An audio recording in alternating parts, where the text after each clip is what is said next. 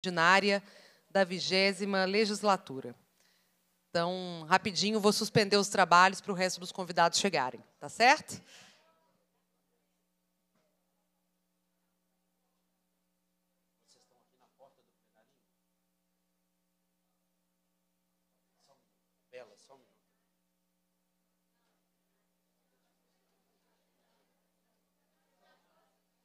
Esperar o Leleco fazer.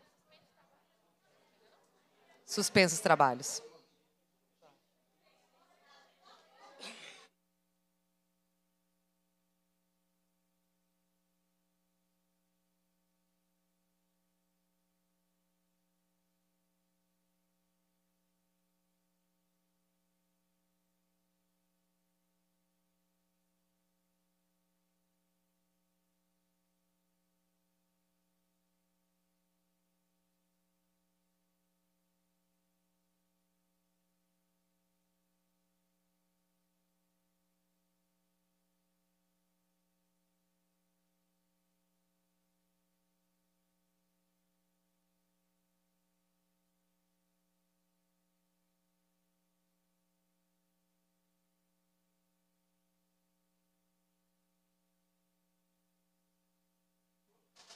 Funciona não.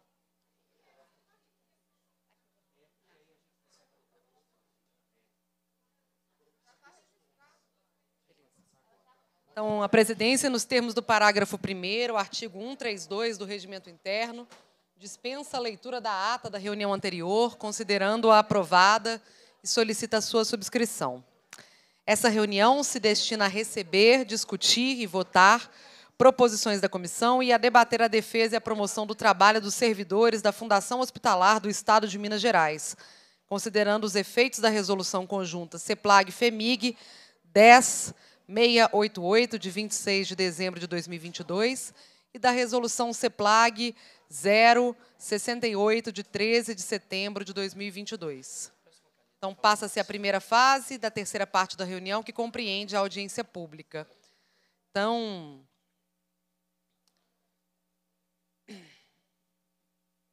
Pessoal, bom dia.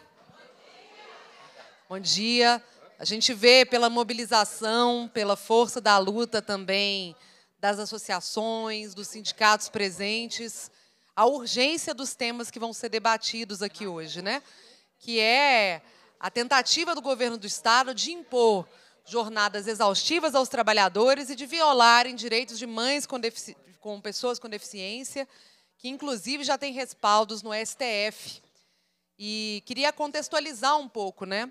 Que quando vocês fizeram uma manifestação ainda no início dessa legislatura, aqui na Assembleia Legislativa, nós recebemos, né, vocês, junto com outros deputados, estava também o professor Cleiton, Ana Paula Siqueira, Beatriz Cerqueira, que são pessoas que também estão nessa luta, além de mim e do deputado Leleco.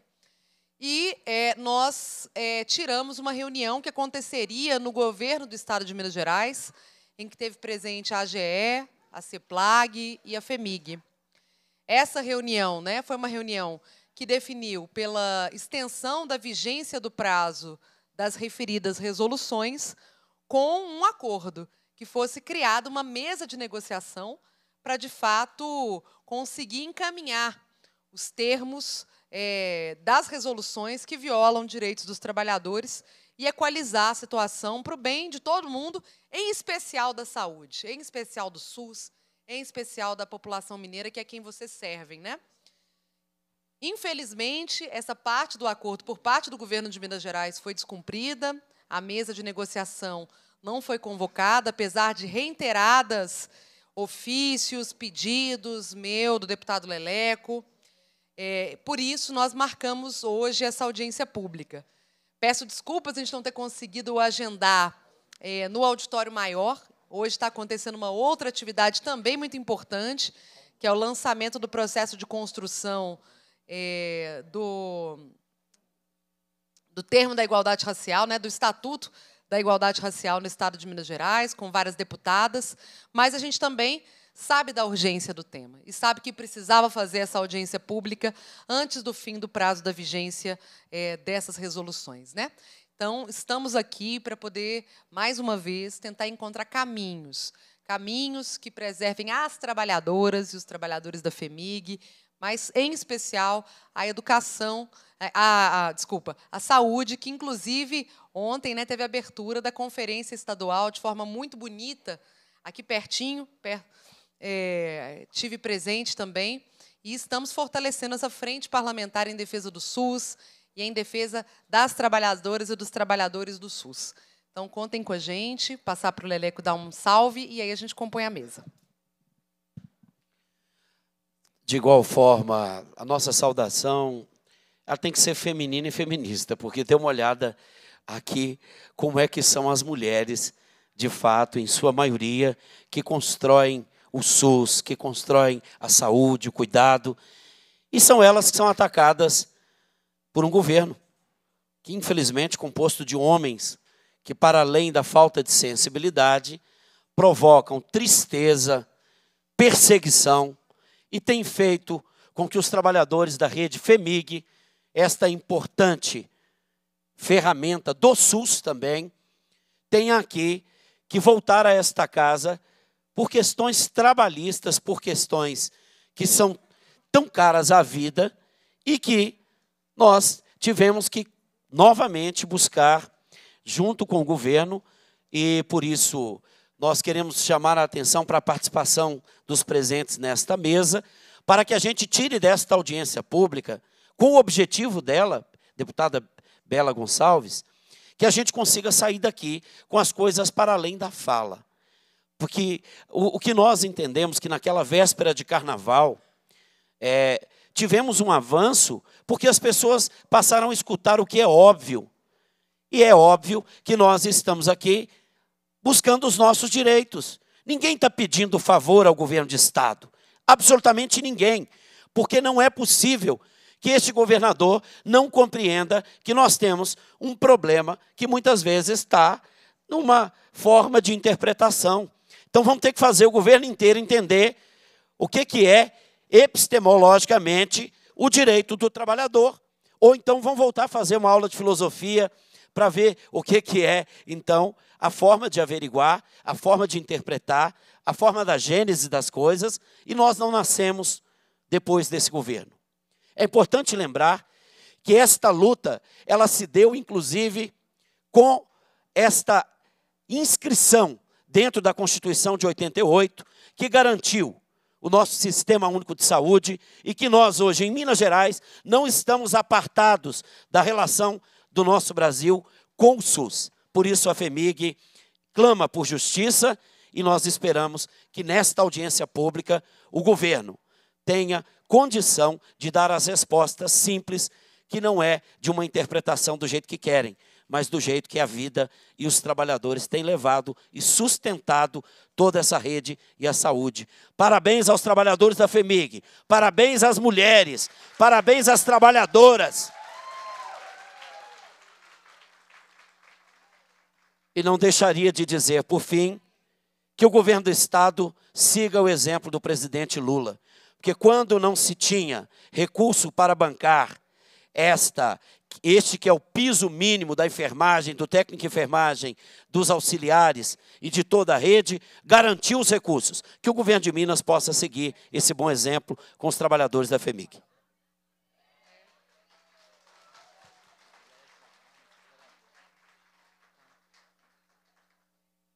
Então vamos lá compor a nossa mesa. Queria convidar aqui para subir à mesa com a gente Elga Beatriz Gonçalves de Almeida, assessora-chefe de Relações Públicas da Secretaria de Estado de Planejamento e Gestão, CEPLAG. Também Marima, Marina Imediato Lara Carvalho, diretora de Gestão de Pessoas da FEMIG, representando Renata Ferneira Leles Dias, da FEMIG. Carlos Augusto dos Passos Martins, presidente do Sindicato dos Trabalhadores da Rede FEMIG. Salve, Carlinhos!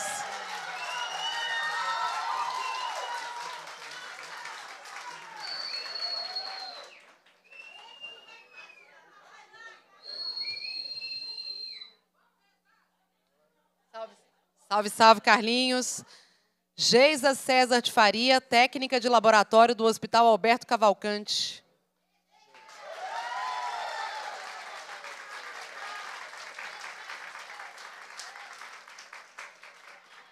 Mara Cristina Clemente Pereira de Moraes, que é profissional de enfermagem do Hospital João 23.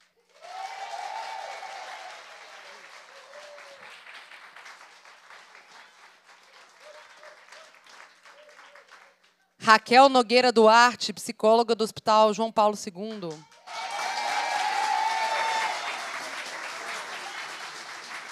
Leonara de Almeida Silveira, diretora executiva do Sindicato dos Trabalhadores e das Trabalhadoras de Saúde de Minas Gerais, Sim Saúde.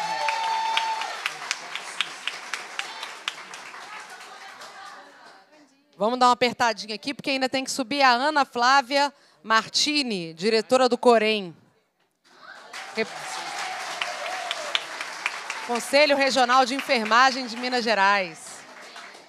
E Renata Martins Gomes, servidora da FEMIG.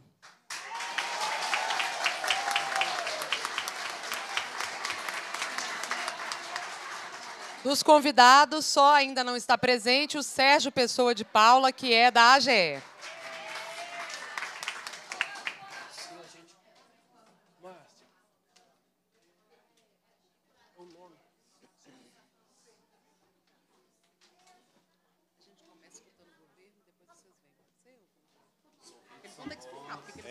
Eu acho bom, abre para eles, para eles darem a explicação.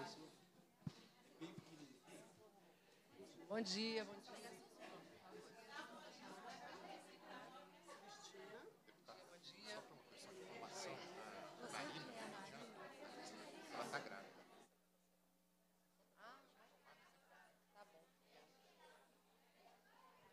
Então, pessoal,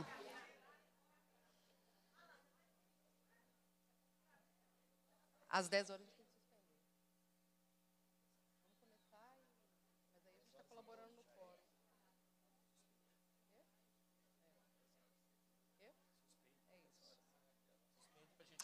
Composta a mesa, gente, a gente vai suspender os trabalhos para organizar aqui as falas e já retorna, tá bom?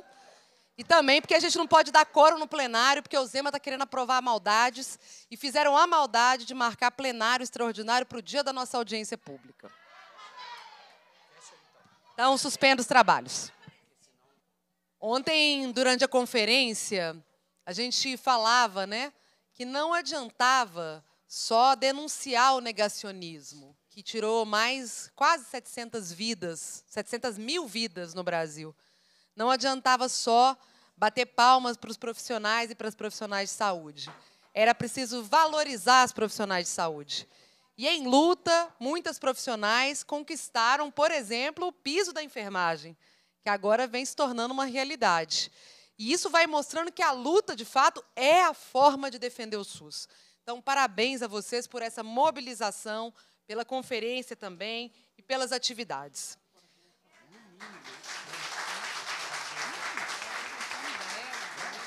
Nós decidimos começar aqui a mesa escutando, em primeiro lugar, a CEPLAG e a FEMIG. Por quê? Porque é, nós precisamos saber, precisamos compreender o porquê de um acordo firmado há dois meses atrás, na Assembleia Legislativa, que era o acordo de se abrir uma mesa de negociação para se debater né, as resoluções é, 68, que assim, né, gente, é um absurdo, é inconstitucional e, mais do que isso, é cruel. Estou aqui é, nas mãos né, com os documentos da Cristiane e da Helenice, que vão falar também. É, e depois eu vou mostrar um pouco mais essa realidade durante as falas também. A crueldade que é ter um filho com deficiência, precisando de cuidados e receber uma negativa da FEMIG por uma resolução abertamente inconstitucional. E que o governo disse que ia rever na luta que vocês fizeram aqui na Assembleia Legislativa, lá na mesa da CEPLAG, da FEMIG, e a gente vê ainda ela em vigência. Então, Precisamos entender por que, que ela ainda está em vigência. E a resolução que tem exposto os trabalhadores a uma jornada de trabalho exaustiva e uma desorganização é, dessas próprias jornadas de trabalho, porque todo mundo sabe que vocês compatibilizam o trabalho hoje em hospitais, na rede FEMIG, com outros trabalhos também. E a imposição de jornadas excessivas de trabalho, de jornadas extra, extra de trabalho, é uma desorganização completa do cotidiano dos trabalhadores. Isso ficou de ser estudado, ficou de ser analisado, e a gente precisa de uma resposta, então vamos pedir uma resposta sobre isso. E o terceiro tema, que não é exatamente o foco das resoluções dessa audiência, é a, a possibilidade de redução da jornada de trabalho das pessoas em 30 horas que a gente sabe né, que é um direito de vocês, mas que não tem conseguido ser acessado por ninguém. Por desorganização ou por má vontade política também da rede FEMIG. Né? Então, precisamos entender esses pontos e passo, então, em primeiro lugar, para a CEPLAG. Passo primeiro para a CEPLAG, porque eu compreendo né, que a FEMIG muitas vezes tem colocado que os seus empecilhos são apresentados pela CEPLAG. Ah, não pode por causa da CEPLAG. Então, vamos escutar a CEPLAG primeiro e depois a FEMIG. Passo então a palavra. Passo então a palavra. E aí, gente, assim, muito importante as manifestações, sempre muito bem-vindas e tudo. É, mas é importante a gente também escutar é, as representantes Elga e Marina que vieram, porque o objetivo da luta aqui é sair com resultados concretos para os trabalhadores. Então vamos que vamos. Então vou passar agora para a Elga Beatriz Gonçalves.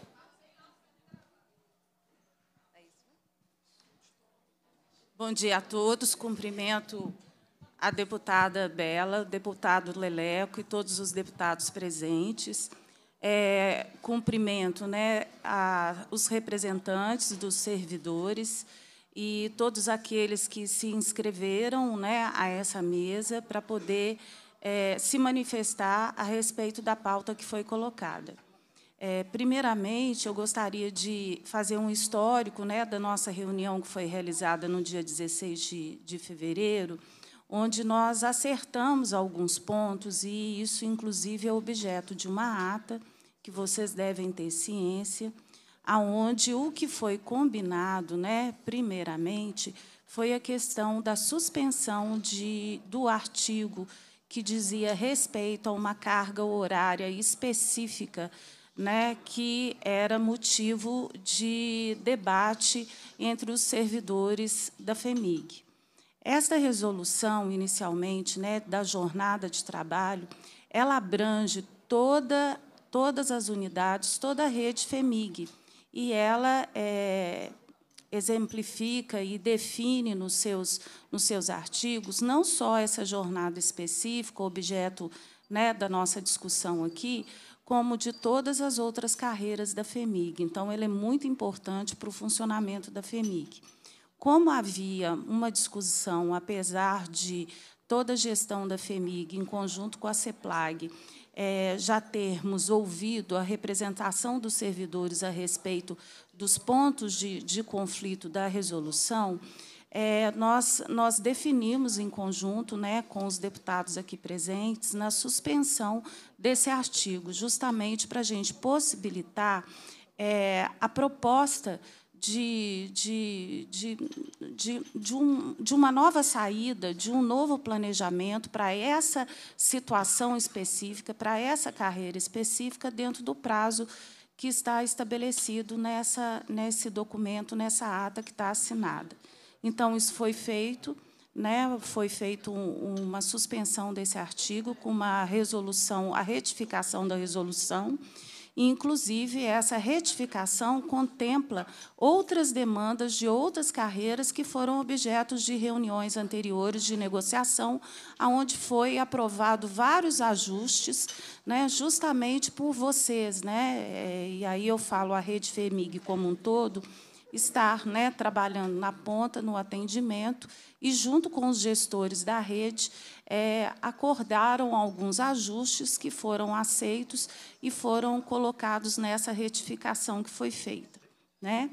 É, nesse contexto, é, um, uma outra questão que também está descrita na ata é que nova, as propostas poderiam ser encaminhadas para a gestão, dentro do limite recomendado, né, da recomendação que a gente tem, tanto da Procuradoria da, da FEMIG como da Controladoria Geral do Estado, a fim de estabelecer um consenso em relação a, ao cumprimento dessa jornada dentro daquilo que é estabelecido por esses documentos formais, aonde a FEMIG é obrigada a cumprir. Né? A presidência da FEMIG tem essa responsabilidade né, para fazer o, cumprimento dessa jornada.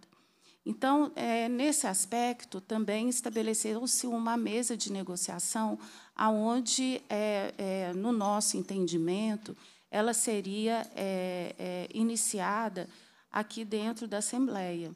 Então, nós ficamos aguardando as propostas, essa proposta, e, e inclusive, à disposição né, dessa casa para a gente poder é, trabalhar esse conjunto dentro do prazo que foi estabelecido.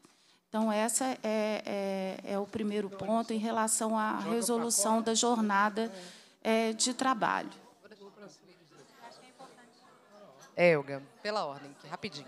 É, deputada, pode, fico. Pode concluir, fico, depois eu coloco. É, eu já ia passar para o outro ponto, então, assim, eu fico à disposição para ver como que vocês querem fazer os questionamentos ou se eu posso passar por todos eles. Então, vamos, vamos parar nesse primeiro, porque eu acho que a alegação da CEPLAG, nesse caso, é muito grave. De que foi a Assembleia Legislativa e os sindicatos que não apresentaram proposta. Não é verdade. A Assembleia Legislativa apresentou, inclusive, dois projetos de resolução para assustar os efeitos dos decretos. É, os projetos de resolução assinados por mim, pela Ana Paula Siqueira, pela Beatriz Cerqueira, pelo deputado professor Jean Freire, pelo Leleco, pelo professor Cleiton, enfim a gente apresentou a proposta de revogação dessas resoluções. Essa era a primeira questão. A segunda questão é que foi marcada uma reunião para tratar de, das pautas dos trabalhadores da FEMIG para o dia 14 do 3, que foi cancelada pelo governo, portanto, pela CEPLAG, pela FEMIG, é, diretamente com a Asteng, vocês cancelaram diretamente com a Asteng e nem comunicaram os deputados nem comunicaram os deputados sobre essa desmarcação. E depois disso, nós tentamos, não foi uma, não foi duas, não foi três vezes, remarcar uma mesa de negociação. Como que a gente ia vir com uma proposta, além do que a gente já apresentou, que é de sustar, parar com essas resoluções, sem uma mesa de negociação para construir um espaço de concertação? Então, é, não procede o fato de que não veio da Assembleia uma proposta.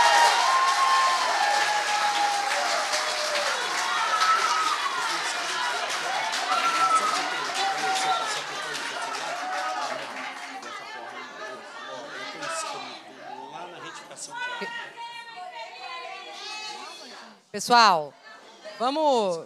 Eu apresentei os esclarecimentos, porque de fato me senti também assim. É, é, é um jogo difícil, né? Assim, os trabalhadores estão em luta, nós estamos do lado de vocês e o governo afirma que a coisa não andou por nossa causa. Ah, não dá. Então, assim. É. Então. É.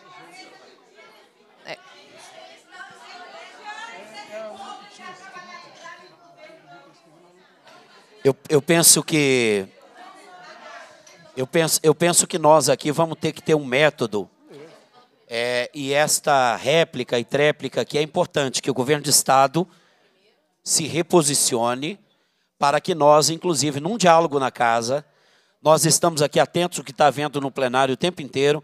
Acabei de falar com a assessoria do Gustavo Valadares, porque se não reconhece isto, se não reconhece que houve um posicionamento desta casa, então a gente precisa, que bom o deputado Gustavo Valadares está aqui presente conosco, porque nós fizemos uma proposta ao governo do Estado e nós entendemos que esse diálogo é muito sério. O líder do governo, nós temos clareza que é uma pessoa séria e que faz a relação de defesa da Assembleia Legislativa e desses deputados. Então, gostaria de pedir à presidente Bela é, que pudesse devolver a fala à representante da CEPLAG, a Elga, e que o Gustavo Valadares pudesse nos acompanhar aqui também nesse interim. Tá certo. Chegou aqui, gente, o representante Gustavo Valadares, que é líder do governo Zema aqui na Assembleia Legislativa, deputado. Convido também para tomar assento com a gente. Vamos Vou devolver agora a palavra para a Elga para que possa expor os demais pontos, ou se quiser também tratar dessa desse primeiro ponto, né? Que foi. Então, Elga, com a palavra. Quem vai falar? Ela, porque ela disse aqui que a Assembleia não fez uma devolutiva. E aí a, a Bela questionou que fizemos, inclusive assinada. Por isso que a gente pedia que ela desse a Ei, pessoal, eu gostaria. Gustavo, você quer sentar? Eu gostaria de esclarecer que, que talvez eu não tenha me eh, feito entender que eu estava relatando sobre a ata, então, eh, e disse que a gestão, tanto da FEMIG quanto a assessoria de relações sindicais, que faz esse suporte né, de, de interlocução sindical, é, estava aberta para receber uma proposta dentro dos limites que foram colocados nessa reunião e com a data de 1 de junho, que era a data da vigência. Nesse mesmo dia, né, é, nós tivemos aqui, que, tá, que consta em ata, se vocês é, é, me permitirem, eu posso até ler, que essa mesa de negociação seria feita no âmbito da, do Poder Legislativo, então, nós entendemos que a, a, o chamamento, a provocação para audiências públicas e de, de comissões aqui dentro da Assembleia seria o ambiente para a gente poder fazer qualquer tipo de ajuste e de acerto e até, inclusive, de apresentação da proposta. Então, assim, em momento algum, é, eu disse que é, talvez o, né, que o assunto não esteja resolvido da forma que os representantes aqui presentes entendem que tem que ser resolvido, inclusive com, com, com os deputados presentes que são que têm o, o, nosso respeito em relação à participação e à representação né, de vocês, é, que isso não poderia ser feito. É, o, que eu, é, o que eu disse aqui foi exatamente o que está escrito em ata e assinado pelos participantes. Então, nós colocamos aí à disposição para poder receber a proposta de vocês, né, até na data prevista, sem nenhuma objeção em relação à participação nem da Assembleia e nem de qualquer representação dos servidores. Elgas. É, na verdade, assim, então, de fato, nós temos um problema, porque a nossa assessoria tentou, via assessoria da liderança de governo, chamar essa mesa de negociação aqui por inúmeras vezes. Gustavo sabe, eu sou a deputada mais chata dessa casa, de tanto que eu tentei puxar essa mesa de negociação aqui. E ela não se efetivou. Gente, eu acho que assim, se não se efetivou a mesa, é, e a gente chegar a uma conclusão de que, de que houve um mal entendido, porque a mesa não foi convocada, não tem problema. Vamos puxar a mesa de negociação, enquanto isso continua suspensa a resolução. É a nossa proposta.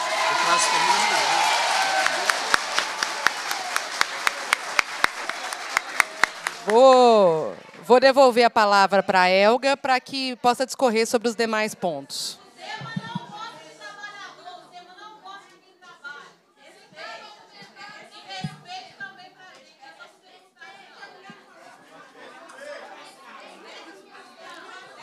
Gente, vamos escutar, Elga. Vamos lá. Bom, pessoal, a respeito da, da resolução 68 de 2022 é, da CEPLAG, ela simplesmente ela é, define procedimentos para fazer avaliação a respeito da redução da jornada né, para as mães com, com filhos deficiente. Então, o que ficou decidido também e acordado nessa reunião foram dois pontos importantes que eu gostaria de esclarecer para vocês. Primeiro, foi a possibilidade de revisão de todos os indeferimentos que é, é, estavam ocorrendo naquela época, na data da, da, na data da reunião. Lembrando né, que, que essa concessão desse direito ele é renovado de seis em seis meses, a lei obriga que se passe por uma perícia. Então, os casos que estavam ocorrendo na data da reunião, foi feita uma abertura para poder fazer uma revisão de, da documentação. É, da revisão Só um minutinho, gente. Aí nós estamos falando dos casos que ocorreram na época da reunião. Desses casos todos que recorreram à revisão, nós temos casos que foram já deferidos, então quer dizer que foi renovada a concessão. Nós temos casos onde ah, precisamos de outros documentos para poder fazer a, né, todo o processo comprobatório da redução e casos que continuam indeferidos, é, justamente porque não houve essa, essa documentação comprobatória. É, como eu disse para vocês que é, nós temos é, a prorrogação, né, que precisa de passar perícia de seis em seis meses, é, então, é, é, claro que esses casos ainda vão continuar aparecendo. Então, o segundo momento da reunião, a segunda definição, foi justamente nós fazermos um alinhamento junto com né, o órgão jurídico do Estado, né, que aí representado pela Procuradoria da FEMIG, pela Advocacia Geral do Estado, no sentido de fazer o alinhamento de nomenclatura e de conceito em relação à pessoa com deficiência. Então, é, é, é o que eu gostaria de deixar claro, que é um entendimento, né, tanto da FEMIG como da CEPLAG, é que a resolução ela não trouxe nenhuma inovação à legislação. A resolução ela é procedimental. Ela só define procedimentos para dar mais transparência ao processo e mais segurança, inclusive para aqueles servidores que querem é, é, acessar o âmbito recursal. Então, assim, ela não inova nada na legislação né? Tanto que nós sabemos exatamente quantos casos que nós temos na FEMIG, nós sabemos é, é, quem são esses servidores, que nós temos processos específicos, né? Por uma questão até de, de, de privacidade da área médica, a gente não divulga os nomes, né? Nós temos tudo é, dentro dos processos, mas o próprio servidor ele tem acesso, ele pode é, é, consultar quais são né, as questões que foram, foram colocadas pela equipe médica. Tá?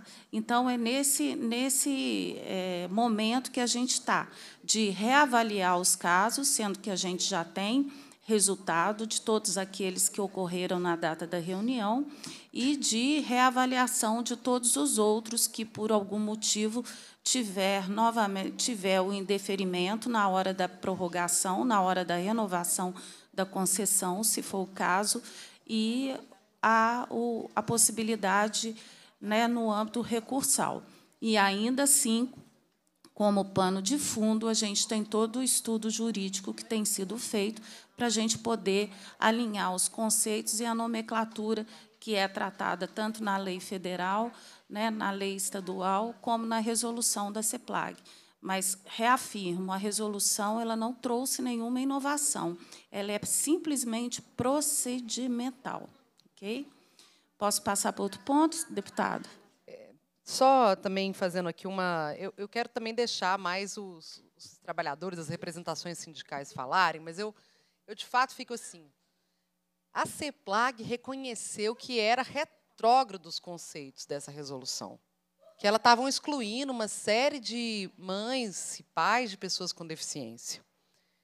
É, não é meramente procedimental deixar é, as pessoas sem poder acessar um direito. Eu estou aqui assim com dois casos e aí elas me autorizaram, né? O sindicato trouxe para mim aqui da Helenice e da, e da Cristiane. São absurdos. Nesse aqui da Helenice, inclusive, é um calhamaço de documento que foi apresentado né? Ela está aí, vai poder falar. Mas aqui no caso da, da, Cris, da Cristiane, né? Nós temos, olha, caso da Cristiane, mãe do Lucas, né? Que foi apresentado vários relatórios médicos do Fisiolab, vários relatórios pela própria FEMIG, mostrando que ele, com 11 anos, precisava de acompanhamento multiprofissional por distrofia mus é, muscular ou seja, uma, uma situação grave, grave. E aí, diante do pedido da mãe, a, a gente tem aqui, ó, uma carta da FEMIG dizendo que em atenção à resolução, que você disse que é meramente profissional, ela não tem o direito à sua carga horária reduzida. Isso é inconstitucional. O STF já decidiu sobre isso. O STF decidiu que a Lei 8.112, que dispõe sobre o direito de servidores públicos estaduais e municipais, ela é de aplicação direta para esses casos. Não há uma resolução que a FEMIG possa fazer, sabe, infraconstitucional, infralegal, porque resolução é infralegal, que supere uma decisão do STF e uma lei federal. Então, assim, é, eu, eu esperava, sinceramente, que o governo viesse com uma resposta sobre a possibilidade de sustar essa resolução. Porque foi isso, inclusive, que foi indicado é, na mesa de diálogo, acordado, no mínimo, revista a resolução, porque, de fato, ela agora pode retornar à vigência, né? E a gente ter é, as mães com esse direito negado. Você imagina, Elga? Assim, sabe? A situação de uma mãe trabalhando em jornadas exaustivas, tendo cuidado do seu filho, não poder fazer isso porque uma resolução que vocês dizem que é simplesmente procedimental está é, tá dificultando um direito, sabe? A resolução está mal que a lei. Então, eu, eu devolvo a palavra, assim, para perguntar em que pé, então, que estão esses estudos e essa possibilidade de revisão dessa resolução é, estapafúrdia, estapafúrdia.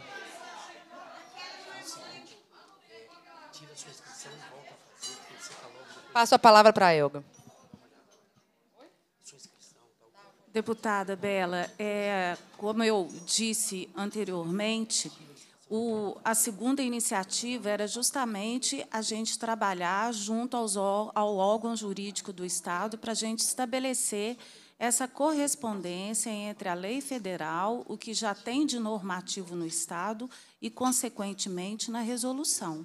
Então, nós estamos fazendo esse estudo, né? nós, nós já tivemos algumas reuniões com a área jurídica, e, e nesse interim, nós estamos fazendo a, a, revisão dos casos em que o servidor se sente prejudicado e tem um indeferimento na hora da, da renovação ou da prorrogação da concessão. Então, é nesse momento que a gente está.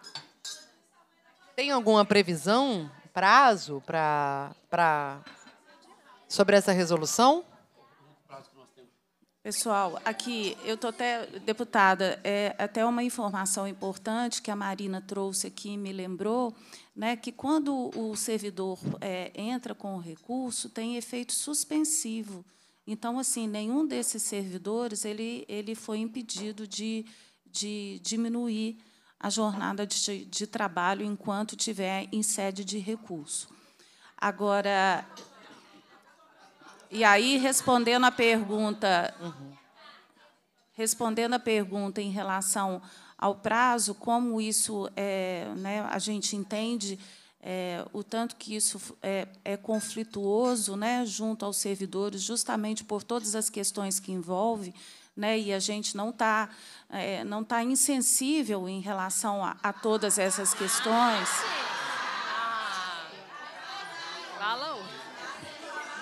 Pessoal, vamos lá que a nossa audiência está começando. E aí, deputada, é só para informar o prazo.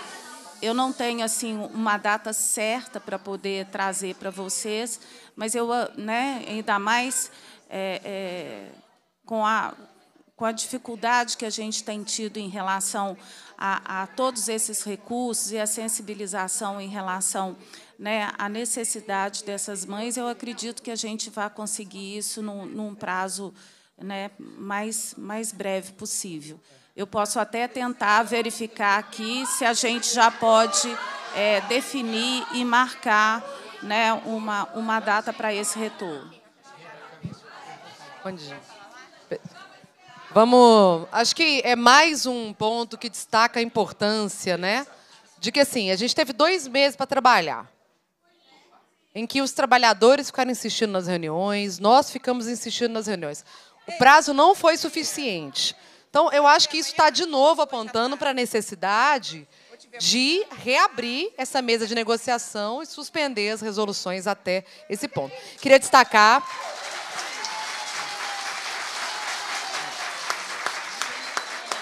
Destacar a presença aqui da deputada Beatriz Cerqueira, que vocês já conhecem de muitas longas datas de luta junto, né, gente? Passar a Bia para dar uma saudação. Oi, gente, bom dia. É, eu só queria justificar que a gente está tendo que se revezar, né, porque a gente está fazendo obstrução de plenário tentando impedir que o governo avance com suas pautas no plenário. Então, a gente sai, volta, não é, é próprio de momentos que a gente está em embates no plenário. Então, queria justificar, eu estava lá agora, fiz as discussões, o deputado Leleco saiu para fazer a discussão, então, daqui a pouco eu volto para fazer a discussão, daqui a pouco a Bela vai sair para fazer a discussão, que é isso, né? É a gente se movimentando para impedir que o governo Zema tenha vida fácil nos seus projetos de privatização, de desrespeito aos trabalhadores, né? É, Lá no plenário, por exemplo, um dos vetos que um dos vetos que está na discussão agora é exatamente uma proposição. Só para vocês saberem, assim, é, é, mas uma das questões que está lá agora, né, foi feita uma proposta no plano plurianual de ação governamental, ou seja, é uma, um mecanismo de planejamento do governo. É, tinha uma proposição sobre pagamento de direitos, celeridade, olha só, é, celeridade é, na publicação e pagamento dos direitos legalmente assegurados aos servidores estaduais. O, governo vetou, o governador vetou esse dispositivo no PPAG, é, é, é, eu não consigo nem explicar para vocês por que, que ele é contra a celeridade. Celeridade, não tinha data, não tinha valores, né, como eles vão argumentar que a gente não pode impor despesa ao Poder Executivo. Eu quero dizer para vocês, de uma forma, minha breve saudação, mas é, a preocupação que eu tenho do momento que nós estamos enfrentando. Se nós achávamos que o governo Zema, é, que nós o conhecíamos do primeiro mandato, o governo Zema vai mostrar que veio agora. Né? Muita luta, muita luta do movimento sindical, muita luta no âmbito legislativo, impediram que o governo Zema, é, nos seus primeiros quatro anos, implementasse o seu projeto de Estado, de poder, ou de não Estado. Né? É um projeto de não Estado. Agora, ele primeiro cuidou do seu próprio salário, né? vocês sabem disso, 300, quase 300%, cuidou do salário do seu vice-governador, dos seus secretários, do seu secretário adjunto. Estava colocando aqui, ó, o governo Zema, agora em abril, já já está. Enquanto a gente está discutindo isso o que, gente? Nós estamos nessa discussão desde março.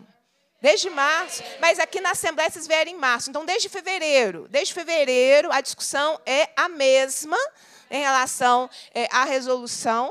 É, mas, olha só, enquanto a gente está na mesma discussão, o governo já aumentou o seu próprio salário e já recebeu já recebeu o seu próprio salário aqui, ó. Ele saiu de R$ 10.500 para R$ 37.589,96 centavos é, para agora, para abril, porque vai chegar em 2025 com 41 mil reais, se eu não me engano, de remuneração, 300%. Então, a, a, o que me espanta, deputada Bela, e cumprimentar Vossa Excelência pelo requerimento, né, e pela audiência, é, e cumprimentar, cadê o movimento sindical, todo presente aqui, quem faz toda a luta.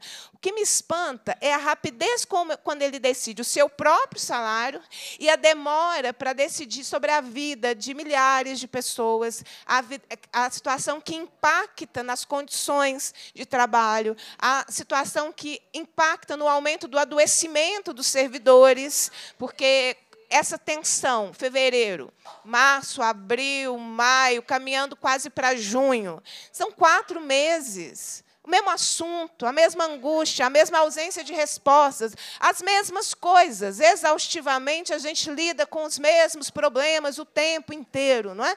é mas é isso, cuidou dos seus 300%, está parcelado, né, gente? Para eu ser honesta nas informações, não é tudo de uma vez, está parcelado. Agora, 2024 e 2025, está parcelado.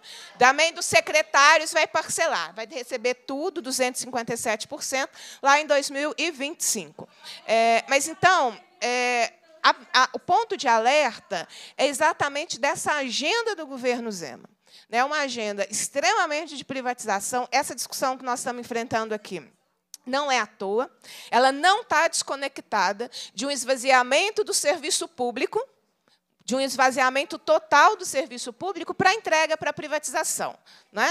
Essa é a agenda que nós enfrentaremos. Então, acho que a gente precisa se perguntar, é, além da, da, da, luta que nós estamos fazendo agora, a resolução está na comissão. Nós fizemos um projeto de resolução para suspender essa resolução. Vocês se lembram que foi um encaminhamento dado naquela reunião que nós tivemos aqui nesse espaço. Esse projeto de resolução está na Comissão de Constituição e Justiça, ele é coletivo, assinado por vários colegas. Então, uma, uma alternativa importante seria ter tentar tramitar com esse projeto de resolução, considerando que toda vez que a gente tenta conversar com o governo, aí eu, eu quero cumprimentar né, a representação do governo do Estado presente aqui conosco, mas a resposta ela é sempre a mesma. É, eu não consegui ouvir a resposta porque eu estava fazendo obstrução no plenário, mas me corrijam se eu estiver errado. Não tem data para resolver, não, é isso, não tem prazo para resolver e não pode se comprometer com a resolução agora. Eu errei em alguma coisa? Porque essa tem sido a resposta, via de regra, às pautas do movimento sindical, todas as vezes que o movimento sindical faz a sua luta, e nós nos somamos através de atividades aqui.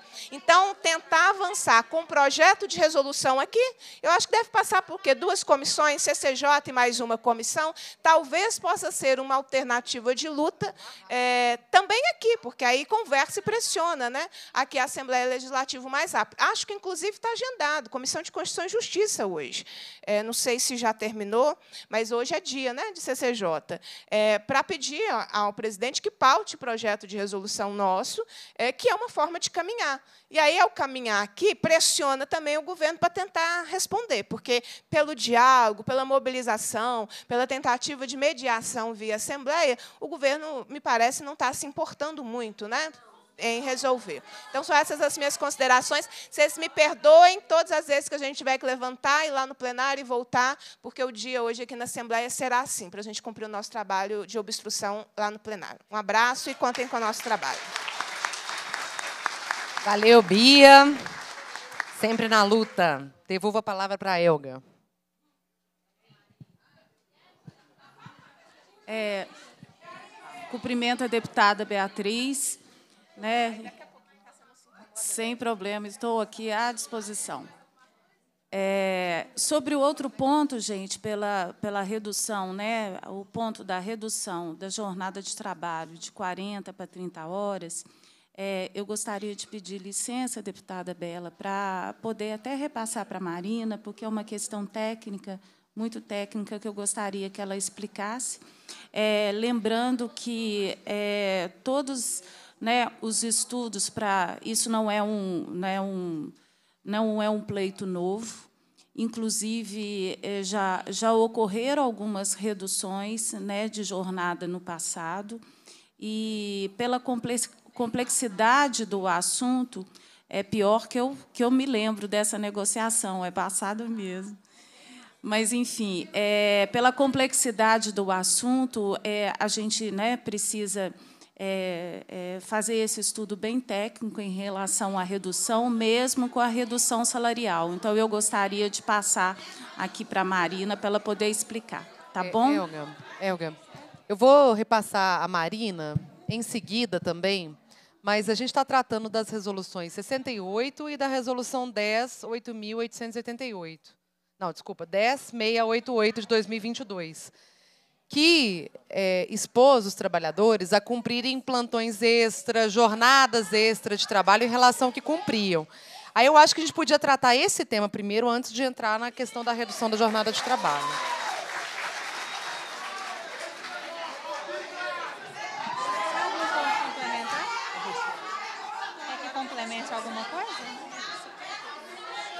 Sobre essa resolução, Elga, você tem algum retorno do governo?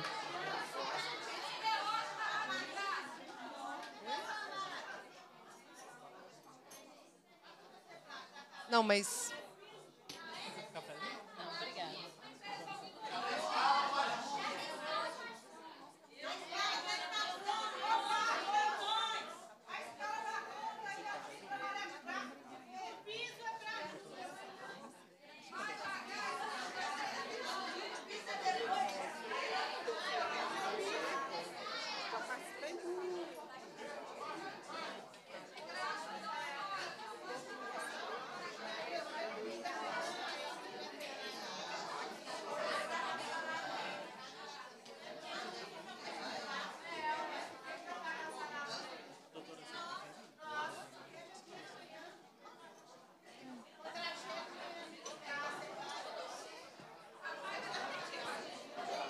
Pessoal, vamos.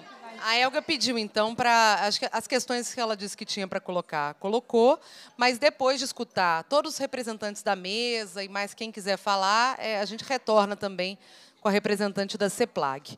Vou passar agora é, a palavra então para a Marina, Marina Imediato Lara, que é da FEMIG, representando aqui a mesa de diretoria de gestão de pessoas da FEMIG. Então, para fazer as considerações. Sim, bom dia, bom dia, deputada Bela.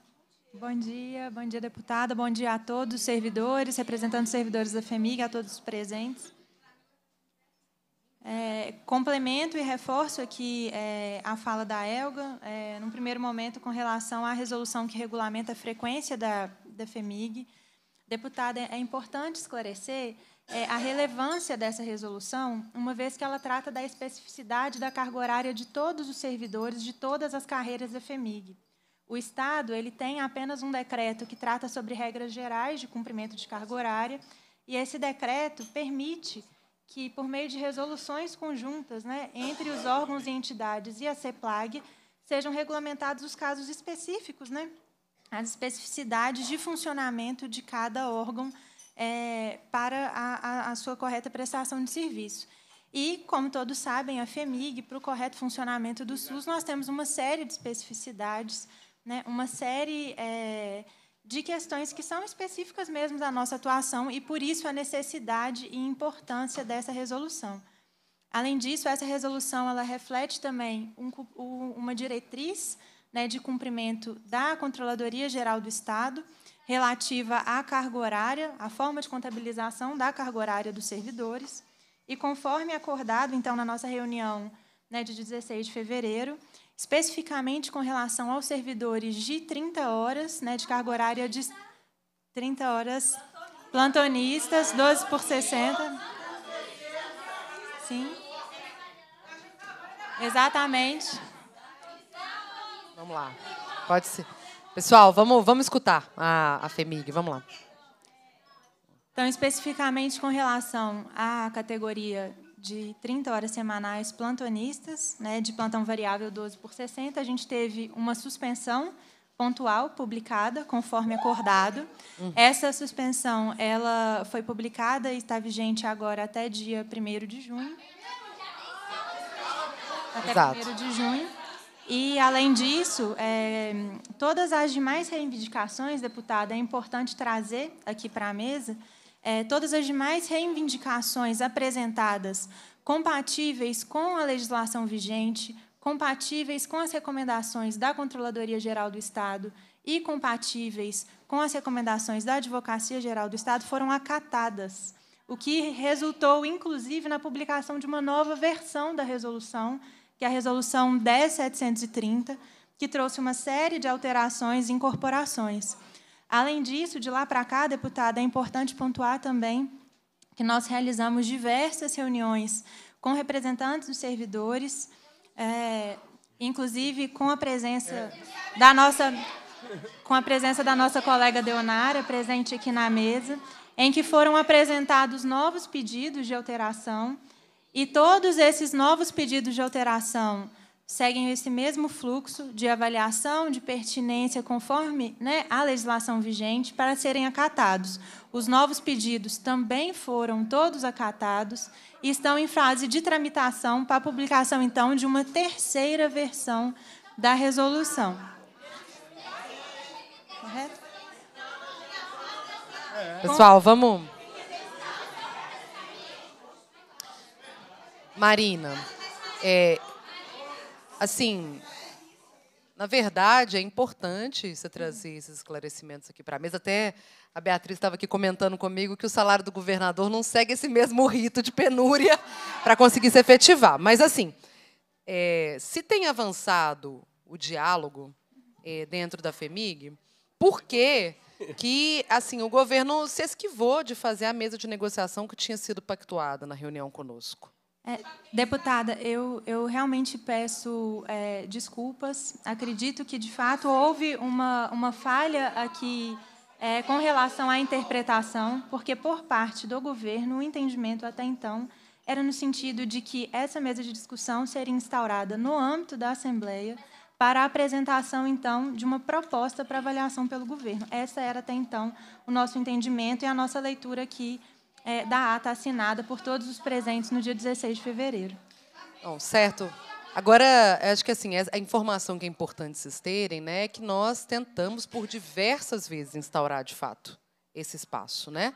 É, e não conseguimos, não conseguimos, assim. Qual qual o motivo para não conseguir? Você está me dizendo também que não que desconhece, que não sabe por que, que essa reunião não foi marcada. A CEPLAG também disse que desconhece, que não sabe por que, que essa reunião não foi marcada. Mas fato é que nós temos assim cópias dos ofícios, dos e-mails, das ligações que a gente fez para a liderança de governo, pedindo para instaurar o processo, porque a gente sabia que o fim da suspensão do prazo de vigência das, da, dos pontos é, da resolução, né, ele estava para chegar e essa mesa não foi instaurada, né? Então devolvo a palavra. Como, como eu pontuei como eu pontuei, deputada, a, o governo está aberto à análise de propostas.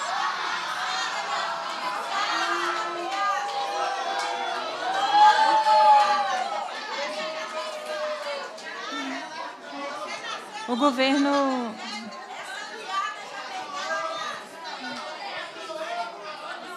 Vamos retomar.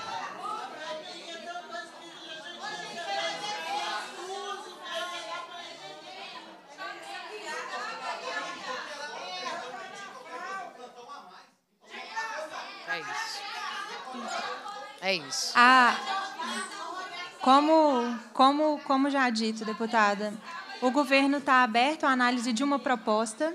Essa proposta, como acordado, foi definido um prazo de apresentação até o dia 1 de junho. Após o dia 1 de junho, essa suspensão, de fato, não, não vai estar mais válida. E por isso esse planejamento, como mencionado pelo servidor. Me parece, vamos lá, Marina. Gente, olha o que, que eu. É, assim, me parece que o que está acontecendo é o seguinte: nós fizemos uma reunião, acordamos um prazo de suspensão. Nessa reunião, já foi apresentada a proposta. Já foi apresentada a proposta, que era a manutenção da carga horária que vinha sendo cumprida há mais de 12 anos, né? Há muitos, mais de 20 anos. Não, Bela, há 37 anos. Há 37, há 37 anos. anos essa carga horária é feita, 12 por 60. Há quantos anos, Deonara? É 37 anos. Há Ela 37 é fruto anos. do acordo de greve de 1986. É, e que os trabalhadores que já e que os trabalhadores não fossem expostos a plantões extra, a horários extra de trabalho. Daqui a pouco vocês vão falar, gente, sobre o impacto que isso teve na vida de vocês, o quanto que isso desorganizou assim a rotina de trabalho de vocês, a saúde mental de vocês e o quanto que isso tem gerado situações de assédio de trabalho também.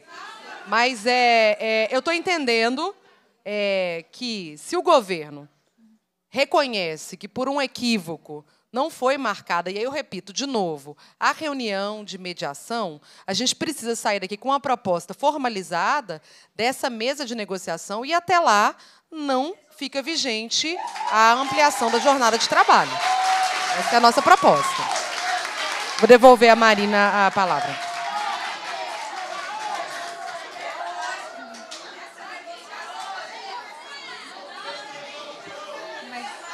Pessoal, Vamos lá, que a gente está só no início e a gente ainda tem que escutar todas as categorias, sindicais, os grupos aqui. Vamos lá, Marina. Deputada, como, como eu falei, eu repito, o governo está aberto a receber a proposta tá. para avaliação. E é importante considerar que essa proposta, como a gente discutiu extensamente no dia 16 de fevereiro, ela deve contemplar a observância da legislação vigente, a Lei 15462, que trata da carga horária das carreiras da FEMIG. Então, o que a FEMIG está fazendo, enquanto um cumprimento de recomendação da Controladoria Geral do Estado e da legislação vigente, é exatamente, é exatamente dar cumprimento àquela carga horária que, inclusive, é observada por é, a maior parte né, de todos os servidores da FEMIG. E a gente tem aqui, então, um ponto de discussão em aberto é, para escutar a proposta a ser trazida pelos deputados, pelos servidores.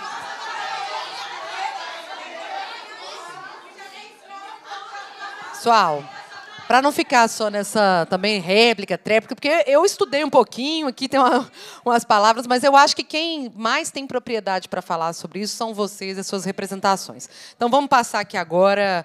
Marina, você concluiu? Ah, por enquanto? Aí no final da audiência, é, depois de escutar os trabalhadores, a gente retorna. É, vou passar aqui então ao Carlos Augusto dos Passos Martins, presidente do Sindicato dos Trabalhadores da FEMIG.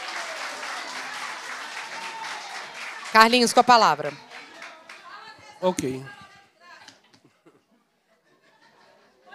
É, bom dia a todos. Pessoal, primeiro, né, para nós trabalhadores, para vocês que trabalhadores que estão aqui acompanhando, né, é, tudo isso que está sendo falado aqui, né, não precisamos ficar repetindo ou especificando ou dando justificativa técnica para vocês, porque vocês já estão vivendo essa situação. Na pele, né? isso é tranquilo. O que eu queria frisar é que essa discussão é uma discussão antiga que já vem sendo travada há muitos meses, né? olhe lá, anos, porque nós, trabalhadores da FEMIG, a gente vem sofrendo é há anos, como o pessoal fala, né? A cada ano uma nova novidade, uma novidade sempre que vem para retirar direitos ou nos ameaçar. Nós estamos vivendo isso, vocês lembram, desde antes da pandemia, né? Infelizmente, infelizmente é a nossa vida, a nossa jornada enquanto trabalhadores da rede FEMIG. Mas eu queria, e por isso que foi bom né, a Bela e os deputados, o Leleco e os outros deputados, terem agendado essa audiência pública, porque o que eu queria é só reafirmar uma questão que foi discutida lá em fevereiro. Em fevereiro, nós fizemos uma greve que durou três dias e houve um acordo. Houve um acordo. Houve um acordo com os deputados, houve um acordo com a FEMIG, com a Procuradoria do Estado e com a CEPLAG. Tudo bem que eles falam que a nossa greve terminou por uma decisão judicial, porque também havia uma decisão judicial, uma liminar, que o governo entrou falando que a nossa greve é ilegal, que os síndicos não representavam os trabalhadores.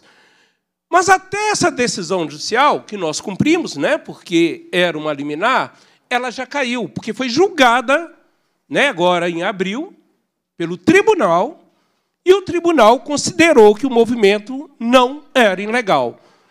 O tribunal considerou que não cabia a justificativa de que os síndicos não representam. Então, até isso nós temos. Mas tudo bem, porque entre o cumprimento da liminar, né, que foi lá em fevereiro, e o julgamento que foi agora, né, há duas semanas, não dava para a gente retomar a greve por retomar. E também porque, como houve um acordo, nós tivemos o bom senso de considerar que havia seriedade por parte da FEMIG e do governo em querer tratar do assunto sem precisar do conflito, sem um confronto, sem precisarmos fazer a greve para impor. E tivemos, gente, a intermediação dos deputados, que olha que os deputados tiveram bom senso, porque eles não se posicionaram lá no dia só. Ó, oh, os trabalhadores estão com a razão, FEMIG engole seco. Não. Os deputados propuseram, ó, oh, há uma controvérsia, vamos sentar e discutir? Vamos construir uma alternativa? Ah, mas o AFEMIG não quer sentar com síndicos.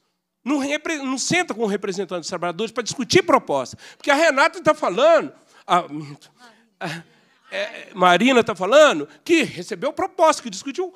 Como assim, se nós recebemos um ofício de vocês se negando a sentar com o síndico para receber as propostas? Ou discuti-la? Como assim? Ah, mas eu recebi. Olha, peraí, proposta tem que ser feita pelos trabalhadores e discutido e debatido. Mas aí, olha só, os deputados tiveram bom senso em chamar uma intermediação para que fosse feita aqui essa discussão. Pronto, não quer sentar lá? Tudo bem, vamos sentar aqui com os técnicos daqui. Nós tivemos aqui, trouxemos os documentos, as leis e as nossas justificativas e proposta para os técnicos da Assembleia que ficaram de usar para fazer estudos, aí não era uma discussão nem política, mas ficaram esperando agora a outra parte. Ué, cadê essa placa de FEMIC para trazer agora a argumentação deles, a justificativa deles, para que então definisse se cabia ou não a resolução nos termos dela, ou na forma que ela estava. Até isso os deputados tiveram bom senso. Mas aí, gente, acham que a gente é trouxa, vocês são trouxas, e que poderíamos engolir ou empurrar a goela abaixo decisões, decisões através de uma resolução, nem de lei, e impor os trabalhadores. Vocês vão chiar, vocês vão reclamar, mas pode espernear, mas cumpra-se. Ponto. Foi isso que eles acharam. Aí eu só queria pontuar aqui, tanto para a né, e para CEPLAG, porque vocês, eu compreendo, Elga, eu compreendo que vocês não estão lá na gestão dentro dos hospitais e, de repente, nem entendem os efeitos ou os reflexos de tudo isso que foi feito na resolução. E era isso que a gente estava naquela época tentando mostrar para vocês. Nós não somos contra regulamentar ó, cumprimento de carga horária, jornada, nada disso, pelo contrário. Mas estávamos tentando alertá-los. Olha o efeito dessa forma que vocês estão propondo. Eu quero pontuar aqui, tem mais de um mês que a resolução está vigente, né? que começou 1 de abril, mesmo sem aplicar o item do 11º plantão. Então, eu só vou pontuar para vocês e para os deputados, para registro, todos os efeitos que essa resolução trouxe na FEMIG. Pelo menos alguns graves. Qual era o objetivo da resolução que ela falou? Moralizar o serviço e garantir produtividade, certo? Pois bem, olhe os efeitos. Depois que a resolução foi implantada. Alberto Cavalcante alterou a jornada de trabalho, o cumprimento da jornada de trabalho dos servidores plantonistas do ambulatório, passando todo mundo para diarista numa canetada só. Quem são esses profissionais? Pessoas que estavam 25 anos trabalhando no sistema de plantão, que tinham toda a sua vida programada nesse sistema. Pessoas que, quando fizeram o concurso, foram contratados para virem trabalhar como plantonista nesse setor. Aí chega uma chefe, esfrega uma resolução na cara de todo mundo, porque agora as chefias dos hospitais estão fazendo isso. Tudo agora eu tenho uma resolução. A partir de 1 de maio, todo mundo diarista. Dançou a vida de todos os servidores, certo? Certo. Ah, mas melhorou o serviço, já que o objetivo seu é esse, segundo vocês. Não. Sabe o que eles fizeram com essa mudança? Desativaram parte do serviço prestado à população no serviço ambulatorial. Fechou, deixou de dar assistência à população, diminuiu o número de cirurgias, diminuiu o número de exames porque passou a ser regulado dentro de segunda a sexta. Tivemos com a direção do hospital. Falamos, mas que ideia é essa, gente? O Estado está aí para prestar serviço, é um hospital oncológico de referência. Vocês vão reduzir atendimento? É porque temos que cumprir resolução. Alberto fizeram isso. Né? Então, reflexo para o paciente, reflexo para um serviço por causa de uma resolução. Tá? De cumprimento de jornada de carga horária que estava sendo cumprida. Estava tudo normal. Além disso, tá, gente? Vários hospitais, inclusive no Júlia Kubitschek, porque agora as chefes falam que elas têm carta branca para gerir do jeito que elas quiserem, retirou o descanso noturno dos funcionários do plantão noturno. Retirou. Os funcionários tinham sempre direito a três horas de descanso. Isso é referência, inclusive, com a CLT. E aqui cabe um destaque, que ela falou que aprimorou a resolução, que soltou a primeira e depois aprimorou a segunda. Na primeira, previa esse descanso. Estávamos discutindo e avançando para regulamentar isso na FEMIG. Na segunda, eles retiraram os descansos, não prevê mais, mas aí nós temos uma CLT, que é referência, nós temos o cumprimento desse descanso há anos, que era uma prática, e uma necessidade. O que, que a chefe fez? Olha, agora eu tenho uma resolução, não tem mais três horas de descanso, a partir de agora é jantar uma hora e voltar para o setor e continuar trabalhando 12 horas. Ela tem essa autonomia? Tem por causa da resolução. Nos outros hospitais, como João 23, por que o povo está aqui revoltado e está falando que vocês estão atrapalhando a vida deles? A nossa chefia da enfermagem chamou todo mundo e determinou, a partir de agora, por causa de uma resolução, Ninguém mais da enfermagem, ninguém mais que é plantonista pode fazer troca emergencial. O que é troca emergencial, gente? Nós somos plantonista e temos que cumprir aquelas jornadas, dias, feriado e tal. Como que funciona em qualquer hospital e sempre funcionou? Eu tenho a minha necessidade de uma doença imprevisível, de um parente, sei lá o quê, né? Eu tenho meu pai adoeceu na hora que eu estava sem indicar, sei lá o quê. Para não deixar descoberto o plantão, qual é a nossa prática? Contacta o, colega e faz uma troca de plantão. Um outro vai trabalhar para mim e eu pago depois. O que, a chefia fez? Está suspenso, a partir de agora, as trocas emergenciais por causa da resolução. Uai, mas e quando eu tiver o meu filho doente, parente na necessidade? Não falta. Falta, você vai faltar. Uai, se eu faltar, como é que fica o serviço? Problema de quem ficar trabalhando. Foi a resposta que tivemos oficialmente. Isso. Aí o paciente que está lá vai ter uma sobrecarga e aquele tem todo. Isso tudo, sim, e isso por causa de quê? Por causa de uma resolução, segundo a chefia. Né? Eles apresentam isso. Funcionários sendo removidos de setores de forma arbitrária, sem nenhuma discussão, porque antes tinha discussão. Adaptação, necessidade. Não, a resolução me permite pegar alguém que trabalha com adulto há 30 anos e amanhã remover para ir para uma pediatria fazer assistência. Isso está na resolução. É, ou seja, desde que foi implantada a resolução, não vou nem falar aqui das cargas horárias a mais que as pessoas de 20 horas, que o pessoal de 16 horas. Olha o absurdo de vocês. O pessoal de 20 horas tinha que trabalhar as 20 horas dentro da semana. Já tinha uma escala é, montada, adaptada para o serviço. Veio a resolução, desmontou tudo e mandou eles fazerem agora 6 horas e 45 minutos. Aí a pessoa, mas eu não quero fazer 6 e 45 minutos, eu faço 6 horas para completar a carga horária. Não, é 6 e 45. Como é 6 e 45, você é obrigado a ficar no hospital mais uma hora por causa do horário de almoço. Porque pela lei, que aí tem uma outra lei que determina acima de 6 horas, você tem que cumprir uma hora de almoço. Aí a pessoa falou assim: Mas eu não quero ficar aqui no hospital, dentro do hospital, mais uma hora para cumprir o horário de almoço. Ah, mas tem uma resolução. E aí a pessoa fica 7h45 parada lá dentro, só para cumprir resolução. Gente, o que eu estou querendo mostrar para vocês da FEMIG, da CEPLAG para os deputados, é que, de duas, uma. Ou essa resolução não tinha objetivo nenhum de moralizar serviço, de fazer cumprimento, ou de garantir né, produção nem nada, porque não é o que está tendo como efeito. O que está tendo como efeito que vocês deram uma autonomia para toda a chefia fazerem o que quiser da forma que quiser, né? e sem uma, um objetivo de produção, de ampliação. Sei lá, não tem um objetivo, claro. Não, não há um resultado. Ou é isso, ou então, quem elaborou a resolução não tem conhecimento de como funciona o hospital e está tra trazendo essas consequências. Seja o que for, Elga, seja o que for, Marina, nós estávamos dispostos a fazer essa discussão para pontuar para vocês. Olha, se fizer desse jeito, vai ter esse efeito. Qual é o objetivo seu? Vocês falaram com a gente uma vez. O objetivo é garantir cumprimento de jornada de trabalho. Ótimo. É moralizar a forma de troca. Ótimo. Mas o que vocês fizeram foi o inverso. Agora virou essa zona.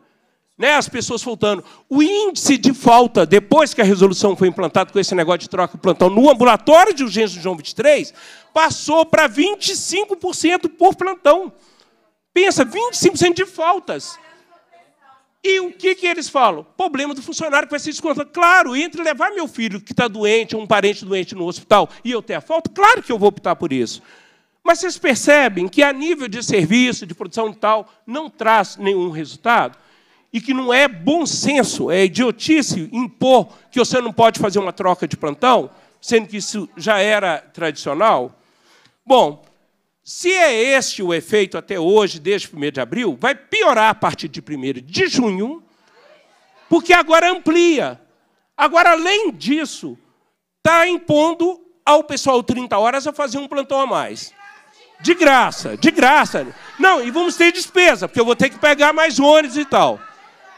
Eu sei que tem toda uma documentação técnica que eles apresentaram lá, matemática, e nós, na época, sim, é mentira, nós também mostramos tecnicamente que não procedia, que não era esse o princípio, né? Pesquisamos, gente, mostramos como é que funciona a nível federal, mostramos como é que funciona aqui na Prefeitura de Belo Horizonte, né? mostramos tudo isso na época, mas eles ignoraram.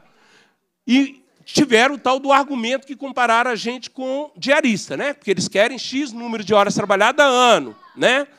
Bom, tá. Então ficou esse impasse que nós pretendíamos né, sair desse impasse técnico de discussão através da mesa. Através de uma sentada, cada um trazendo documento.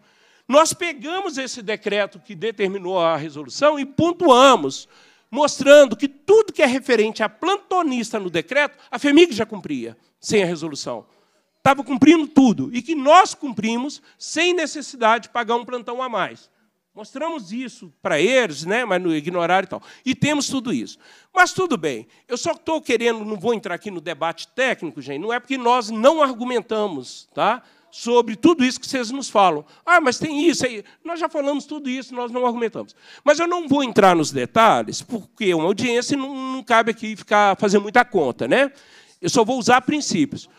Mas só para justificar para vocês que não procede essa forma que vocês estão colocando do plantão a mais, é uma questão bem simples.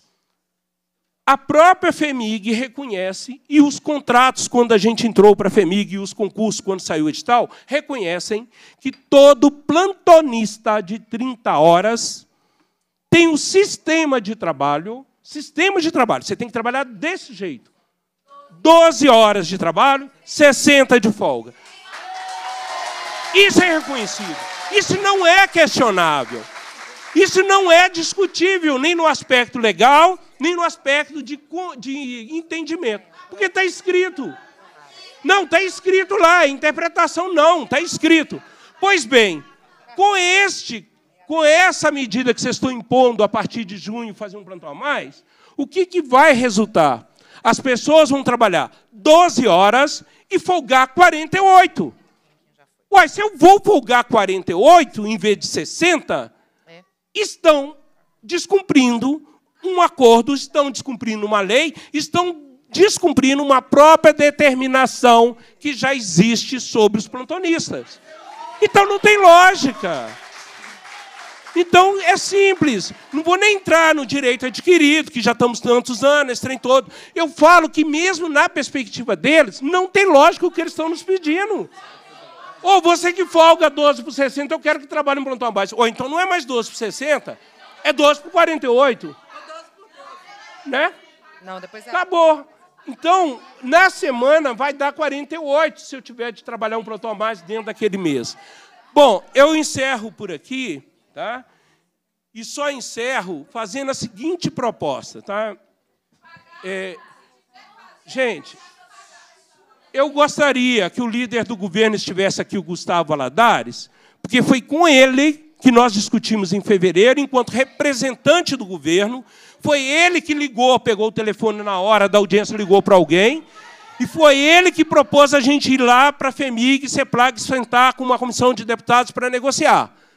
E foi ele que saiu de lá dando a palavra dele, enquanto deputado, líder de governo, de que manteria um processo de diálogo com a gente, que manteria uma discussão antes de 1 de junho, para que fosse construída uma nova proposta. Eu gostaria que ele estivesse aqui, porque eu quero falar o seguinte com ele: que nós esperamos dele, enquanto deputado, enquanto líder de governo, não é nem que ele compreenda a questão se é legal ou não é, não é nem que ele compreenda se quem está com a razão é a FEMIG ou somos nós. O que queremos dele é que ele tenha palavra enquanto servidor público, enquanto representante do povo, que falou diante dos trabalhadores e das mães que estaria construindo uma solução e agora não está mais. Tá? Isso que eu queria, que ele mantivesse a palavra dele. Enquanto pessoa.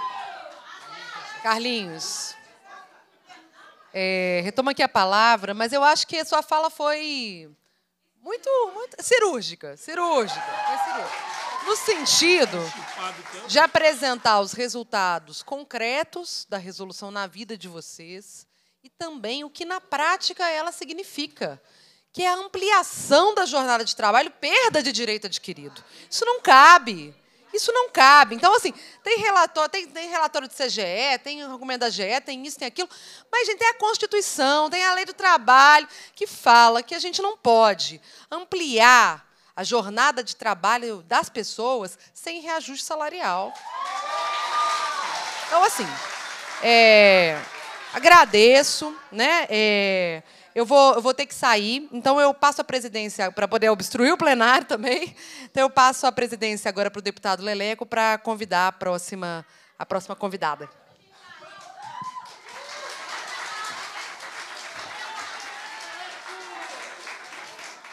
Eu espero, espero estar à altura aqui das companheiras, né? Nosso trabalho tem sido este.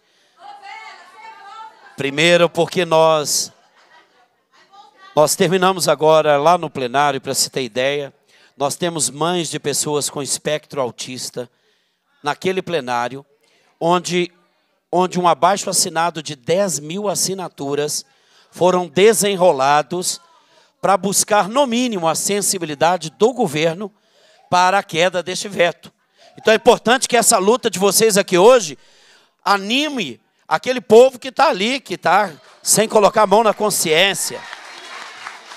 Então, além do Carlinhos, que eu não tenho dúvida alguma, eu ouvia desde o plenário, quando retornei para cá, nós vamos contar agora com a contribuição da fala da nossa companheira Deonara de Almeida Silveira, diretora executiva também do Sindicato dos Trabalhadores de Saúde de Minas Gerais. Então, bom dia.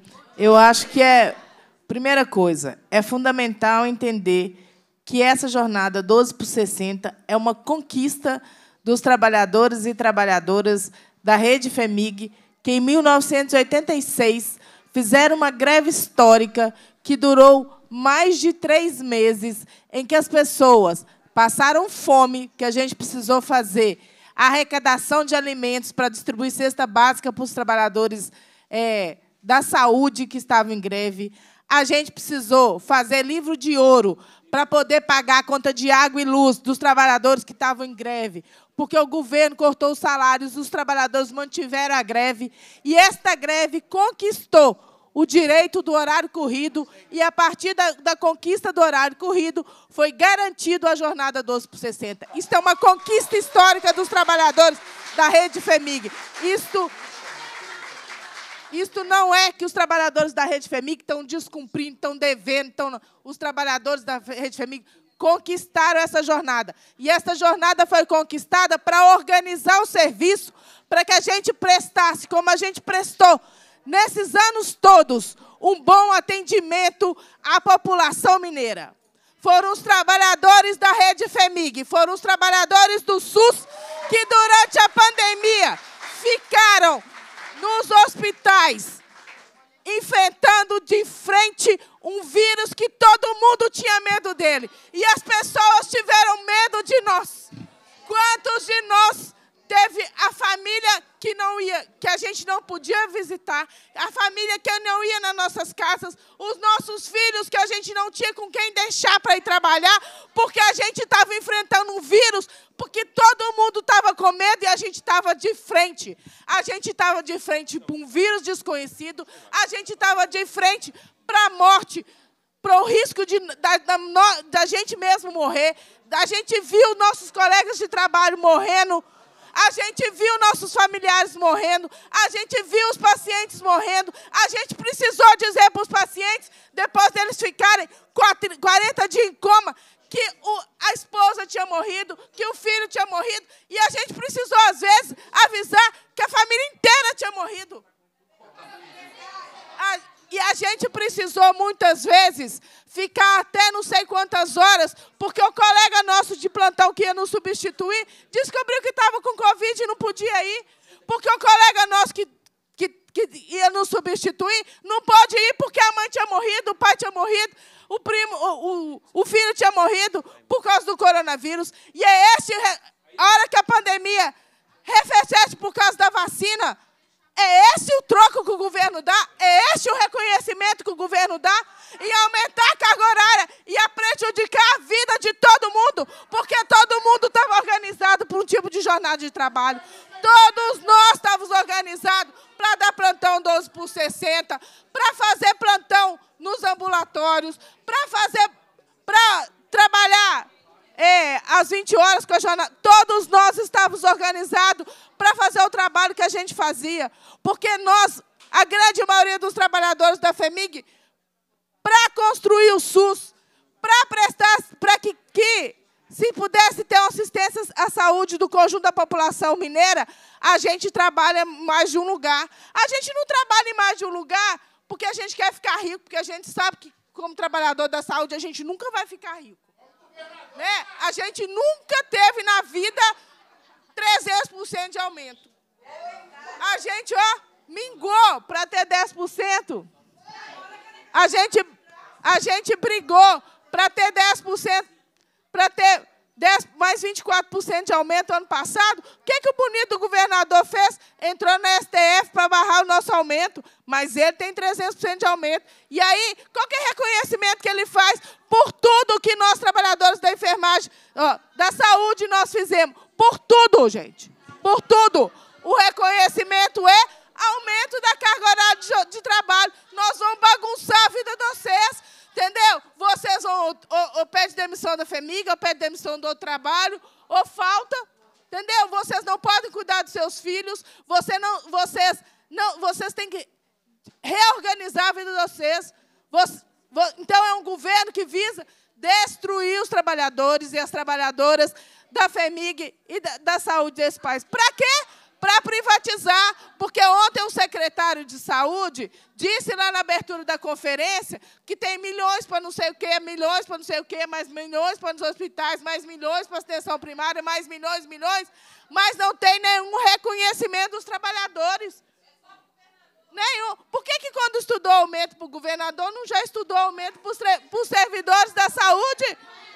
Ó, oh, gente, nós estamos aí com quantos trabalhadores? Nós temos mais de mil trabalhadores da saúde que hoje recebem a remuneração. Não estou dizendo de salário base. Eu estou dizendo que recebem uma remuneração menor que o salário mínimo. O que é o troco do governo? É uma resolução que faz essa bagunça toda que o Carlos disse muito bem, que a gente não precisa ficar faz essa bagunça toda na vida dos trabalhadores e trabalhadoras da FEMIG, enquanto a gente, na verdade, tinha que estar sendo reconhecido.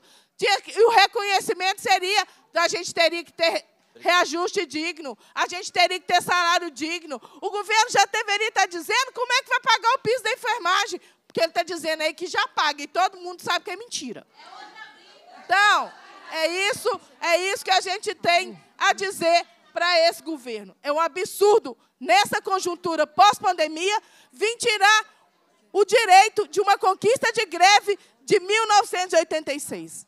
São 37 anos. E se não funcionasse, a FEMIG não tinha dado a resposta que deu durante a pandemia. Então, funciona. Então, esse governo tem a obrigação de reconhecer a, a FEMIG e esse governo tem a obrigação de reconhecer essa jornada e tem a obrigação de revogar essa resolução.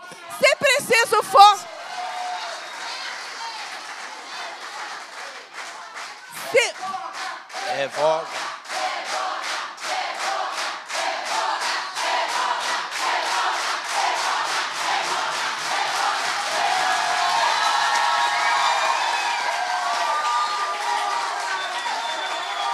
Podem ficar de pé. Quem está aí no plenarinho também. Faz esse povo escutar. Gritem que eles escutam.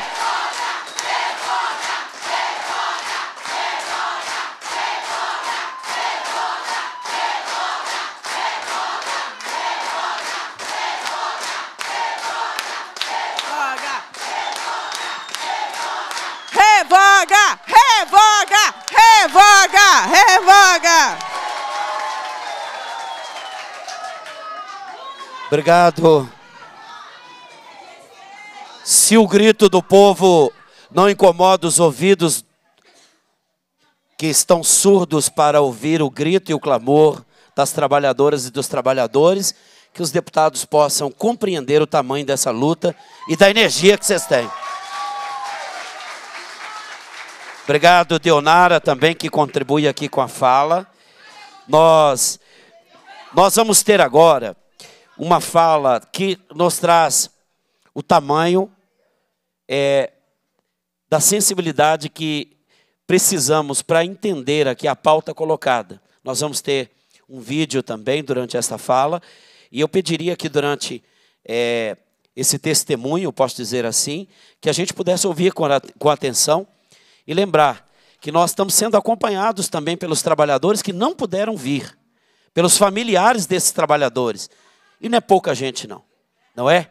E nós não queremos pouco também, não. Queremos, no mínimo, o nosso direito. Nós, nós vamos chamar então para a sua fala a Geisa César de Faria. Ela é técnica de laboratório do Hospital Alberto Cavalcante e vai trazer também um vídeo alusivo com outros testemunhos. Vamos ouvi-la. Bom dia a todos. É com imensa tristeza que eu estou. Eu vou pedir o técnico do som que dê um pouquinho mais de volume, porque alguns de nós falam. Chega mais perto. Ela é mais alta também, aqui o É. microfone. Chega aí. É, bom dia, gente. É com muita tristeza que eu estou aqui hoje por esse motivo, sabe? Porque a gente perdeu uma conquista de vários anos. E não, não como pais, uma conquista também das pessoas com deficiência de ter o direito, né, de ter os seus pais acompanhando seu tratamento. Eu sou mãe, hoje ele é um adolescente de 15 anos, autista. É, o nome dele é Daniel. E eu tenho é, essa redução de jornada desde que ele tem quatro anos. E graças a, em todos os relatórios que eu apresento para a FEMIG, de seis em seis meses, aquela infinidade de papel, que lá está escrito dessa forma. A, evolução, o desenvolvimento do Daniel é devido ao acompanhamento da mãe nas atividades que não se reduzem só aos, às clínicas, aos atendimentos clínicos. A maior parte é em casa. Sabe? Você tem que ensinar seu filho a brincar. Você tem que ensinar seu filho a, a, a desenhar, a colorir tudo. Tudo que uma criança típica dá conta de fazer sozinho, uma criança autista não dá. E assim, a vida de uma mãe, de uma pessoa, uma criança com deficiência, é só lutar.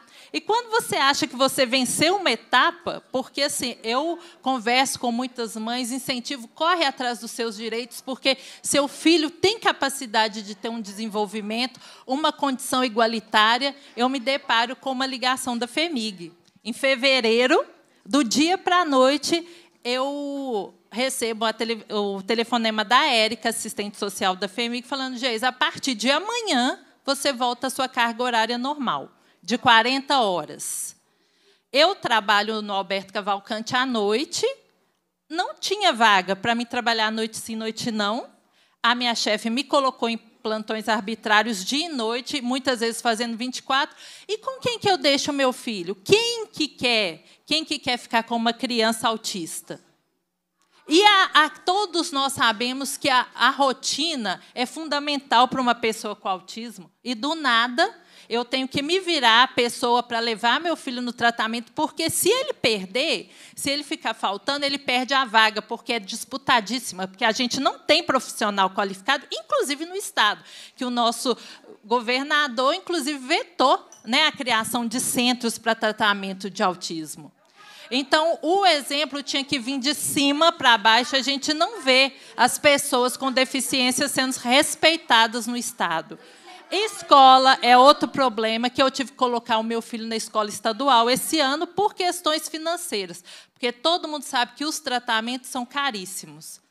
É uma falta de conhecimento, de boa vontade das escolas também. Então, simplesmente você e falar agora, igual a Elba falou, que não tá com, não são insensíveis. Se isso não é insensibilidade, é o quê?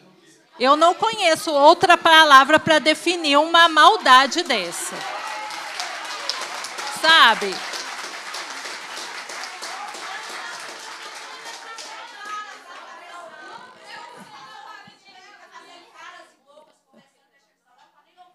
Pois é, mas hoje em dia, para quem não sabe, são, são 36 crianças autistas para 100 nascidas. Só um minutinho. Hoje você Só não um minutinho. Olha, eu sei que todos nós estamos aqui na luta, mas as pessoas. Não, mas eu quero dizer isto.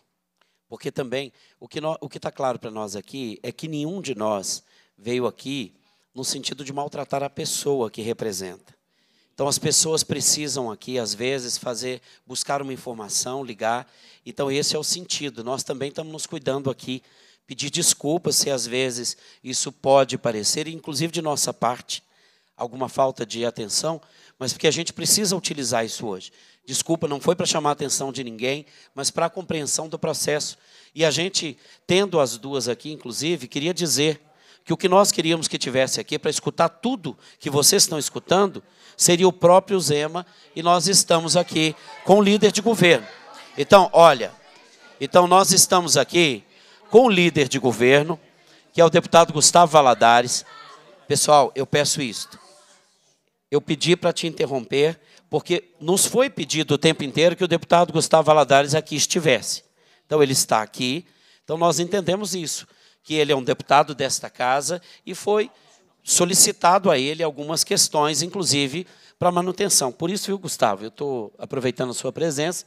Se o senhor quiser fazer aqui, inclusive, uma fala, seria importante. Eu te peço desculpas, bem, a gente volta bem. a escutá-la. Essa bolsa é de quem? É da Bela, mas a gente faz isso. É importante escutar o deputado Gustavo, líder de governo, não é, gente? Sim, Então seja bem-vindo e estamos a te ouvir. Bom dia deputados Leleco, por enquanto só Leleco, né? É, a Bela estava aqui durante todo esse tempo, eu estou inclusive ocupando o espaço. A deputada Beatriz está agora em plenário, também estava até poucos minutos atrás na tribuna. Eu peço perdão de não estar aqui durante todo esse tempo. São vários os assuntos que nós estamos tratando é, ao longo dessa manhã aqui na casa, reunião no plenário, tentando desamarrar a questão da obstrução da oposição com relação aos projetos que estão na pauta, inclusive dois vetos, é, outras questões que já chegaram na manhã de hoje para a gente, e essa questão de vocês que é também muito importante para todos nós. Eu participei, se não me engano, fomos em fevereiro, né, Elga? Um pouquinho antes do carnaval. Não foi? Na quinta-feira antes do carnaval, né? Nós participamos, eu participei aqui de uma audiência pública, estavam aqui Leleco e Bela, Beatriz, provocamos uma reunião na Secretaria de Planejamento. De lá houve alguns desdobramentos. Algumas questões foram encaminhadas e resolvidas, outras, como esta hora aqui discutida, não. Nós temos um prazo para entrar em vigor a, a resolução. É resolução? Né? Um item da resolução, que, que será o dia primeiro, né?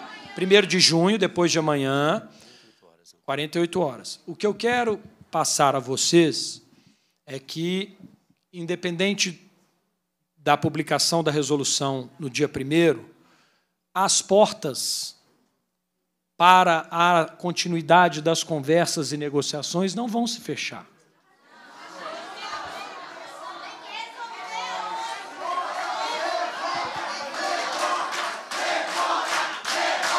Deputado.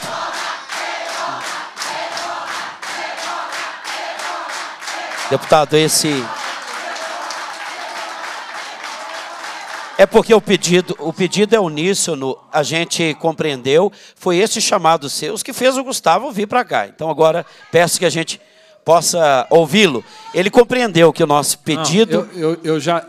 Não apenas de hoje, mas já de algum tempo eu sei qual é o pedido de vocês. Nós entendemos as, as nossas. Vamos, vamos, vamos ouvir o, o líder de governo, deputado Gustavo. Eu, eu não vim aqui, assim como as meninas que estão aqui representando de forma muito competente o governo, nós não, vi, nós não viemos aqui para criar ilusão na cabeça de ninguém. Eu não ficarei aqui falando nada para que vocês saiam daqui com uma ilusão que, se, que não se torne realidade em breve. Eu não farei isso. Eu prefiro a vaia, eu prefiro a rejeição do que criar uma, uma expectativa mentirosa na cabeça de vocês. O que eu. Vamos, não, vamos permiti-lo. Então é o seguinte, o, o que nós, muito obrigado. O que nós eu como líder de governo, e as meninas que estão aqui representando a FEMIG e o governo, o que nós podemos afirmar a vocês é que nós continuaremos buscando uma forma de resolver o problema para todos. O governo tem também um problema. O governo precisa resolver um problema, se não me engano, de dois plantões a mais que precisam ser feitos. Ele precisa achar uma forma de se resolver. Espera aí.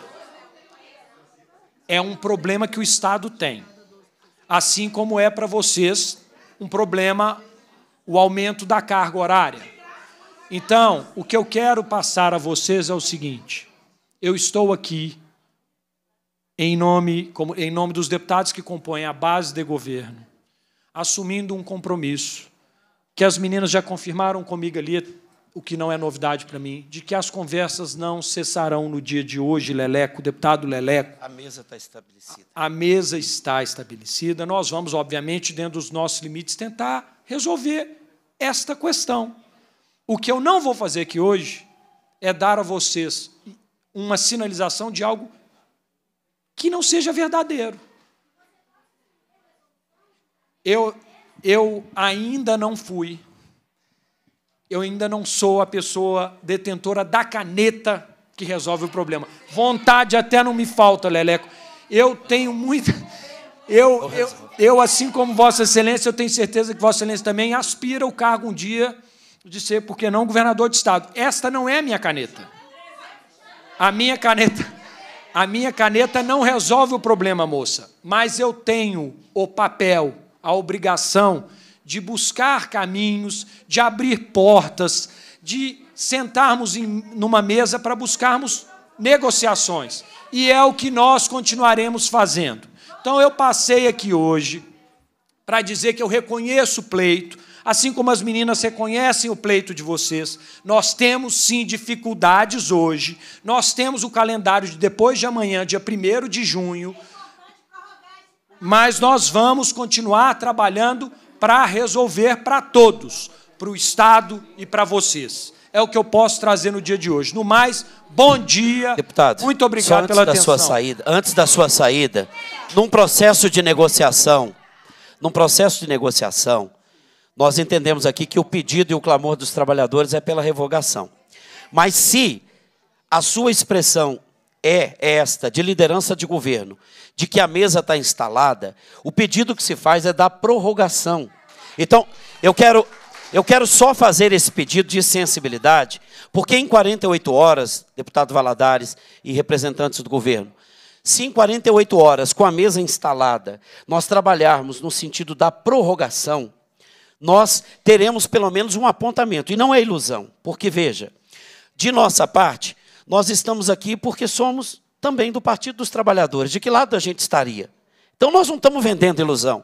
Nós estamos acompanhando o caso das mães, que, a, a efeito, antes da sua fala, uma mãe dizia aqui que foi comunicada no dia anterior que deveria cumprir um plantão a partir do dia seguinte e que, não tendo os plantões correspondentes ao cuidado com os filhos, com o filho Daniel, ela teve que ser obrigada a cumprir né, numa jornada distante da sua relação com o filho, e é isto que nós estamos colocando aqui, porque ao tratar aqui de uma instrução normativa interna, que trata da vida das pessoas e que a sua suspensão ou prorrogação ela mexe com a vida das pessoas, o nosso pedido, deputado, é um pedido, é que o senhor trabalhe nessas 48 horas para a gente conseguir prorrogar. Aí sim a mesa terá sentido de existir.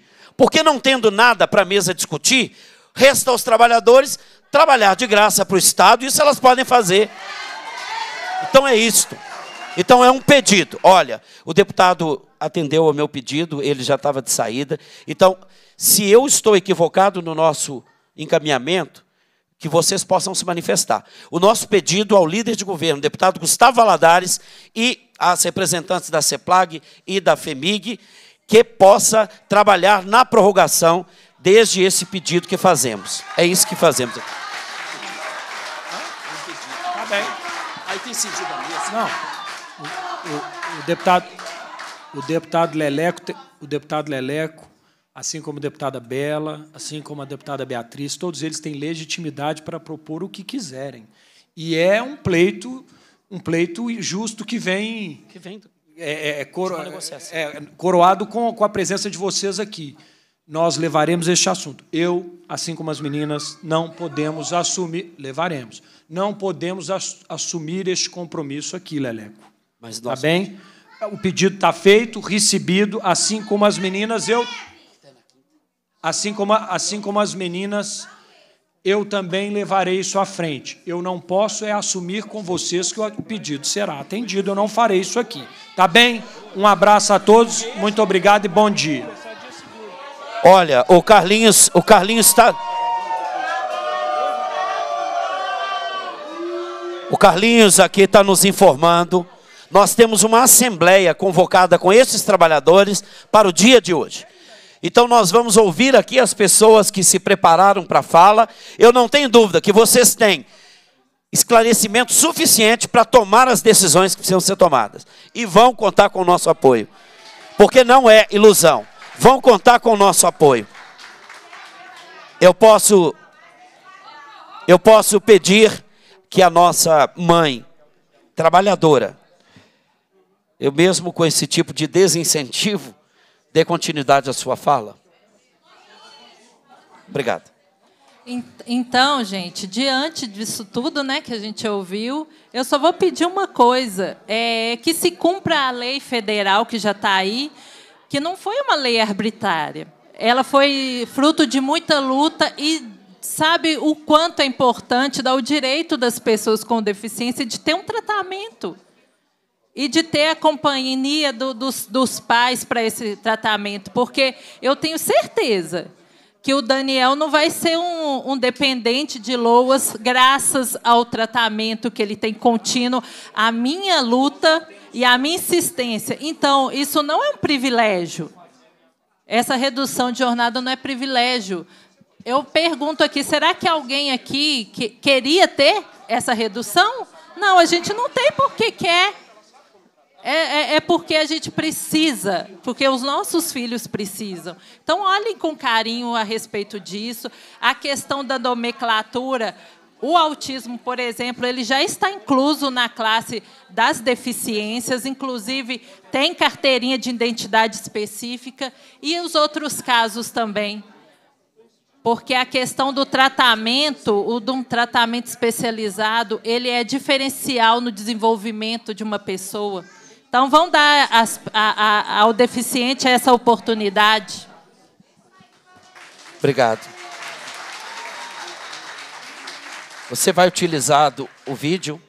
É, o Carlos vai colocar. O Thales vai colocar aqui o vídeo também. Carlos, Carlos perdão. Vão se preparando aí para aquilo que vocês não podem abrir mão.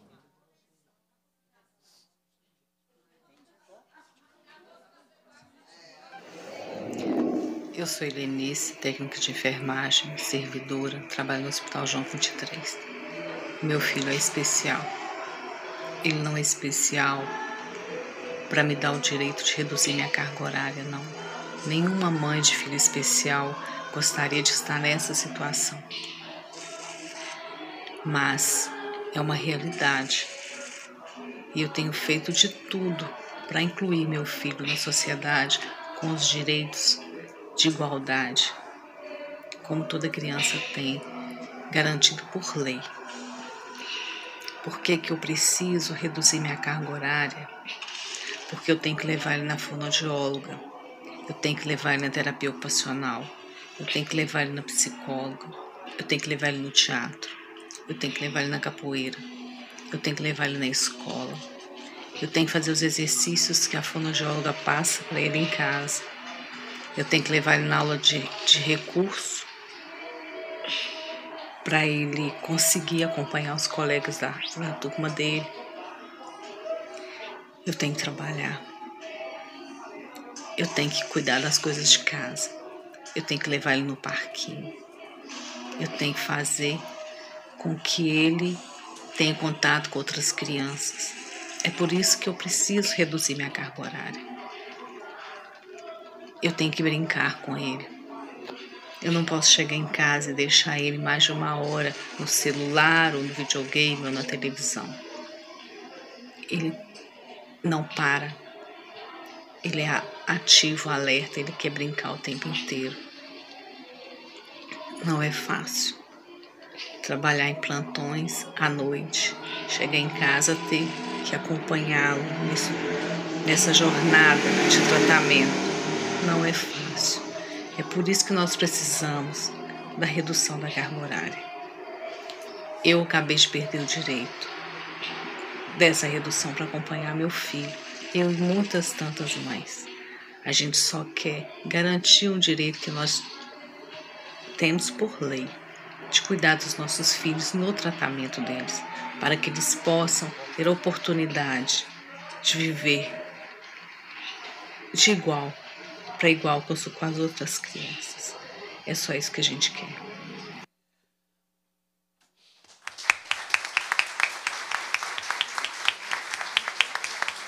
Olá, eu vou ler, pessoal, porque eu. Ok? Meu nome é Areta, sou servidora pública da unidade da FEMIG de Barbacena e hoje meu maior sonho seria não ter direito a essa carga horária reduzida, porque isso significaria que a minha filha não tem uma doença grave. Mas infelizmente essa não é a minha realidade, tá? A minha filha tem 5 anos de idade, ela tem imunodeficiência primária, que é uma doença genética, onde há uma deficiência no funcionamento dos anticorpos. Eu já quase perdi minha filha para essa doença. Com essa deficiência, ela tem enorme risco de contrair doenças, principalmente respiratórias, e o sistema imunológico não responder e ela vir a falecer. Tenho essa redução há mais de dois anos em função do tratamento dela, que é com imunoglobulina. Ela fica internada para receber essa medicação, e quanto maior o peso, maior será o tempo de internação. Então, ele vai aumentando ao longo do tempo. Ela faz também fisioterapia respiratória devido às diversas pneumonias que ela já teve, inclusive com derrame pleural. Ela faz exercício físico por causa do aumento do colesterol devido à medicação, tá? Que aumenta muito. E fazendo esse tratamento, ela tem a oportunidade de não falecer precocemente devido a essa doença. Infelizmente, o meu trabalho está tirando esse direito da minha filha. Quando eu fui comunicada sobre essa resolução, a minha filha só me questionava: mãe, você não vai me levar no hospital? Quem vai me dar a mão na hora da injeção? Como que você vai fazer? E eu não sabia nem responder a ela. A única coisa que eu falei é só: filha, eu vou estar do seu lado, pode ter certeza. A única coisa que eu respondi. Quanto inocência dela, né? Então o que eu peço a vocês é empatia. Hoje o problema é meu, mas amanhã pode ser de vocês. Se hoje o seu filho sofrer uma queda e ficar tetraplégico, você não terá o direito a essa redução de carga horária. Olha o absurdo, gente. Então eu peço empatia de vocês. E desde já eu agradeço a atenção e peço a ajuda de vocês encarecidamente. Essa luta é nossa, Areta. Essa luta é nossa, Helenice. Você poder concluir a fala também. Gente, eu só queria concluir é, falando que a nossa, a nossa vida de mãe, de família com pessoa com deficiência é essa.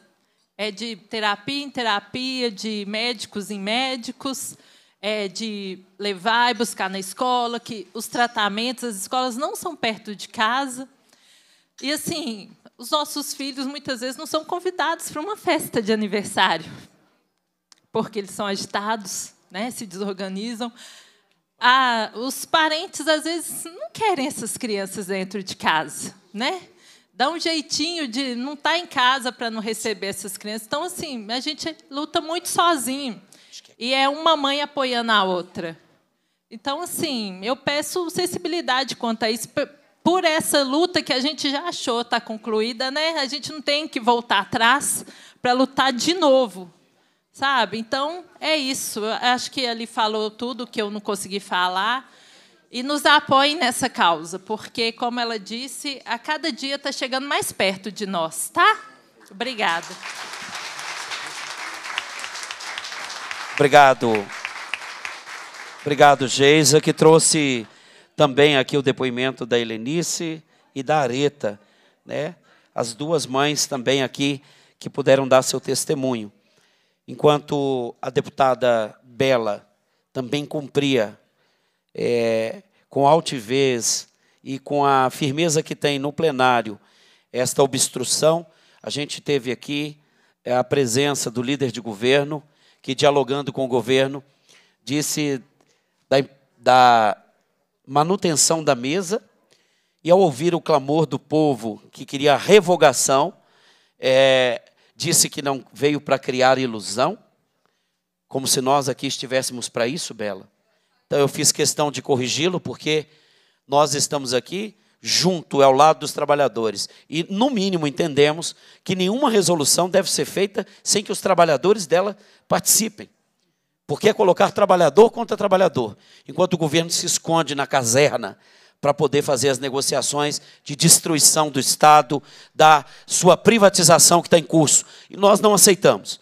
Por isso, é, ouvimos aqui os depoimentos e estamos aqui nessa mesma construção com os demais deputados e queremos, não só que vocês tenham o direito, a liberdade de tomar a decisão que vão tomar, mas nós vamos pressionar esse governo junto com vocês. Eu devolvo a presidência para a nossa querida deputada Bela. Obrigada, Leleco.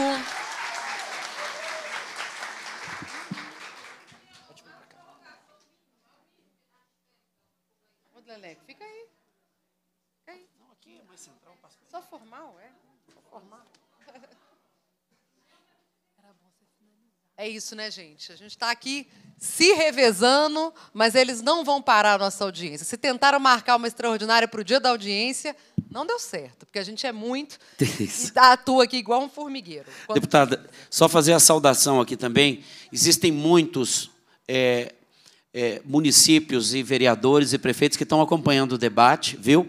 Estão fazendo aqui contato conosco, que está presente conosco aqui o vereador, de, é, presidente da Câmara de São Francisco do Glória, o Eduardo Lazarino, que é assistente social e também estudioso, e está aqui também fazendo essa saudação a todos os trabalhadores da Rede FEMIC.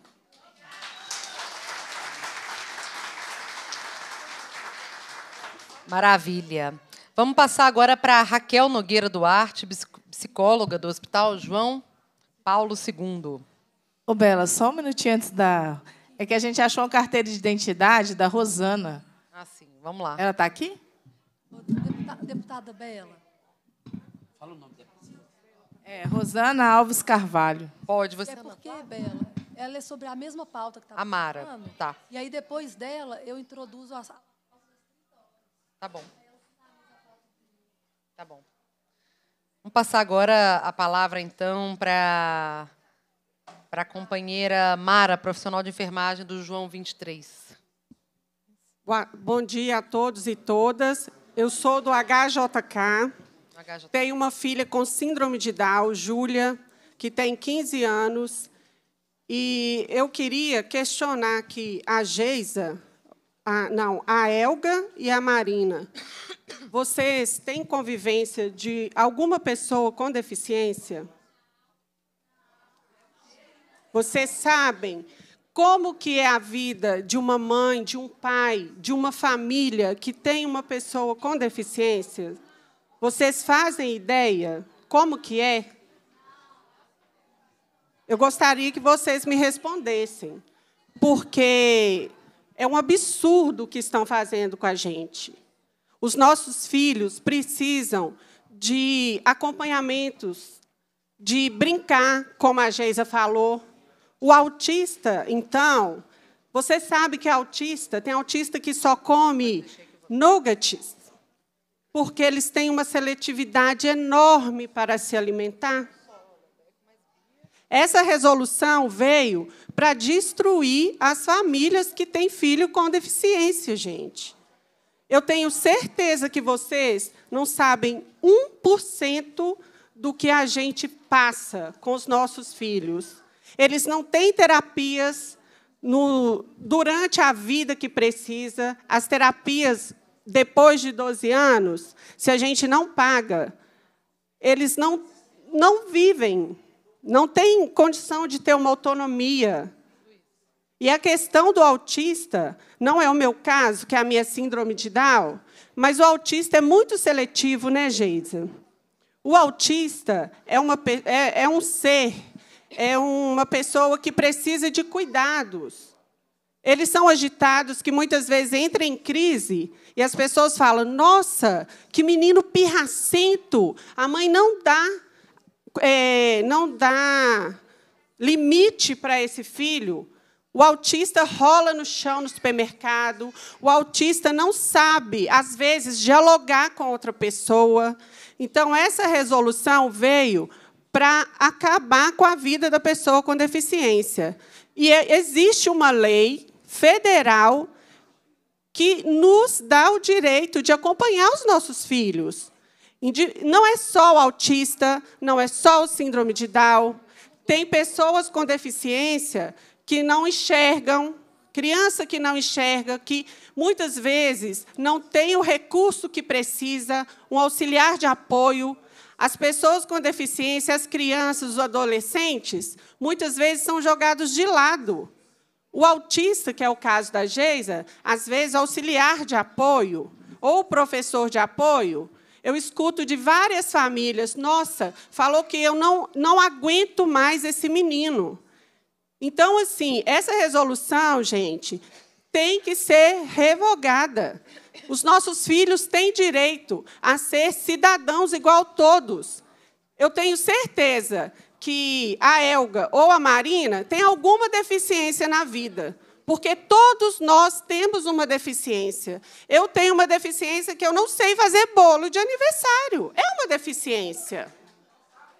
Sabe? Então, eu acho que vocês teriam que, pelo menos, passar um dia com uma família que tem alguém com deficiência para vocês sentirem na pele como que é difícil e revogar essa resolução.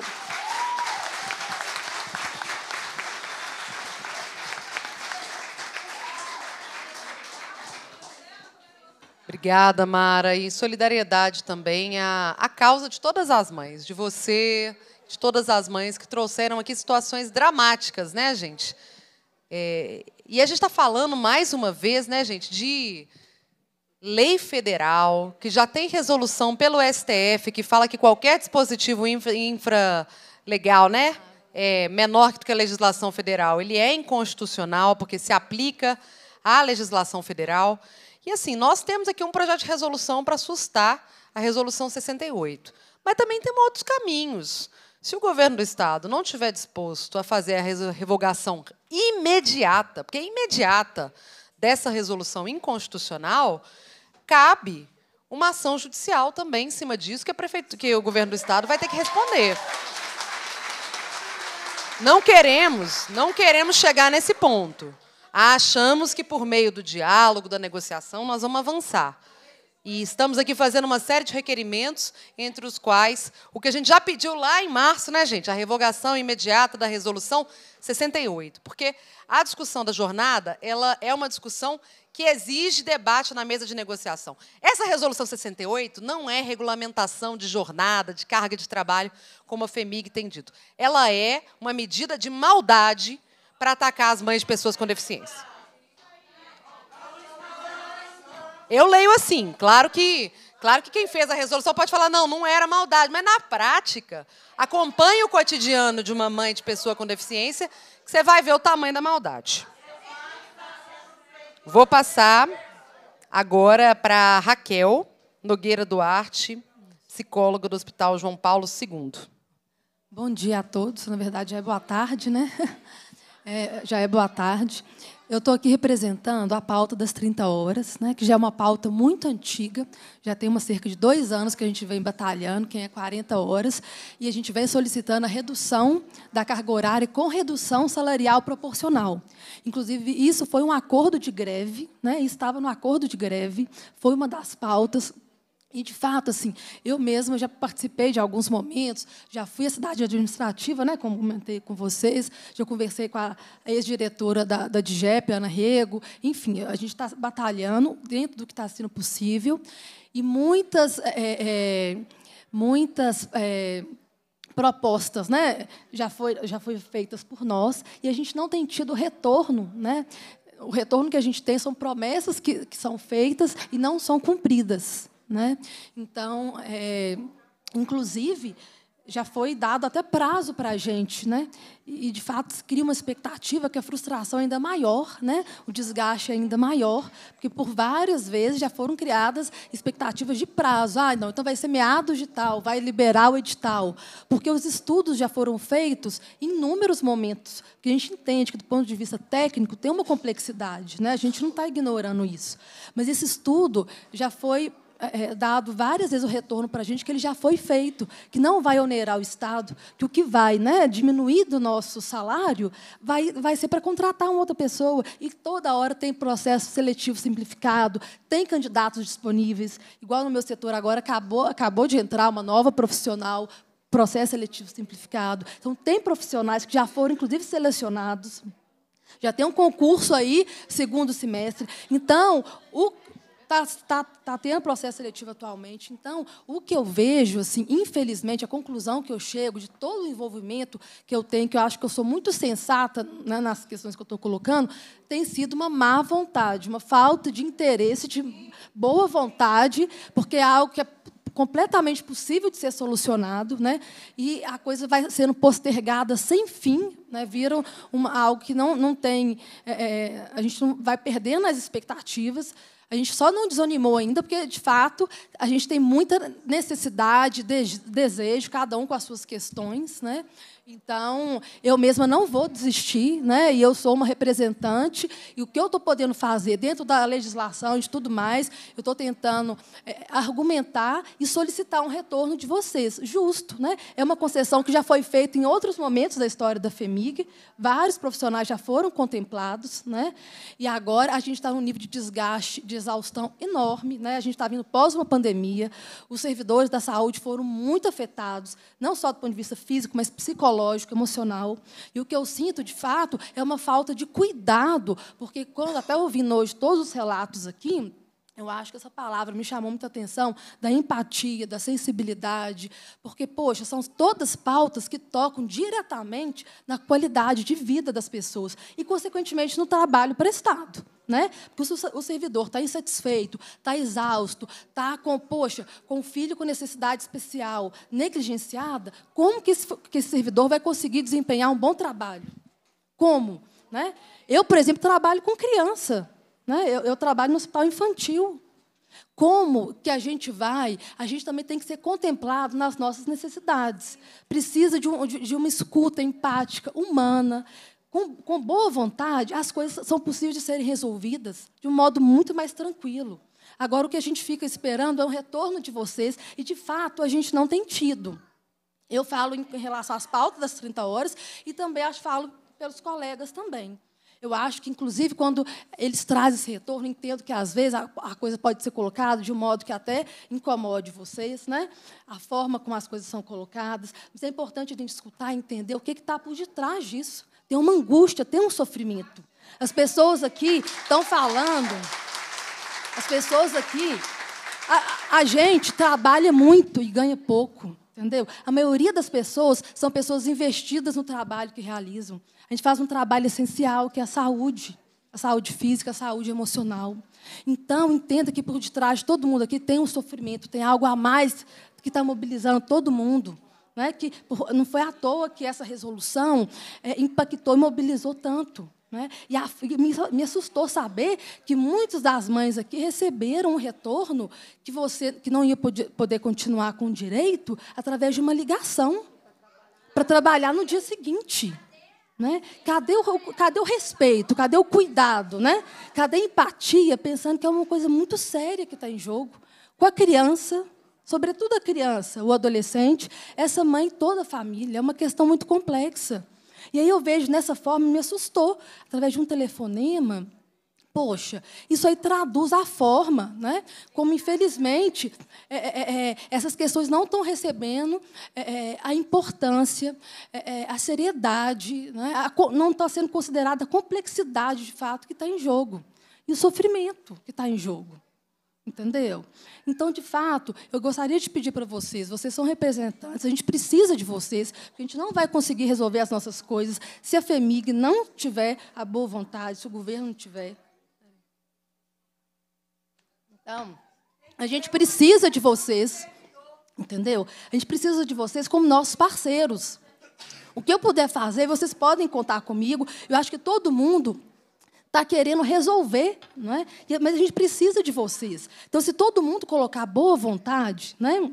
tentar entender o que está motivando essas nossas solicitações, o olhar vai ser diferente, né? A postura, então, pera, pera lá, por que está tendo tanta dificuldade para conseguir marcar a mesa de negociação? Porque, como a deputada Bela falou, foram tantas tentativas, tanta, tantas tentativas, e o Carlos já vinha me comentando sobre isso também, de marcação, né, de agendamento e, e, de desmarcação, enfim. Eu mesma estava é, com muita expectativa de poder participar de uma reunião, e aí foi cancelado. Eu lembro que o Carlos falou de última hora, e às vezes tem que se dar retorno, e aí não marca outra data, entendeu? Então fica tudo muito moroso. Se perde, vai se perdendo de vista, as, as pessoas vão ficando sem, sem é, expectativa, sem perspectiva. Né? E num nível de desgaste, de, de insatisfação, de sofrimento muito grande. Entendeu? Então, esse é o meu recado. Eu gostaria muito que vocês pudessem acolher. A gente precisa de acolhimento, né?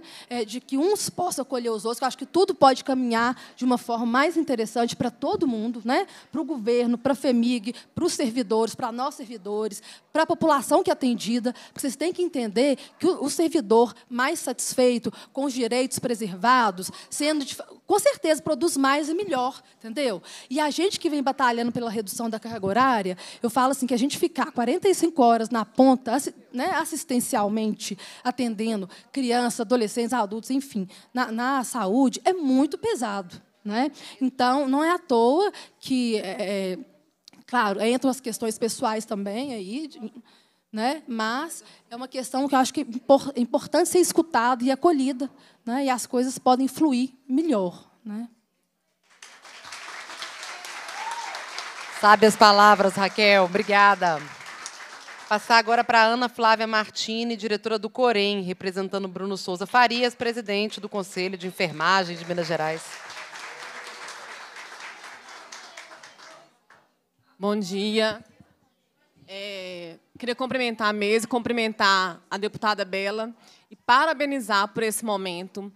É, é muito importante a gente perceber que os deputados estão é, nos apoiando nessa causa.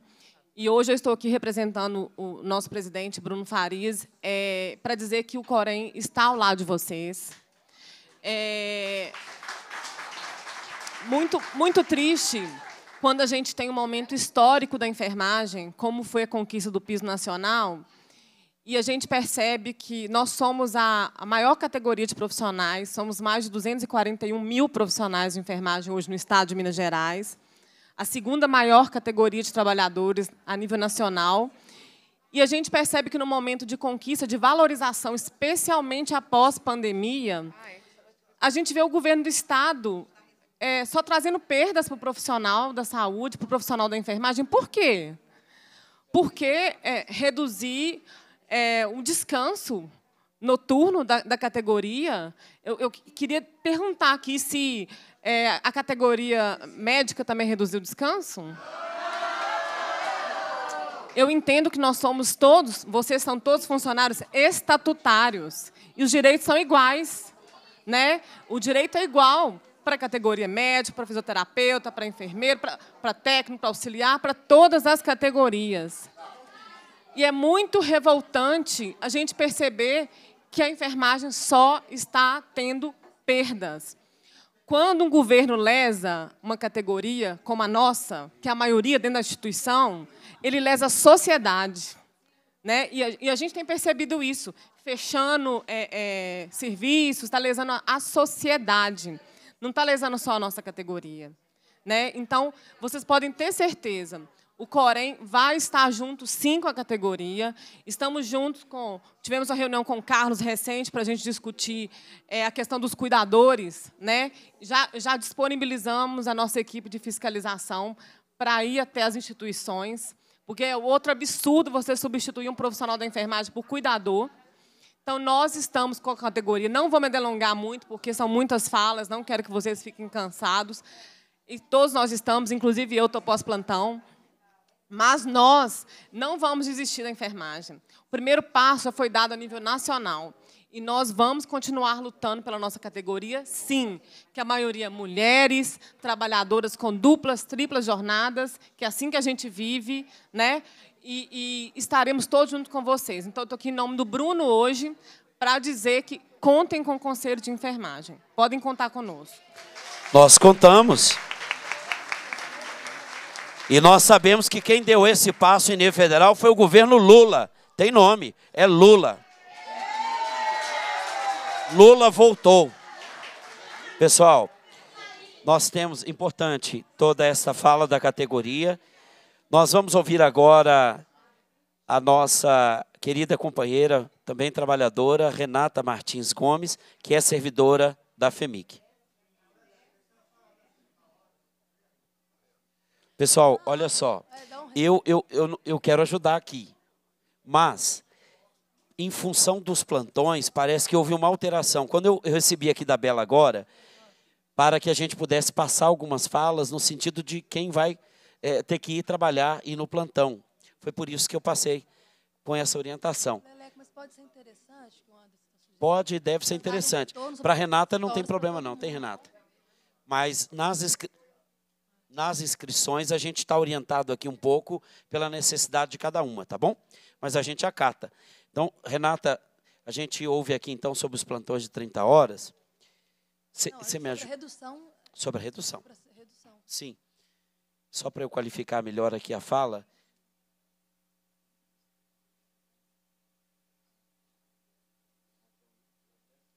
Não, eu, eu, eu, acabei de falar. A gente quer. É, eu... Tá bem, vocês precisam ajudar mesmo, porque nós aqui, além de tudo, temos uma outra situação acontecendo na casa. Já compreendi. Já compreendi. Seria uma, uma resposta do governo de Estado à provocação que aqui aconteceu. Então, Elga, seria a Marina, né? Raquel, Raquel e, e a todos os presentes, esclarecendo sobre o, o pleito né, de redução de carga horária como a Raquel bem disse, é um, uma análise que ela é complexa, ela não é uma análise trivial, porque ela impacta diretamente no quantitativo de carga horária que a gente tem disponível para atuação é, nos hospitais, em toda a rede FEMIG. Esses estudos, como dito é, nas nossas reuniões, né, tanto na reunião do dia 16 com os deputados, quanto em todas as nossas últimas reuniões com o Cinto Saúde, esse estudo ele está em fase avançada porque a gente precisa, de fato, conseguir realizar uma compatibilização com novas contratações. Sim. E aí, Raquel, até esclarecendo, é, a FEMIG tem sim hoje uma série de processos seletivos vigentes, abertos. Publicou também recentemente um edital de concurso público com oferta de 1.822 vagas para todas as categorias. E esses processos seletivos e o concurso são destinados à reposição da falta de força de trabalho, porque todos nós aqui sabemos que a FEMIG né, vive um cenário de necessidade de reposição. Então, por isso, por isso, o andamento de todos esses processos. Então, a gente tem que ainda construir, tá? e aí é o fruto, o resultado desse estudo, como se dará essa substituição. Mas o retorno que eu tenho aqui, então, para trazer para vocês é que não é um processo que está paralisado, tá? não é uma demanda que está parada no zero, e para tranquilizar vocês que está em fase avançada, Marina, para a é, gente por poder favor, trazer esses retornos. Utilize o microfone, porque tem gente lá fora. Ah, sim, aí, desculpa. quando... Vocês me escutam melhor assim? Sim. Tudo bem. Então, o que eu estava querendo tranquilizar era no sentido de que esses estudos estão, sim, em fases internas avançadas, envolvendo é, a FEMIG, a CEPLAG, a Advocacia Geral do Estado, para a gente conseguir, então, tentar viabilizar as reduções com a contratação proporcional de carga horária. E assim que a gente tiver, então, o resultado, a gente traz aqui e comunica a vocês por meio de todas as reuniões que a gente faz com é, os sindicatos, mas também pode fazer uma comunicação direta aos servidores. Marina, oh, oh, só fazer nós, um comentário aqui rapidinho, Lele. Só um minutinho. Tá. Marina, nós vamos solicitar por requerimento, vou pedir, a, vou pedir que possa ser feito por requerimento aqui da comissão, é, que esses estudos sejam apresentados de imediato para que nós possamos aqui ter objeto para a mesa. Porque é importante que a gente tenha. É, Nós temos uma premissa, nós temos uma premissa que é: se os estudos estão avançados, mas os trabalhadores não conhecem, alguma coisa está errada. Nada de nós sem nós. Então nós queremos os trabalhadores também incidindo no estudo. Então a gente pede por requerimento, porque esse vai ser um dos objetos da mesa, já que o líder do governo garantiu que ela está instalada. É, desculpa, você queria, você queria também fazer uma. Até o Carlos está me ajudando aqui a relembrar que no Pode acordo falar. de greve, em fevereiro, o prazo que foi dado foi de 30 dias para poder abrir, lançar o edital. Porque esses estudos, o que já foi passado para a gente, o Carlos é, pode até reforçar, que esses estudos já tinham sido concluídos. Agora, você chegou agora na, na, diretoria da DGEP, mas esse assunto já vem sendo debatido há muito tempo, já tem dois anos. Então, esses estudos já em vários momentos falaram que já, já foram concluídos. Entendeu? Marina. Então, e aí foi, já foi dado prazo nesse momento, Sim. em fevereiro, de 30 dias. Tá bem, Marina. Eu pergunto, indago nesse momento, qual é o prazo diante desse nosso requerimento de urgência que você pode nos entregar? A gente Aqui tudo tem nota taquigráfica, então está em ata, tá bom? Por isso que eu indago, porque no mês de fevereiro realmente a gente tinha esse prazo de 30 dias, que já foi é, expirado, claro. E a gente nem teve retorno, hein? Nem teve retorno. Então a Marina vai nos responder aqui, porque ela responde pelo Estado. Deputado Jean Freire também se faz aqui presente. Seja bem-vindo. Senta aqui um pouquinho com a gente.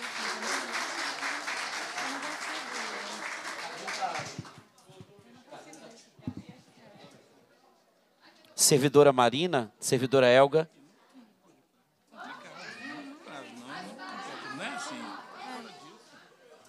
Deputado, eu não consigo trazer nesse momento aqui um prazo. Como eu falei, é, e não é da boca para fora, os estudos estão sim em fases avançadas. É, como, como eu falei também, mensalmente, em reuniões com o Cinto de Saúde, nós reportamos e atualizamos o status desse estudo perante os representantes dos trabalhadores. Ou, oh, você não apresentou o estudo para o Cinto não, de Saúde, eu reportei não. o status tá do você estudo. Você só falou isso que acabou de falar aqui, que está avançado, mas não disse para nós, não, e a gente isso. A gente cobrou, então. Ô, Marisa, tá foi como eu disse, Leonara, a gente reportou o status dos estudos para o Sim de Saúde nas nossas últimas reuniões. E assim a gente pretende fazer quando dá a conclusão o mais breve possível. Olha, olha, o que a gente compreende aqui é que nós estamos fazendo uma audiência pública de esclarecimento. Como é que algo avançado, Marina, algo tão avançado tem que ser escondido de nós? Porque nós somos servidores públicos. Todos nós aqui somos, todos nós aqui somos servidores públicos. Inclusive nós que temporariamente estamos aqui eleitos pelo voto. Então nós temos que fazer valer o poder de fiscalização desta Assembleia Legislativa. Olha, nós nós então solicitamos para a data de realização da mesa, para que esses estudos estejam disponibilizados, porque ele é motivação da gente compreender que diálogo que nós temos com o Estado.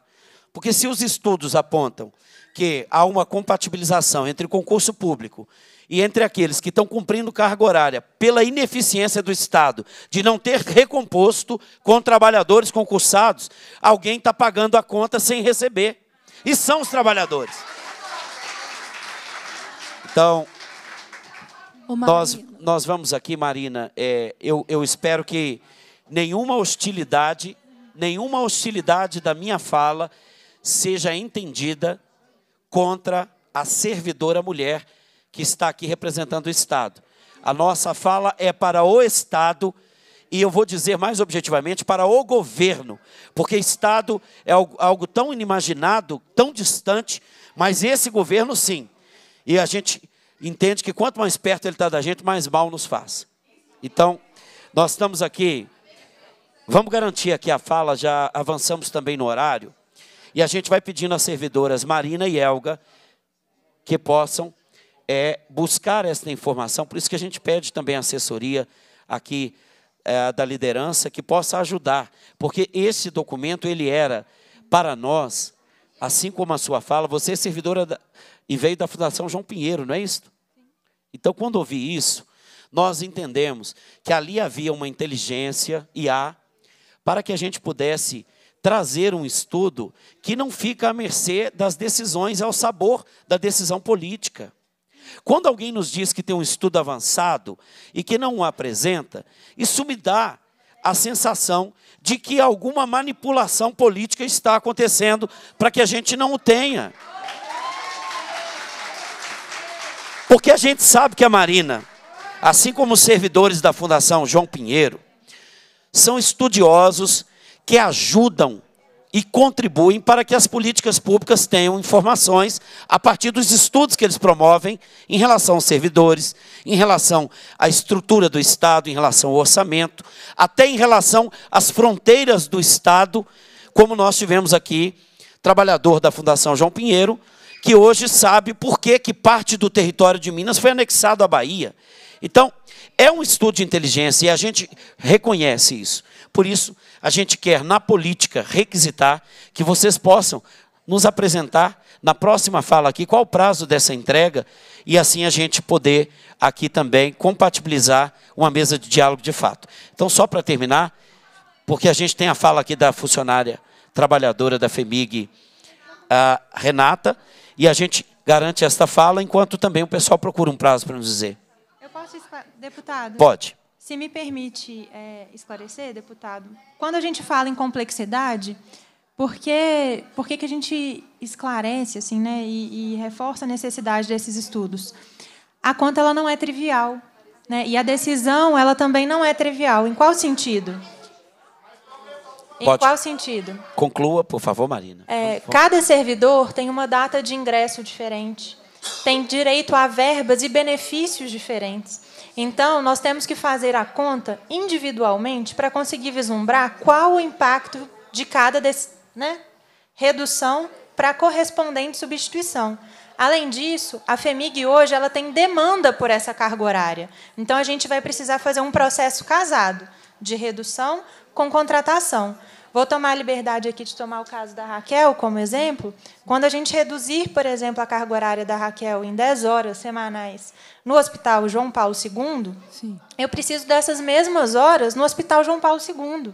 Mas eu não posso fazer uma contratação de apenas 10 horas. Sim. Eu preciso conseguir somar mais pelo menos 20 horas de demanda de carga horária para eu ter, então, a formação da carga horária de um novo servidor para lotar lá no hospital. Então, a gente precisa conseguir cruzar a demanda de toda a rede, porque as demandas elas não são lineares, deputados. Mas eu é tenho a demanda parece, por todas dialogar, as categorias. Para dialogar com você. para o senhor. Não só para dialogar com você, por exemplo, quando a gente fala de marco temporal, a gente fala que ele é injusto às vezes porque trata as coisas dali para trás ou dali para frente. Correto? Então, o marco temporal, no sentido do método, ele funciona para dizer assim: eu não posso deixar uma demanda ad eterno aberta, sob o risco de eu não conseguir resolver o para trás. Quando a gente pede a conclusão do estudo até o ponto em que nós conseguimos ver tudo que está para trás, é um marco temporal, a gente está pedindo isto, que é necessário estabelecer um limite porque senão, é verdade, as novas demandas e toda a mobilidade social e a mobilidade do trabalho vão provocar novos números. A gente compreende isso. O que, que nós estamos pedindo, então, no método? Que haja um limite e que nós entendemos que esse limite chegou. O limite ele foi estabelecido no mês de fevereiro, quando a sua fala está na ata apontou que em 30 dias, o mês de fevereiro é mais curto, a gente teria então o resultado desses estudos, que você é, traz aqui um, um adjetivo talvez avançado e que a gente confia na sua palavra que esteja avançado. Porém, nós entendemos que o limite temporal ele precisa estar estabelecido e para nós está bom que ele seja aquele prazo primeiro que foi dado em fevereiro para 30 dias. Então, o que nós estamos propondo aqui é que estudos que vão deste marco para frente, que eles possam é, ser colocados na mesa de diálogo, que a gente quer saber de tudo, porque tratar da minha vida sem a minha presença é, no mínimo, um contrassenso. Então, as pessoas vieram, estão presentes e querem fazer parte daquilo que diz respeito a elas. É isto. Então, quando nós não estamos criando ilusão, é possível ter, então, Marina, esta pergunta é bem objetiva, ter um marco temporal do limite desses estudos avançados? Porque se você deixar aberto e ad eterno, vai funcionar ao sabor da política. E nós entendemos que nós precisamos de uma resposta que depende de 48 horas para uma decisão que está tomada, que vai impactar na vida dos servidores. Esta é a pergunta objetiva. É, são questões diferentes, deputado. Esse prazo das 48 horas, a gente está falando dos plantões de 12%. Sim. É. Para nós, para nós, esta audiência pública, ela teve como é, limite de ter sido realizada 48 horas antes né, de um prazo findo para uma situação que está aqui sendo tratada também junto com os estudos que você diz.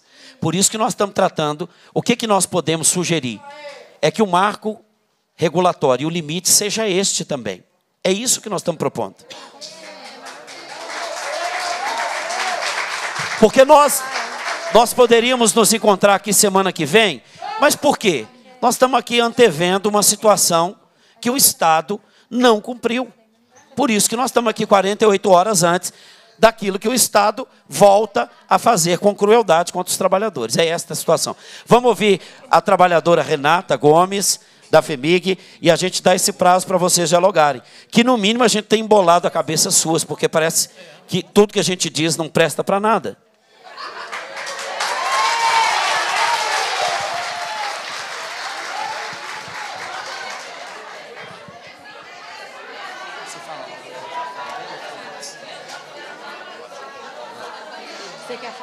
Vamos ouvir a Renata, por favor, tá bom? Renata. Tá. tá. É, boa tarde a todos. Né, eu sou, boa tarde, é, o Jean Freire, o deputado Leleco, a mesa. É, nós estamos aqui mais uma vez, né? Mais uma vez, servidor da FEMIG não para de lutar. É sofredor, né? Eu sou servidora do João Paulo II, mas eu costumo falar que eu sou servidora da FEMIG. Eu sou servidora de todas as unidades, porque a demanda sempre chega para a gente e a gente sempre procura resolver todos os quesitos dos trabalhadores que sofrem muito. Mas a gente tem um limite, né? Um limite de luta, um limite de, de avanço. Então, é, é, eu, eu, aqui fica uma pergunta. Há tempos atrás, essa, esse plantão, essa carga horária de 40, que foi reduzida de 40 para 30 horas, houve um grande movimento para que essa carga horária fosse reduzida. Não foi isso? Houve uma reunião com o governo e lideranças. Nessa pauta, houve uma discussão para que essa carga horária fosse reduzida. O que, tá, o que tem dentro dessa pauta? Como foi reduzida essa carga horária? Porque agora, depois de 30 anos, leva, levanta uma bandeira de que os, plantão, os servidores terão que fazer 11 plantões. Porque depois de tanto tempo. Então, fica aqui até uma pergunta para as lideranças, uma pergunta para o próprio governo que estava na mesa na época: como foi discutido essa, é, é, é, essa implementação de redução da carga horária. O que está lá?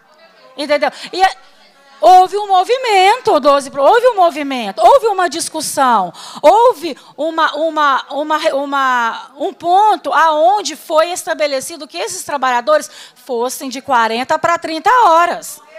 Com redução salarial. Porque agora, depois de muito tempo, teve, é, é, levanta essa bandeira de que servidores terão que fazer esse plantão a mais. Quem estava nessa reunião? Onde está essa ata? Quem estava nessa reunião?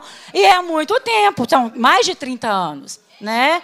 Houve então, Leleco, houve essa reunião há 30 anos, há 30 anos atrás, né? E agora, isso, o que tá, e agora desapareceu essa ata. Como foi feito esse acordo? Fica aqui uma pergunta. Como foi feito esse acordo nessa época para que esses servidores de 40 horas fossem para 30 horas? Onde está esse documento? Essa ata? Pois é. Então, eu acredito que tem, tá, fica aqui essa pergunta, né? Porque é uma carga horária que tem há 30 anos atrás não é de agora. Muitos trabalhadores, inclusive, é, é, citaram o João, o João 23 e, e, o Alberto, mas não são só eles que estão com problemas, não, nas escalas, não. O João Paulo II, que está todo mundo ali, é, é, a Move, o Júlia, o Raul. É, os hospitais de Barbacena, de Juiz de Fora, são todos com problemas. A FEMIG é um todo, não só dois hospitais. Né? Então, nós devemos olhar o lado de um todo. A, a, a, a, gestão estão cobrando esses plantões aos trabalhadores, sem ao menos chamar para conversar, para escolher esses plantões. Então, isso não existe, não há diálogo. Eu acho que o diálogo é a base de tudo. Né? Mas a imposição ela é muito grave, ela é muito séria. E vocês, trabalhadores da FEMIG, vocês não sabem a força que vocês têm. Então, todas as nossas conquistas vão através de luta e de greve. E não será por menos. Contem com o nosso apoio e o apoio dos deputados.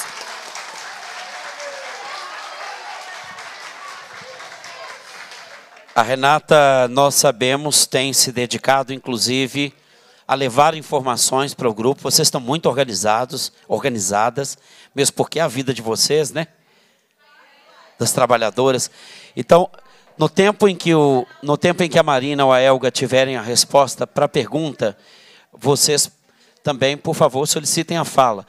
Nesse instante, a gente vai também aqui aproveitar a presença importante desse companheiro de luta, é, deputado pelo Partido dos Trabalhadores, médico e que acompanha a pauta da saúde pela Comissão de Saúde da Assembleia. Fez questão de vir aqui, doutor Jean.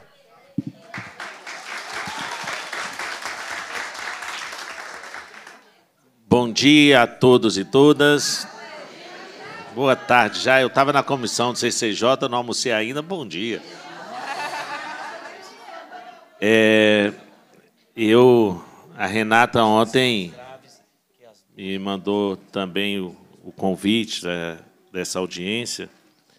E outros, agora, Deonara encontrou comigo ali de manhã, me puxando para cá. Falei, não, Deonara, se eu não chegar na CCJ ali, é, cai o, né, o coro tal. A gente tem que estar presente nas comissões que a gente é membro efetivo. Eu sou membro do CCJ e corri para votar projeto de lei também é, lá no plenário para encaminhar, que não ainda foi votado.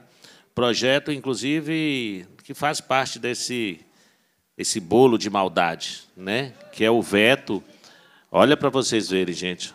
O governador manda para cá, veta um projeto de lei de autoria do deputado nosso, do nosso bloco, Cristiano, que cria centros para dar acolhimento, acompanhamento, para cuidar das nossas crianças autistas. Ele fechou Santa Lúcia. Ele está fechando um monte de coisa. Mas eu quero primeiro cumprimentar vocês, cumprimentar aqui toda a mesa, todos os sindicatos, na pessoa da Deonara, cumprimentar todos os trabalhadores, trabalhadoras da FEMIG, aqui na pessoa da Renata, cumprimentar o deputado Leleco, cumprimento os membros do Poder Executivo que estão aqui, que se fazem presente, as companheiras é a Marina tá, e a Elga, que está aqui presente. Muito importante vocês estarem aqui presentes. Mas, às vezes, eu fico me perguntando se deveriam ser vocês, eu fico pensando, às vezes, e faço isso com muita tranquilidade, vi que o deputado Leleco teve essa preocupação, porque para nós isso nos custa muito caro, né, deputado? Estar aqui desse lado, dialogando e com companheiras mulheres aqui presentes. Eu que pauto muito, mesmo sendo homem, pauto muito essa questão do enfrentamento à violência contra as mulheres então nós temos que nos policiar muito, em cada momento, para a gente pensar que. E talvez, não precisam vocês falarem isso, mas talvez lá fora, quando sair ou na casa de vocês, talvez vocês pensam assim: poxa vida, realmente, seria nós que teríamos que estar ali? Seríamos nós duas que teríamos que estar ali na mesa dando essas respostas? Seria que está. Né?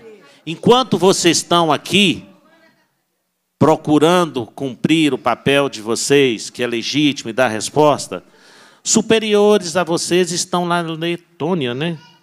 Estônia, você já viu, deputado? Estônia. Estão na Estônia, de, discutindo, parece, um projeto de governo digital. Pela foto que eu vi que sai na matéria do tempo aí, vocês podem verificar depois, não sei se naquele momento estava essa discussão. Mas, bem, eu não quero entrar nessa questão. É, eu quero também discutir numerologia aqui. Né? O que, que tem a ver os números? Isso é importante, né? É, foi falado aqui que tem 30 anos. E por que descobriu agora? Né? Talvez, mas talvez porque ele goste do número 30. Né? Ele gosta e falou: vamos discutir isso agora. 30. Né? Ele quer diminuir para 30 horas. Né? Aí também vamos estudar numerologia, que ótimo, se a gente pensar só assim, que bom diminuir para 30 horas. Mas aí vem depois um jeito de burlar talvez, o piso salarial da enfermagem. Né? Eu vou, eu coloco aqui, que bom, vão pensar, vão pensar que vão trabalhar menos. E não vão trabalhar menos, porque a carga horária vai continuar lá, o trabalho vai continuar lá. Ali eu vi uma frase: Zema troca enfermeiros por cuidadores de idosos, covardia com os pacientes. Por que não coloca também para ajudar, porque os cuidadores é uma classe fundamental. Agora, por que não coloca também para ajudar, como as doulas são, como tantos outros e outras são? Mas não, tem sempre que passar a ideia que está fazendo algo bom, mas tirando dali algo bem maior. Bem maior. Mas essa é a mentalidade que passa pelo mundo empresarial. Não agora querem dizer que todos são assim. Mas, meus amigos, para quem disse, quando foi candidato a primeira vez, que era tão fácil montar uma empresa, uma indústria, senhores empresários, no Vale do Jequitinhonha, porque lá vocês vão achar serviço à vontade, eles trabalham por 300 reais. Lá você consegue uma empregada por 300 reais. 300 é 30 mais um zero. Talvez também ele gosta desse número, né? Talvez ele gosta de estudar numerologia, né? 300%, né? Mas na hora do 300%, ele não se limitou a 30, ele multiplicou por 10, 300%, né? Ou seja, ele gosta de estudar numerologia pelo jeito. Ele gosta, né? Então, eu quero dizer a vocês o seguinte: eu quero colocar a nossa luta, o nosso mandato, deputado Leleco. Eu fui da comissão de saúde dessa casa, fui vice-presidente, segundo vice-secretário da mesa, hoje sou o líder da oposição, líder da minoria, mas nós podemos ser minoria em número. Mas eu digo a vocês, fico feliz com a chegada do deputado Leleco, chegada do deputado Lohana e de tantos outros aqui no nosso grupo para somar, porque nós podemos ser minoria em número, mas nós somos aguerridos. Não faltará voz nessa casa. Não estamos com a caneta na mão. Não faltará voz nessa casa para defender vocês. E eu falo isso, e eu falo isso, deputado Leleco, e alguns podem achar repetitivo, mas eu vou sempre dizer, porque talvez alguns não saibam quem é essa pessoa que vos fala. Eu estou deputado, eu sou médico. Antes de medicina, eu tenho o meu Corém. Eu fui atendente de enfermagem e tenho o Corém. Antes de ter o meu Corém, eu fui porteiro do hospital da minha cidade. Então, eu convido, nós estamos tratando da FEMIG, mas eu convido o governador Zema, que adora fazer videozinhos final de semana, se postando, se portando como um homem simples do povo, chupando manga, retirando manga, fazendo pão de queijo. Eu convido ele a ir nos hospitais, a adentrar nos hospitais, a visitar um plantão, a ver o que é a vida, deputado Leleco, de um técnico de enfermagem, de um enfermeiro, de uma enfermeira. Eu convido ele, vá lá fazer um videozinho lá.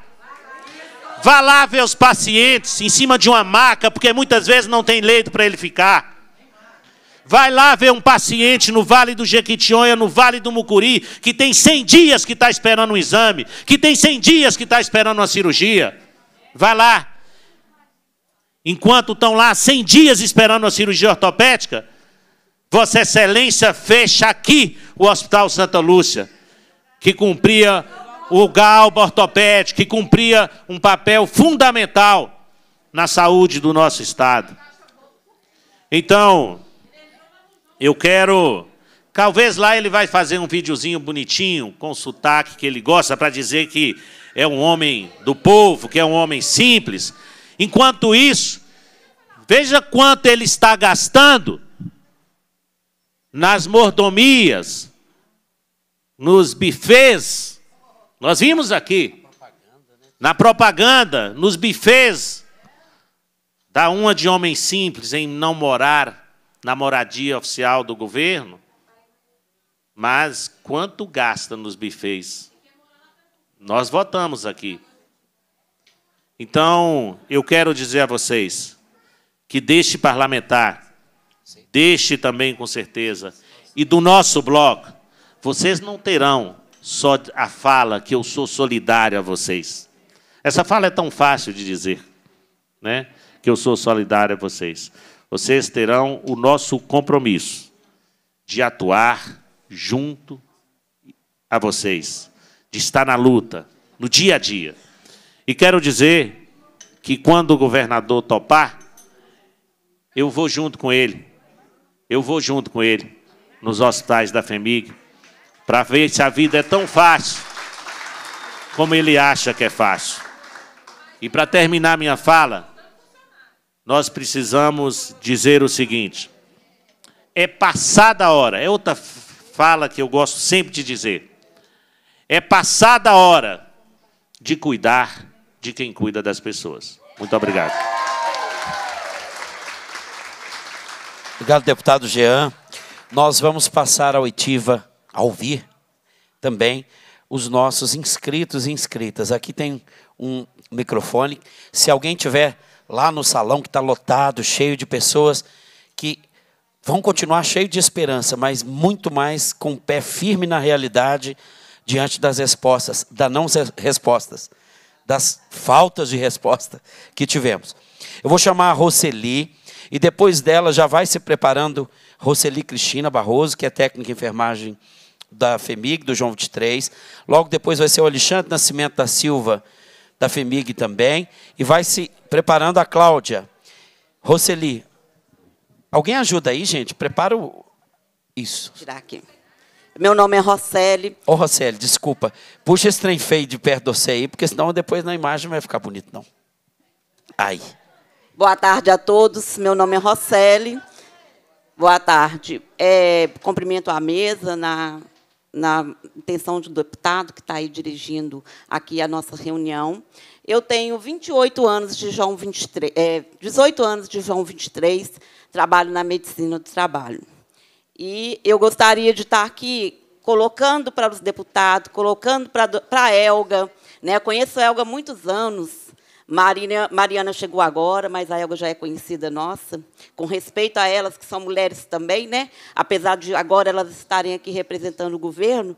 Mas aí, quando você representa o governo, você tem que levar umas pancadas também. Fazer o quê? Faz parte. Né? e que dê o nosso recado para eles, né? Porque o que a gente gostaria mesmo que tivesse aqui era o secretário de saúde e a presidente da CEMIG, que eu não tive ainda a oportunidade de conhecer, mas quero conhecê-la pessoalmente. E o Zema muito mais. E aí, é, o deputado acabou de falar ali agora que ele queria que o Zema fosse no, nos hospitais. Ele foi no hospital, deputado.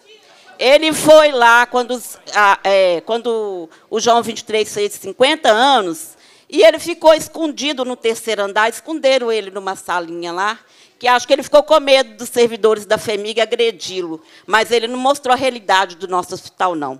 Então, ele tá, o hospital está lá aberto, quando ele for lá, os servidores não vão agredi-lo, ele pode ir, sim, que ele vai ser bem recebido. Mas o que nós queremos com ele é que ele abra a negociação para a gente poder sentar e negociar com, com com a gestão. Porque nós sempre fizemos isso, por que, que agora, nem por um pedido dos deputados aqui, ele senta e conversa com a gestão, a Mariana não abre os dados, a Elga fica aqui levando o cacete. Por que disso? Nós queremos uma mesa permanente de negociação, porque a FEMIG não tem só essa questão da carga horária para negociar, nós temos vários outros pontos que é necessário que sejam negociados. Então, essa mesa, deputados, ela tem que ser permanente para discutir as outras coisas da FEMIG. Não só isso, para discutir as OCIPs que eles querem implantar para discutir por que, que a FEMIG está recebendo dinheiro lá da prefeitura. Vocês sabiam disso? Pois é. Então, nós queremos saber o porquê, nós queremos fazer parte dessa gestão. Nós estamos aí com o SUS, que nós criamos há tantos anos. Nós queremos controle social fazendo parte da FEMIG. Por que, que nós não vamos fazer controle social na FEMIG? Nós queremos um conselho forte dentro da FEMIG. Um conselho que trabalha junto com o Conselho Estadual, que agora está lá na Conferência Estadual de Saúde. E para deixar mais outro recado, aqui eu vi uma faixa ali, os profissionais da FEMIG estão sendo perseguidos por Zema. Não, os profissionais da FEMIG estão sendo é, perseguidos, não, estão morrendo por causa do Zema. Estão adoecendo por causa do Zema. Porque vocês não sabem, vou te passar dados que é do meu departamento. Na FEMIG esse mês, nós conseguimos ter acidente de trabalho dentro do João 23, mais de 24. Sendo que, durante a, esses dados, 24 era assim, seis meses para ter. Seis meses.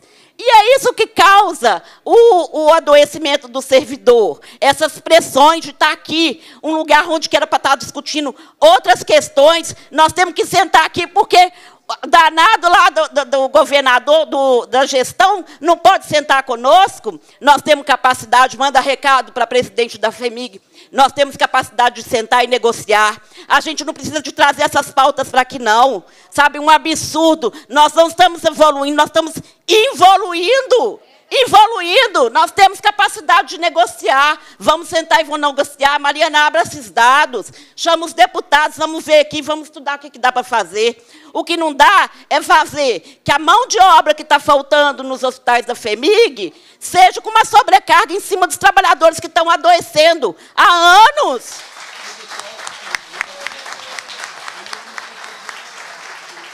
E tem mais, nós temos profissionais lá, a maioria dos nossos profissionais, Elga, a maioria dos nossos profissionais, Mariano, eles têm mais de 50 anos. É eles que carregam e que sabem, e que chega lá, fica. Sabe o que, que nós fazemos, gente? A gente fica ensinando os residentes a trabalhar, os médicos a trabalhar. Quem ensina eles a trabalhar é a enfermagem. Porque eles chegam lá sem saber nada. E aí, o que, que nós estamos esperando? Nós estamos esperando a corporação também dar ajuda de custo no salário, para você não ver pessoas lá de 70, 75 anos sem aposentar, porque não tem essa porcaria dessa gratificação dentro do nosso salário. Vamos sentar e vamos conversar sabe? E que faça aí que se abra a mesa de negociação permanente da FEMIG com o governo. E se o governo não fizer isso, não revogar essa resolução, nós vamos parar. Vamos parar.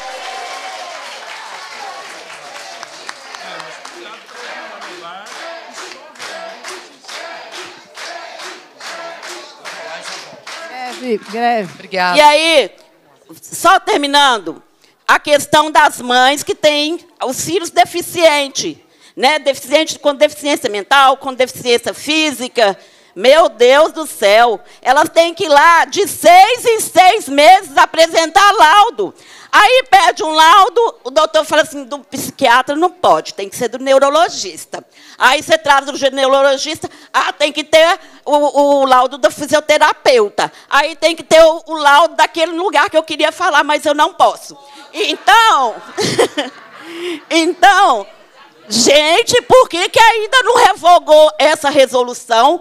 Porque não são muitas mães, não, gente. Em uma semana, Elga, em uma semana, Mariana, você chama lá o, o, o gerente, que ele está lá para isso, doutor Adolfo, e fala assim: quais são as mães que precisam, qual que não precisa. Em uma semana já não é para ter dado essa resposta. E aí, vocês falam que não são sensíveis. Vocês não estão lidando com bobos, não. Nós somos profissionais há muito, muitos anos que solta esse negócio, Mariana, e que revogue principalmente essa questão das mães que precisam de ficar com seus filhos em casa para tomar conta. E o recado é isso. Se não sentar com a gente, nós vamos para a greve até eles sentarem. Ah, é? Qual que é? Pode me dar. Valeu, valeu, Roseli. Pode me dar. Vou chamar agora a senhora Renata Caldeira Diniz, técnico operacional de saúde da maternidade Odete Valadares.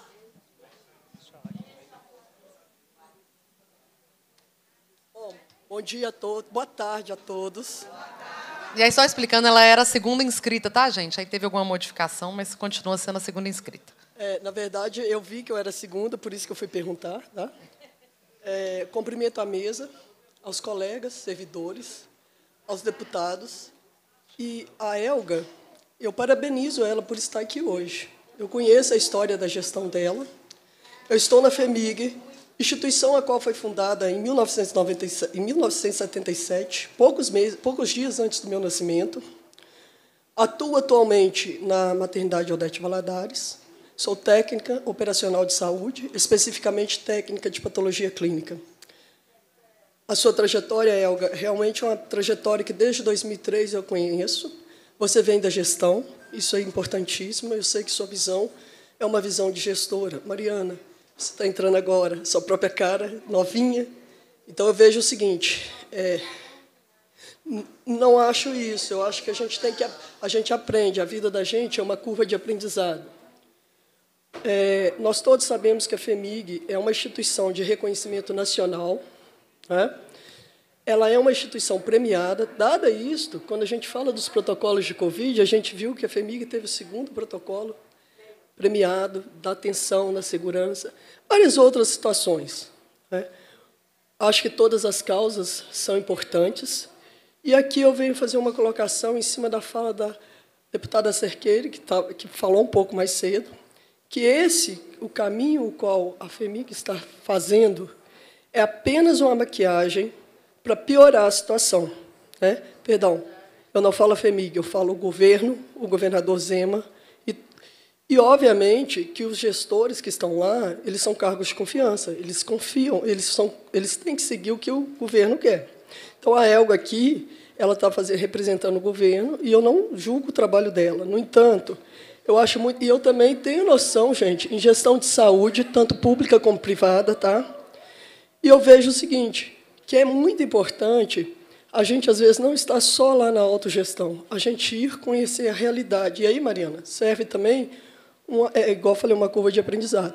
É chegar dentro das instituições.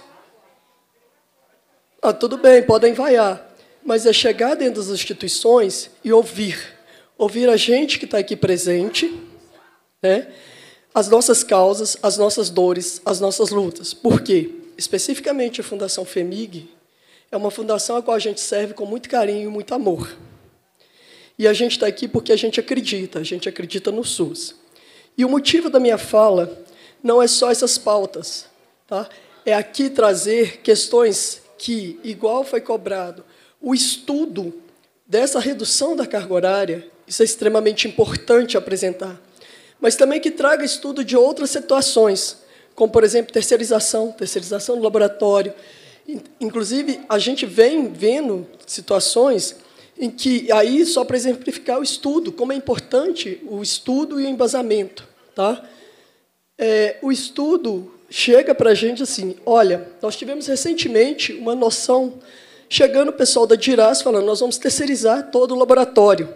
Mas existe estudo, existe uma avaliação se realmente é viável dessa forma, e a quebra do contrato com o que já está pronto? Da mesma forma, é, esses estudos têm que ser transparentes e estar tá envolvendo a gente na discussão. Então, aqui eu trago essa importância da gente dis discutir e vocês ouvirem a gente, sentar e olhar. A resolução 68 é inevitável que ela seja revogada nesse momento. Exato. Já fui contemplada com a outra resolução, a qual eu já dou um plantão a mais. Estou aqui hoje conversando e lutando junto com todo mundo porque nossos direitos estão sendo cerceados. Os nossos direitos adquiridos de lutar, de ganhar, né, da gente ter o nosso direito, que é conquistado por, por leis, estão sendo cerceados por um governo o qual entende que o Estado é uma instituição privada e não é. O Estado ele não é privado, ele é público, ele é do povo e pelo povo. E, mediante essas gravidades que vêm acontecendo, como a redução de aumento de carga horária, é, terceirizações não transparentes, implementação de sistemas operacionais de prontuário eletrônico milionários, o qual jamais assim saiu de, um, de uma única unidade, que foi a maternidade Odete Valadares, que custou nada menos, nada mais.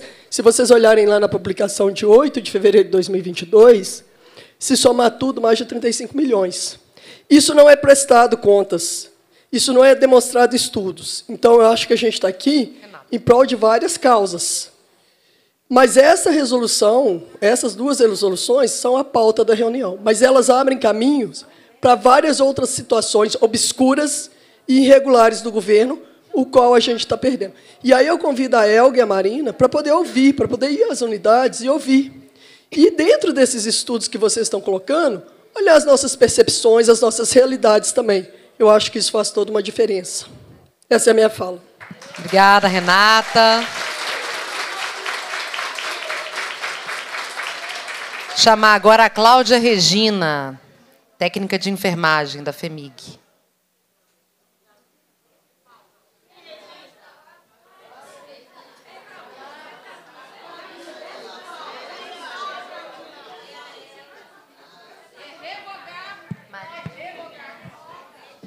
Boa tarde a todos.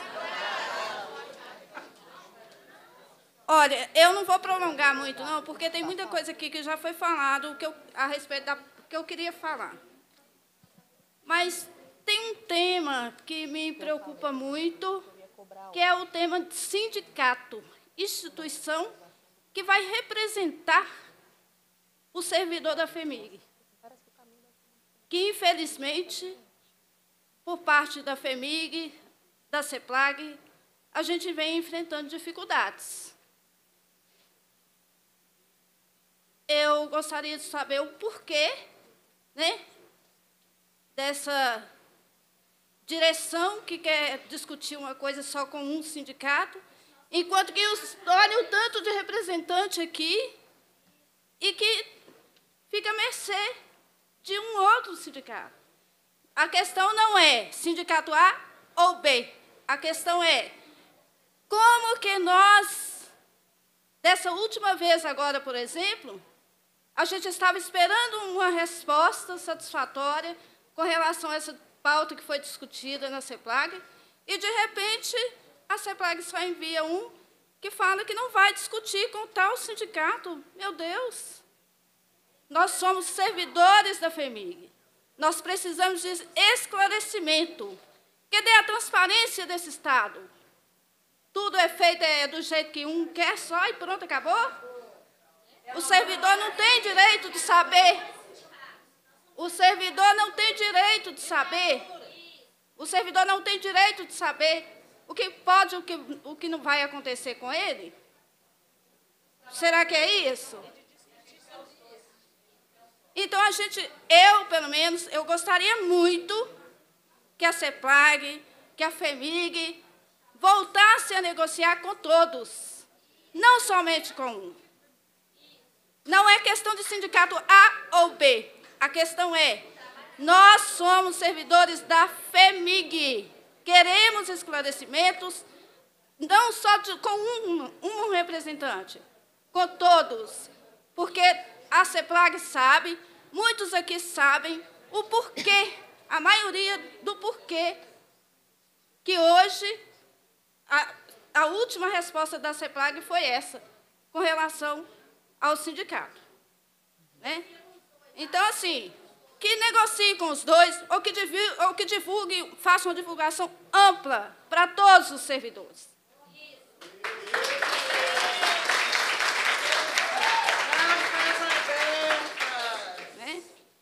E assim, essa perseguição, ela não vem só com relação a sindicato A ou B. Ela vem em cima do servidor da FEMIG por completo, uma varredura completa. É de todos os, os, os tipos. Agora, ultimamente, semana passada, foi passado um memorando, que eu não sei se é resolução, se é comunicado, o que, que é, que o servidor que sair para a greve, o dia dele vai ser cortado, mesmo com ele batendo ponto, que ele não pode bater ponto. E dependendo do quantitativo de dias de falta, ele pode entrar no processo administrativo. Pois é. Isso é coração de funcionário No CTI, a maioria não sai do João. Toda vez que tem greve, a gente não tem condição de sair muito. Sai dois ou três, os gatos pingados. Eu falei isso com o rapaz do sindicato lá. Pois é, e depois se vem com uma perseguição em cima do servidor, ele vai em cima do sindicato, qual sindicato que vai, que vai resolver isso para ele? A gente faz, olha, esse tempo todo que eu conheço e que eu acompanho o sindicato, a nossa prática ela é totalmente legal em cima de uma formação de escala. A gente não sai do setor, a gente não sai dos hospitais, das unidades, deixando ela um eu para quem quiser cuidar, não. A gente é servidor que tem responsabilidade.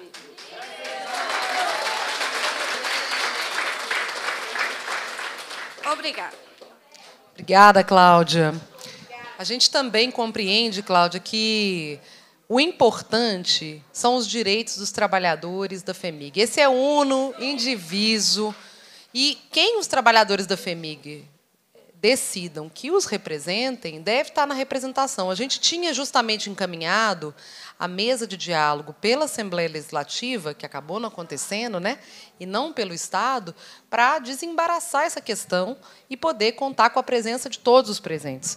É, entre os encaminhamentos que eu estou aqui propondo, é que a gente é, faça, abra essa mesa conforme foi combinado na, na, em uma reunião há dois meses atrás que a gente abra essa reunião com aquele formato especificado e acordado por todos, e que depois foi descumprido é, pelo governo do Estado.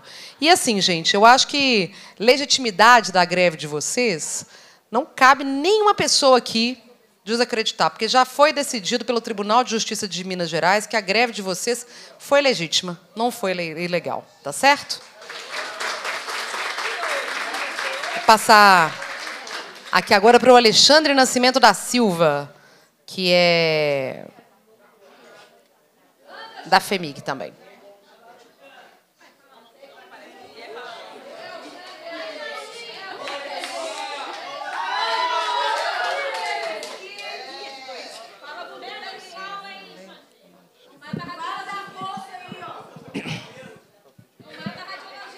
Era para me passar para o WhatsApp para eu passar para o Ulisses, mas demorou tanto. Olá, boa tarde a todos.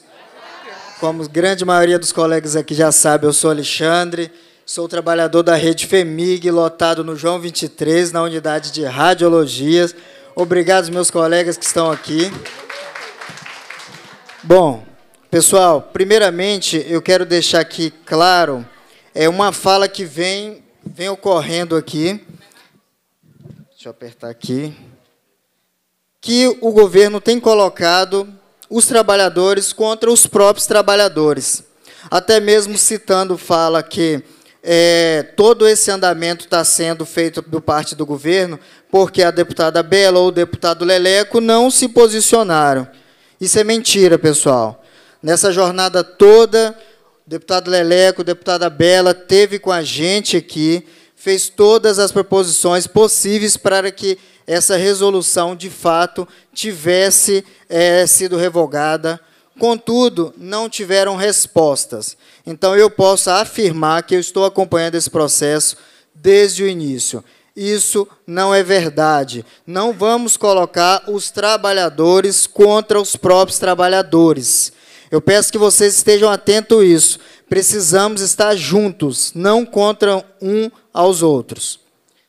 É muito importante falar, pessoal, uma, é, aqui em relação às mães especiais, que está sendo falada aqui, e é, é importante que a gente continue frisando, porque isso é muito sério. As mães especiais, elas não são especiais só porque tem uns filhos especial, não. É porque elas são especiais mesmo. Alguém que sabe que é cuidar de um filho nesse, com, com esse perfil, poucas, somente elas sabem. Eu fico triste que há um projeto nessa casa do próprio é, líder do governo aqui, que é o Gustavo Valadares, falando sobre as crianças autistas. E, em seguida, a própria CEPLAG aqui, que está representando o governo, coloca umas, tem normativa que fala que a cada seis meses essas crianças, essas mães devem procurar uma nova, é, uma nova consulta para avaliar se realmente eles estão em condições ou não, se ela vai ter esse direito. Gente, autismo é uma condição. Ele não tem cura. Ele não sara em seis meses. Em seis meses, pessoal, essas mães não vão conseguir falar assim: hoje, filho, fique em casa, tá? Mamãe vai trabalhar e até as. Ó, eu saio às 5 da manhã, vou sair do plantão às 19 horas, você esquenta comida, tá bom? Não esquece de tomar seu remédio, não, ok? Pre olha, amanhã eu tô de plantão na outra unidade, mas olha só, você tem fisioterapia, não esquece, coloca um calendário na geladeira. Gente, nós estamos brincando com a vida dessas pessoas. Isso é muito sério, a gravidade do que a gente está falando aqui chega a ser desumano. Eu chego a arrepiar de ouvir a FEMIG tratar o trabalhador que está ali todos os dias mantendo a própria FEMIG, que a FEMIG somos nós, pessoal. A FEMIG somos nós. Coloquem isso na cabeça de vocês. Sem nós, não há FEMIG. E eu fico estarrecido quando a própria FEMIG coloca um trabalhador que está há mais de 30 anos, que a gente fala de direito adquirido também, que não está nem nessa seara para discutir agora, e quando ele chega no final de carreira, muitas das vezes, ele ganha como um prêmio um plantão a mais para trabalhar mais e mais. As grandes maiorias das empresas do mundo trabalham com uma, um funcionário nessa, nessa fase da vida com a bonificação. E aqui é o contrário. Aqui é com uma crueldade a mais. Muito triste isso.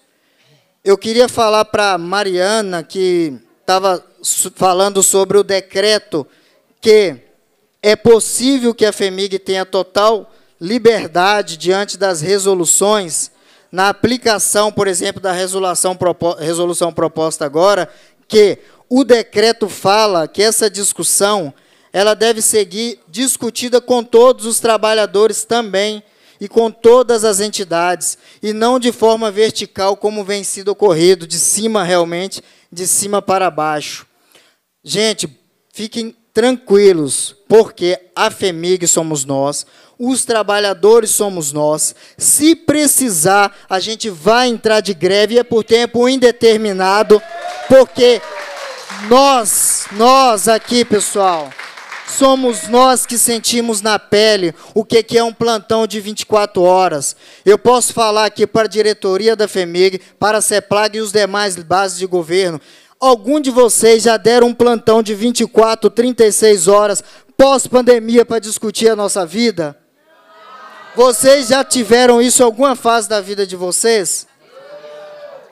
Se, E isso é o prêmio que nós, trabalhadores da FEMIG, está recebendo após ter perdido diversos amigos, diversos conhecidos para a pandemia, após acordar e não dormir, porque a gente fica acordado 24, 36 horas. E eu falo, carreguem no peito, a FEMIG são vocês. Não permitam que quem não está na linha de frente, de, de frente decida por vocês. Vocês é que acordam cedo, mães especiais. Vocês de fato são especiais e terá de ser respeitada. Muito obrigado. Boa tarde. Obrigada, Alexandre. Parabéns pela luta. Chama agora a Helenice Teles Miranda, técnica de enfermagem do João 23.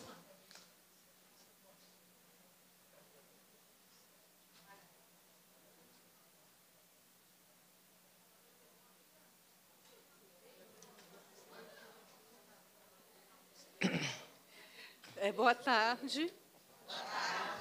Primeiro, eu queria pedir desculpa, porque eu nem sei se eu vou ter condições de falar. Nossa, ajuda, irmã.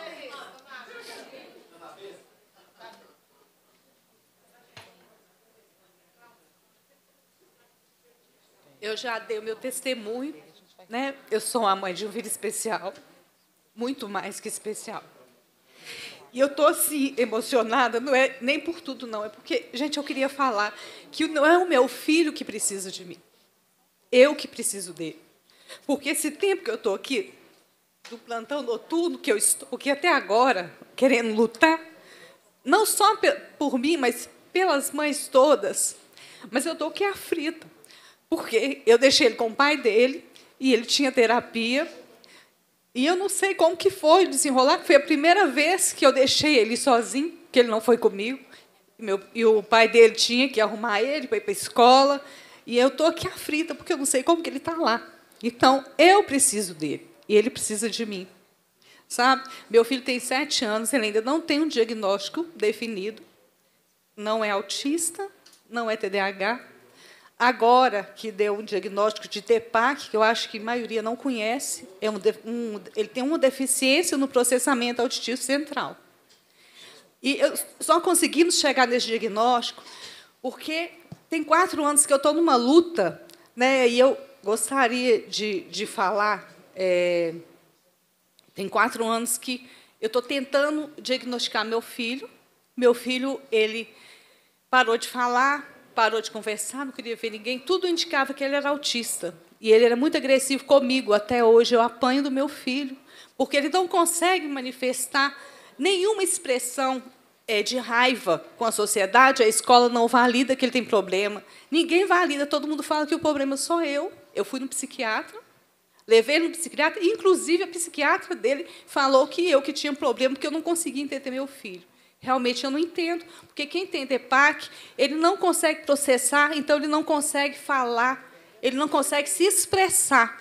Então, eu fui no psiquiatra, hoje eu trato, estou tomando antidepressivo, para eu conseguir cuidar do meu filho e entendê-lo.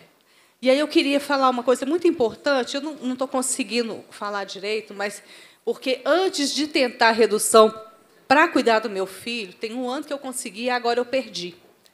Tem quatro anos que eu estou tentando reduzir para minha carga horária de 40 para 30. E aí, eu tenho tentado falar, falei com a minha supervisora, falei com a coordenadora, procurei o sindicato, procurei tudo.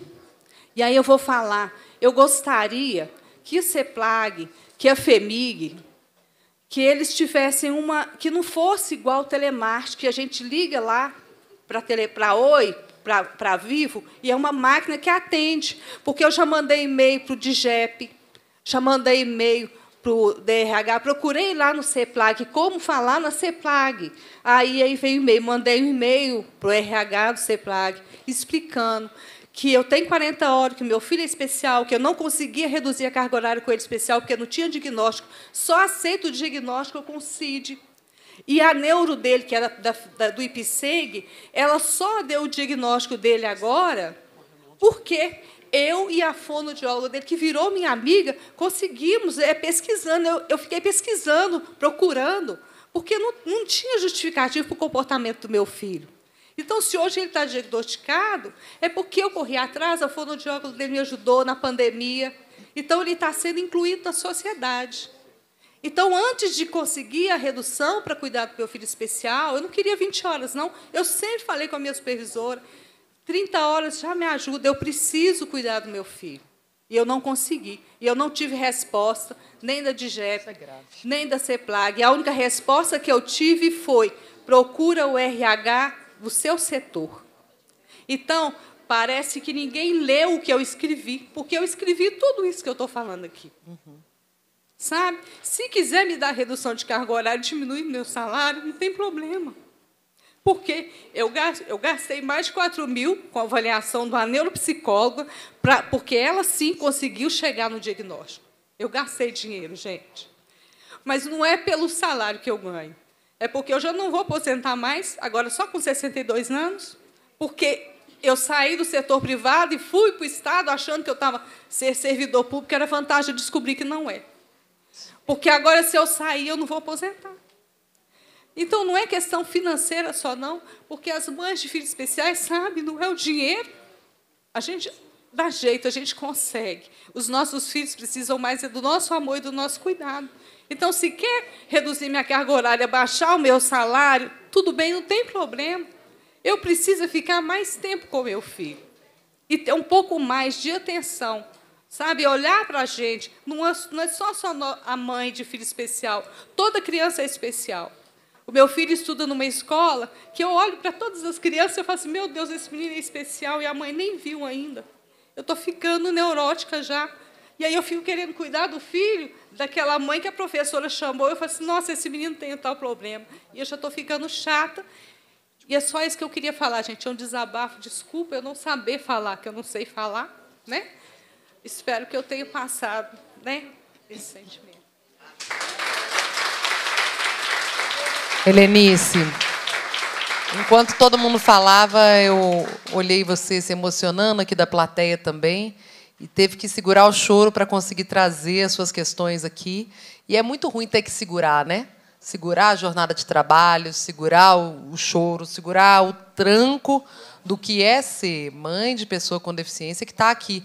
Depois de dois meses que assim, a própria FEMIG reconheceu que a resolução 68 é, não tem cabimento, que precisava ser revista. Ela não está revista. Ela não está revogada. Para que que é isso, gente? Sério, para que isso?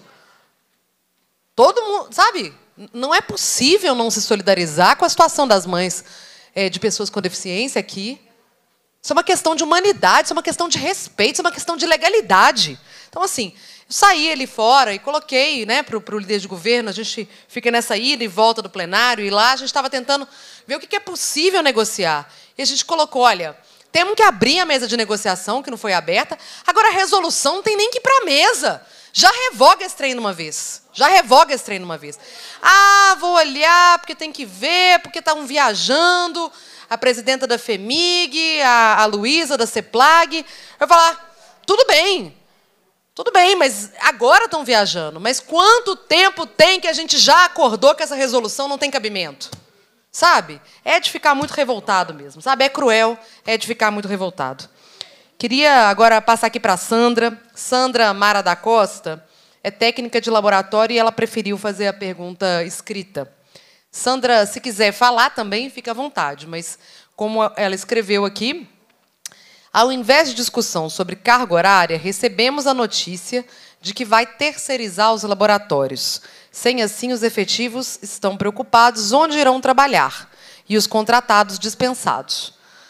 Essa é uma outra situação grave que eu acho que se comunica com toda essa. Assim, a resolução 68 não tem o porquê de ser, já que a FEMIG já está revendo as decisões em relação às mães, se não impor para vocês uma faca no pescoço.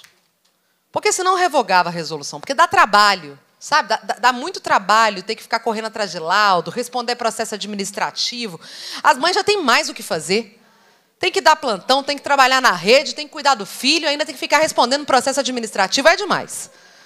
O único motivo para mim, para essa resolução estar tá funcionando, me corrijam se eu estiver errada, né? Assim, é criar empecilho para o trabalho. E aí, por outro lado, a gente vê que essa dificuldade de empecilho, ela caminha contra uma outra agilidade, agilidade de que todo dia a gente recebe notícia de trabalhador da FEMIG que está perdendo o seu posto para um terceirizado, perdendo o seu posto para um S cifrão, cifrão, cifrão.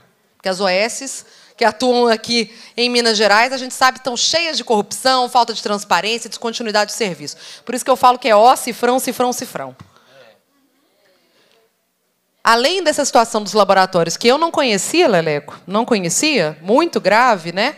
A gente já aprovou na Comissão de Direitos Humanos, que eu faço parte, sou vice-presidenta, uma outra audiência pública de autoria do deputado Cristiano Silveira para discutir a substituição é, das enfermeiras da FEMIG por cuidadores de idosos, como se a situação das pessoas das colônias, os idosos das colônias, fosse ser resolvido com cuidadores de idosos terceirizados. Grave.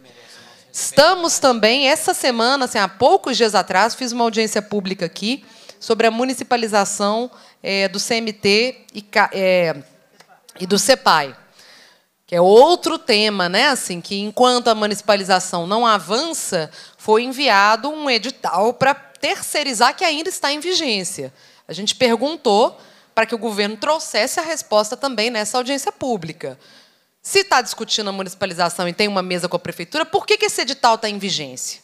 Porque o prazo está correndo. Daqui a pouco vai nomear uma OS aí e a gente vai entregar o Serviço de Saúde Mental de Belo Horizonte para a iniciativa privada. Isso é sem cabimento, né, gente? Então, assim, de fato, as palavras da Beatriz, do Leleco, minhas aqui, é de uma preocupação com esses pontos específicos, mas uma preocupação ainda maior com o desmonte da FEMIG, com o ataque ao SUS. Indo na contramão, inclusive, do processo de recuperação do SUS pelo governo federal, que hoje está em tela. Né?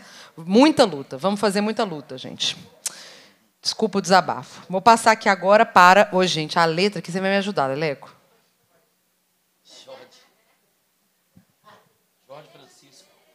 É, Francisco. Joel? Joel Francisco dos Santos. É o Joel.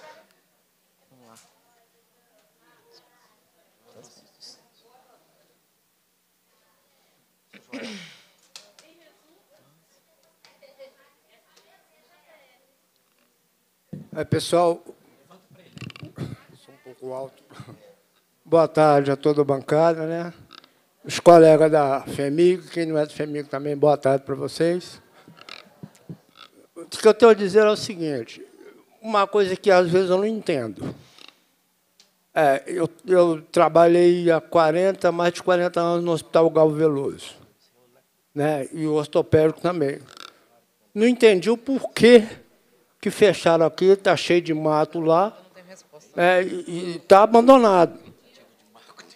Não dá para entender, mas é, realmente eu acho que o meu assunto mesmo né, a minha preocupação é mais outra ainda. É a respeito que eu tenho um filho que ele é especial. Muito especial mesmo. Ele depende da mãe, de mim, para tudo. Ele teve meningite com sete meses e ficou as sequelas, né? Hoje ele depende de tudo. Até para comer tem que pôr comida na boca dele. Tá. A mãe trabalha 20, ela faz 20 horas ela é do Estado também. Eu trabalho no Alberto Cavalcante. Eu também. Ela faz 20 horas, eu faço 30 horas. De maneira que é o seguinte: se acabar com esse horário, eu não tenho como deixar ele com ninguém. Certo? É só eu e a mãe mesmo que olha ele. Agora, eu pensei comigo que é o seguinte: poderia contratar uma pessoa especializada para ficar com ele, né? ou então uma enfermeira, né? Para ficar com ele, para olhar ele. Mas, infelizmente, o salário que a gente recebe na FEMIG não dá para me pagar isso. A não ser que esses 300% que o governador deu para ele me dá para mim e para todos nós. Aí dá para segurar um pouco a onda. Né? Mas de maneira é o seguinte, peço para vocês aí olhar isso, não cabe com esse horário, não tire esse horário, não, nós não temos. Eu vi a mãe dando depoimento aqui. Né, isso é muito, gente, isso é muito preocupante. Nossos filhos não sabem, eles nem sabem que eu estou aqui. Está me assistindo televisão com a mãe. Mas isso é muito preocupante. Olha, governador, pelo amor de Deus, dá uma olhada na cabeça. Falar, ele nunca havia entrado dentro de um hospital. Eu, 40 anos dentro do hospital que eu trabalho na FEMIG, eu nunca vi. Vai lá olhar, saber como é que é a coisa, para depois é, é, pedir, é, pedir esse tipo de coisa. Né?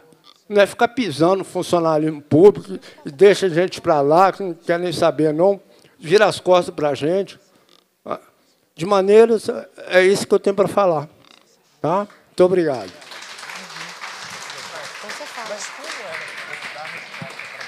Obrigada, Joel. Agora a Maria Lúcia, trabalhadora do João 23 e também do Sim de Saúde. Sim, vou passar para ela e para o Carlos. Não, não. Oi, gente, boa tarde. Então eu vou esperar ela dar. Eu queria, é, primeira coisa, parabenizar o Leleco, a Bela, a Beatriz Cerqueira, que tanto está nos apoiando. E quero também chamar a atenção que existe nessa casa uma comissão de saúde, que deveria, essas pautas da saúde, ser discutido nessa comissão. Mas esses deputados, nós precisamos de pegar o nome do presidente da comissão, pegar o nome de todos esses deputados, responsabilizar pela, pelo que está acontecendo na saúde no estado de Minas Gerais. Esses deputados, eles são omissos. É omissão que eles estão fazendo o que o governo Zema está fazendo com a saúde desse estado. Elga, quanto retrocesso, né, Elga? Quantos governos a Elga já passou? E olha, gente, hoje nós não deveríamos estar aqui, na verdade, não é discutindo o aumento de jornada de trabalho. Nós deveríamos estar aqui discutindo era nosso aumento salarial, nossa, nosso plano de carreira. Concorda comigo, gente? Agora, nós queremos dar um recado para esse governo. Quero, queremos dar. Não vamos fazer 11 plantão. É isso, gente? É isso. E aí eu quero perguntar, eu quero perguntar para o senhor Zema, quem é que vai cumprir essa carga horária? É, é quem? Porque vai ter que ter profissionais para cumprir essa diferença desses horários. Então, só um minutinho, gente. Nós precisamos hoje sair com uma decisão. É decisão. É decisão. Decisão. Vai adiar esse cumprimento, Elga, ou não? Porque aí nós queremos o CPF dos omissos e do senhor Zema que vai cumprir esses plantões. Porque ele foi, ele foi eleito, infelizmente, mas foi eleito. E ele tem responsabilidade pelas entregas da qualidade de saúde para a população que o elegeu. É ou não é? Então, isso que a gente precisa estar atento. Uma outra coisa eu queria chamar a atenção. A Mariana, é Mariana, está aqui, Fundação João Pinheiro. Por favor, gostaria que você ouvisse. Marina. Marina, desculpa, Marina, Marina. Conheci a Marina, Nossa, menina nova, menina competente. Marina, precisa de conhecer a FEMIG, precisa de conhecer as atividades dos profissionais da assistência. E o que a gente vê, a maioria, hoje a FEMIG está assim, ó, de EPGG meninos novos, menino, meninos e meninas extremamente capacitados, mas não conhece as entregas da assistência de saúde para a população. Eu fico, eu queria, eu gostaria de saber de quem que foi a ideia de mudar toda essa resolução sem conhecer a FEMIG. Eu gostaria. Eu gostaria muito que você. Eu tenho certeza que não foi vocês. E aí, infelizmente, Marina, tem gente que está lá antes sentado na mesa. E tem gente que está construindo as atividades do dia a dia. E que não foram ouvidos. Porque se fossem ouvidos, eu tenho certeza que ia falar, gente, é impossível essa, esse cumprimento dessa jornada e desse aumento de jornada. Saímos de uma pandemia. E o que é que o Zema fez? Mata! Mata, que aí a gente entrega para os nossos amigos e empresários. Mata os trabalhadores. É desumano e é perverso. Estou vendo aí, olha, solicitação de mudança, de redução de jornada de psicólogo. Ô, gente, é perverso e desumano querer que profissionais da saúde mental trabalhem com uma jornada tão desumana e é perversa. E foram conquistas que nós fizemos em 1987, que é reduzir a jornada de trabalho para melhorar a qualidade do, do serviço por esses profissionais a população que paga, inclusive, os 300% de aumento de salário do senhor governador. E aí a gente vem com uma gestão de meninos extremamente inteligentes e capacitados que não consegue enxergar o que está à frente. Gente, nós temos hoje no mundo discutindo quatro dias de jornada de trabalho. Aí vem a FEMIG e as suas sapiências, que são os EPGGs da FEMIG, fala não, vai ter que aumentar, porque aí a gente mata os trabalhadores é perverso, é desumano, sabe? E aí eu faço uma pergunta, Elga. Na cidade administrativa, gente, a jornada lá é de sete horas. Por que, que não fizeram resolução, se é a questão da legalidade, para aumentar a jornada lá de oito horas? Mas sabe por quê? Sabe por quê? Porque os bonitos estão sentados lá na mesa com todo o respeito com os profissionais que lá estão. Que lá estão. Olha, conheço a Elga, ó. E, inclusive, Elga, você estava na mesa quando nós discutimos e ponderamos a necessidade dessa jornada de 12 por 60. Vocês sabiam, deputados, que esses profissionais, eles não podem cumprir uma hora de almoço? Você sabe por quê? Que se eles cumprirem a uma hora de almoço, você sabe o que vai acontecer? Vai morrer gente. Lá no CTI, sabe qual que é o combinado? Sai, almoça, retorna, fica a equipe toda dentro do local de trabalho, do local de trabalho, porque caso venha acontecer qualquer necessidade, eles estão lá. É essa é a realidade. É a realidade no bloco cirúrgico do João 23, é a realidade em todas as unidades assistenciais. Ninguém fica sem comer, porque saco vazio também não fica em pé. Mas essa é a realidade. Não pode sair do, do seu local de trabalho e além de mais grave ainda, que não tem uma unidade assistencial da FEMIG que tem condições desses servidores cumprirem essa jornada de hora de almoço dentro do hospital, porque não existe lugar. Então, olha, nós vivenciamos um momento perverso e desumano deste governo. Elga, não podemos sair hoje sem uma decisão de adiar, pelo menos, adiar pelo menos, o cumprimento desses plantões hoje. E não é só os de 30 horas, não. Tem o de 40, que eles estão aumentando, tirando a folga desses profissionais. Tem o pessoal de 20 horas, tem o pessoal de 16 horas, que é o pessoal lá do bloco do, do, do, do laboratório, que eles estão aumentando o número de plantão. Olha, gente, nós estamos vivendo o maior retrocesso que nós nunca vivenciamos nesse estado.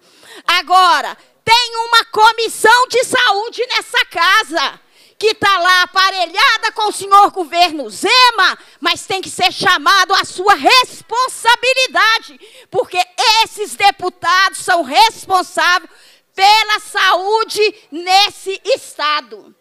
E eu vou falar para vocês, trabalhadores, cuidado, esse governo quer, quer nos dividir para governar.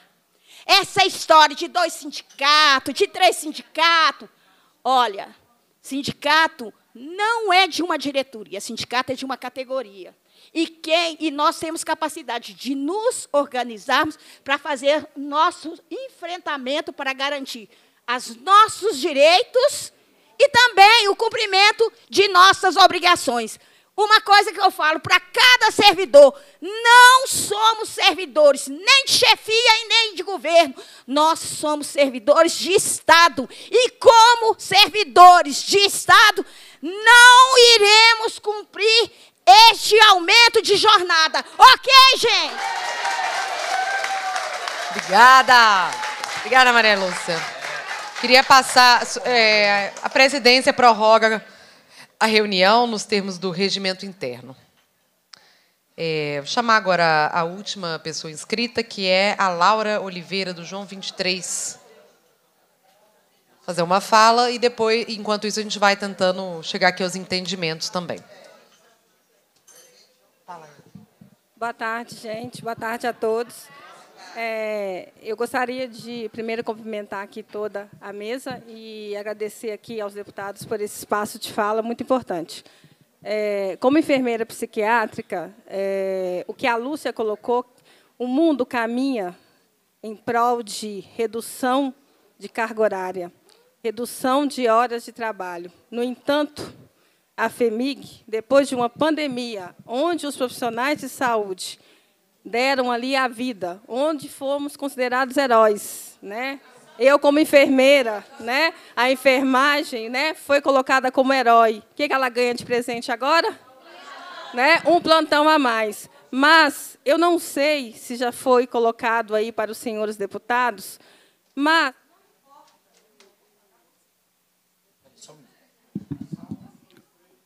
Verifique. Um, dois, três, um, dois, três. Bom, não importa se você é seletista, se você é estatutário, mas todo contrato de trabalho, ele tem regras. E aí foi apresentado aos senhores o termo de posse dos servidores para saber que carga horária é essa que foram contratados, se é 30 horas semanais, né? Ou se era 150 horas mensais, porque não sei se vocês sabem, mas isso faz diferença. Faz muita diferença. A FEMIG apresentou isso para vocês? O termo de posse? Então peçam. Porque a gente pede ao RH e não nos dão. Né? Tudo é omitido dentro da FEMIG, dentro das unidades. Por quê? Por que, que eu digo isso? 30 horas semanais, né? Então vamos lá. Vamos fazer um cálculo aqui básico, que eu já achei muito estranho o cálculo, eles colocaram 52 horas semanais, do, no, 52 semanas vezes 30, que dá 1.560. Bom, ninguém tira férias, né? Tudo bem, eu tenho só que trabalhar. Mas nem vou entrar nesse mérito aqui. Se é 30 horas semanais, numa semana eu trabalho 36 horas, na outra eu trabalho 24. Correto? 36 horas, 24. E aí, dá, quando dá aquela meia semana, eu dou o plantão a mais. Eu não estou devendo. Como é que eu estou devendo, ora? Então, a FEMIG, é obrigação dela apresentar um cálculo decente, porque aquilo que está na resolução, aquilo não é um cálculo decente, não. Aquilo não é um cálculo de quem tem um mínimo de vivência de departamento pessoal, que é o que eu tenho. Consegue entender? E a Elga sabe do que eu estou dizendo. Tá? Então, o que, que acontece? Precisa ser claro, transparente. Precisa da legalidade, transparência, até para fazer os atos, para mudar as coisas. O servidor não é comunicado, a gente é literalmente julgado sobre nós as coisas, mas isso tem motivo, servidores. E a Lúcia nos lembrou muito bem qual é: nos desorientar, dividir para governar. O objetivo é implantar OS, é os amigos do rei. O objetivo é acabar com a rede FEMIG, mas nós somos servidores de Estado. não somos servidores de um governo. E nós não podemos aceitar desmandos sem que seja comprovado. Não é porque a gestão reúne entre ela e define, ela tem que esclarecer, é obrigação. Os departamentos pessoais da FEMIG é uma vergonha. Uma vergonha. Ninguém nos informa nada. Você tem que, se você quiser ter o seu direito, você tem que dar o grito. É sobre isso que, que funciona. Então, assim, como é que vocês querem discutir legalidade se não tem legalidade dentro dos departamentos pessoais da FEMIG? Se a gente é descontado e não, é reposto o que é descontado? Se vocês erram conosco e não nos dão o direito de defesa, se nós, quando resolvemos falar, somos processados, processo administrativo, coação contra os servidores, como que vocês querem falar em legalidade? Legalidade tem que ser para todos os lados. O servidor está aí para trabalhar, ninguém está aqui escondendo e fugindo de trabalho, não. Mas a gente tem deveres, sim, muitos, e devemos sim cumprir todos eles. Mas quando é que os direitos dos servidores vai ser respeitado pela FEMIG e por essa gestão?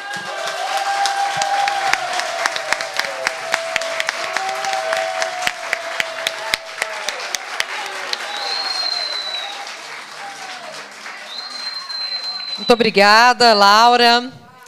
Bom, gente, vamos lá. A situação está dramática. A situação está dramática dos trabalhadores da FEMIG. E parece que essa estratégia de muitos ataques no mesmo dia e numa mesma hora vão dificultando, inclusive, a resistência, né? É laboratório fechado, é, é, é, é enfermeiro dispensado para substituir por cuidador de idosos, é edital para entregar serviço de saúde mental para a OS, é ataque à mãe, é ataque à jornal, é muita coisa. É muita coisa. Fora os outros temas do governo que hoje estão atravessando aqui a Casa Legislativa. É, mesmo assim, a gente está aqui em busca de entendimentos. Eu queria passar para a Deonara e para o Carlos para fazerem uma proposta concreta por parte dos trabalhadores. É, o que, que concretamente vocês acham que precisaria ser feito é, para resolver pelo menos essas duas questões que a gente colocou das, das, das resoluções? Então, vou pedir para vocês colocarem o caminho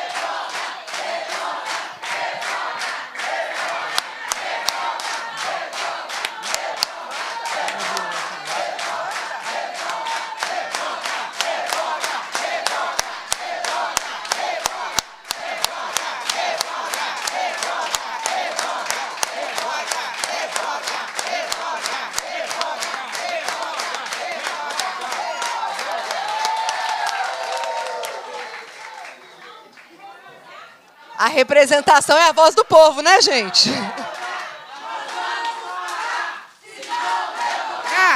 Nós vamos parar. Se não revogar, nós vamos parar. Se não revogar, nós vamos parar. Se não revogar, nós vamos parar. Se não revogar, nós vamos parar. Revogar, nós vamos parar. Não. Perfeito, gente.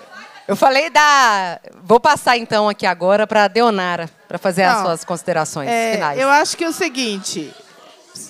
Eu acho que essa audiência ela já deixou muito claro né, é, quanto que as consequências que essa resolução trouxe na vida do conjunto dos trabalhadores e trabalhadoras da rede FEMIG. Né? a gente teve informação aqui importante do aumento dos acidentes de trabalho, né? É isso é muito, isso é muito sério na rede, isso é muito sério na rede hospitalar, isso é muito sério na rede Femig, né? Isso significa também, né, que tem um aumento é, dos acidentes envolvendo os, também os usuários. Então isso é ruim para os usuários é, dos serviços de saúde. Então acho que isso é uma questão importante. Outra questão que foi dada aqui, muito importante, é o aumento dos assédio moral por parte das chefias da FEMIG. E a gente sabe que a FEMIG, recentemente, foi condenada no Ministério do Trabalho por assédio moral. Quer ser condenada novamente? Tem. Então, é isso que a gente está discutindo, porque essa resolução está servindo para um aumento do assédio moral aos trabalhadores na FEMIG por parte das chefias. Porque a gente sabe que na, FE, na na FEMIG, tem muito chefe que quer ser mais realista que o rei. Quer tirar direitos que nem resolução está tirando, ele quer tirar, como é o que tirou o descanso é, dos trabalhadores do noturno, porque a resolução não prega isso, não, mas as pessoas, as chefias, né, quer ser mais realista que o rei. Então, acho que a gente, é por isso, por esses dois fatores e por todos os outros que foram fal falados aqui, é fundamental que a FEMIG revogue imediatamente as resoluções. Tá? E.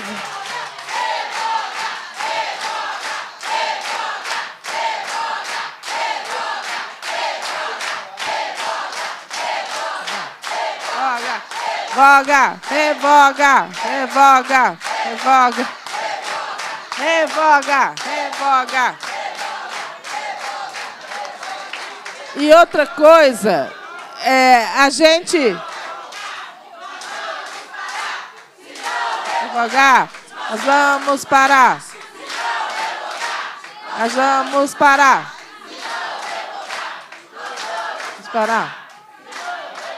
É, e outra coisa é o seguinte: é, o, o Sim Saúde tem agendado amanhã com a CEPLAG uma reunião de negociação. Nós estamos é, solicitando que essa reunião seja aberta à comissão de deputados e também à, à né, para que, essa, é, é para que a gente consiga fazer o processo de negociação pela revogação da, da portaria, né, das, das, das resoluções, para que seja restabelecido né, a tranquilidade para que os trabalhadores e trabalhadoras da FEMIG possam cuidar com carinho e afeto, que sempre cuidado aos usuários e também possam né, ter carinho e afeto, tempo para ter carinho e afeto com os seus, os seus familiares. Né? Porque a gente é fundamental dizer que nós, trabalhadores e trabalhadoras da FEMIGS, somos gente. Porque eles estão tratando nós como números. Nós não somos números, nós somos gente. Né? Então é isso. Obrigada, Deonara. Pessoal, chegou aqui novamente o Gustavo Valadares, líder do governo, aqui na Assembleia. Gente, ele está em outra negociação, porque, ao que tudo indica, a nossa obstrução no plenário está sendo vigorosa. E foi mandado. Pela, pela cara do Gustavo, nós vamos vencer. É. E foi mandada aqui para casa um projeto de reajuste salarial dos trabalhadores da educação básica. É, então, agora a liderança suspendeu os trabalhos lá para entendimentos, mas mesmo assim, Gustavo veio aqui para que a gente pudesse chegar em entendimentos dessa questão aqui também, que é fundamental. Então, assim, nós fizemos, é assim, só resgatando um pouco, né, Gustavo? Nós estamos, nós, eu falo nós deputados, mas nós, é, eu acho que principalmente, né, os trabalhadores estão com o entendimento de construção do diálogo de negociação. Desde a nossa última reunião na cidade administrativa e da vez que viemos, que eles vieram e foi recebido por você aqui na Assembleia, a greve foi suspensa. Avanço houve avanços nos processos, mas a mesa de negociação que ia ser criada não foi criada. A gente reivindicou, você sabe que eu fiquei no seu pé, e não foi criada a mesa de negociação com as representações todas que tem que estar. e que são apontadas aqui pelos trabalhadores, que é o mais importante. É o mais importante. Então, assim, como não avançaram, a gente fez aqui dois requerimentos que eu vou ler, que são assinados por mim, pela Beatriz Cerqueira e pelo companheiro Leleco. Amém. Que eu agora te entrego. Excelentíssimo senhor presidente da Comissão do Trabalho, da Previdência Social e da Assistência. Né? Porque a gente formaliza, mas aqui eu já te entrego em mãos também.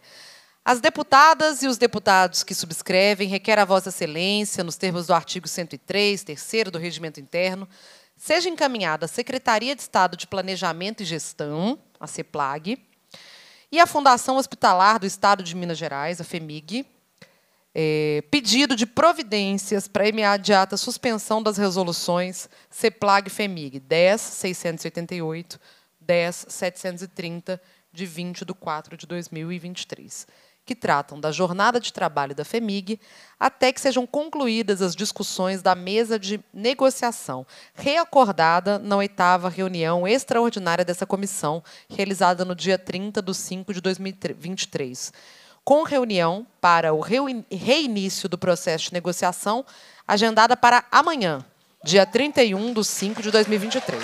A mesa. Explico por que essa proposta. Amanhã já ia acontecer uma reunião da CEPLAG com é, a representação do Cinto de Saúde.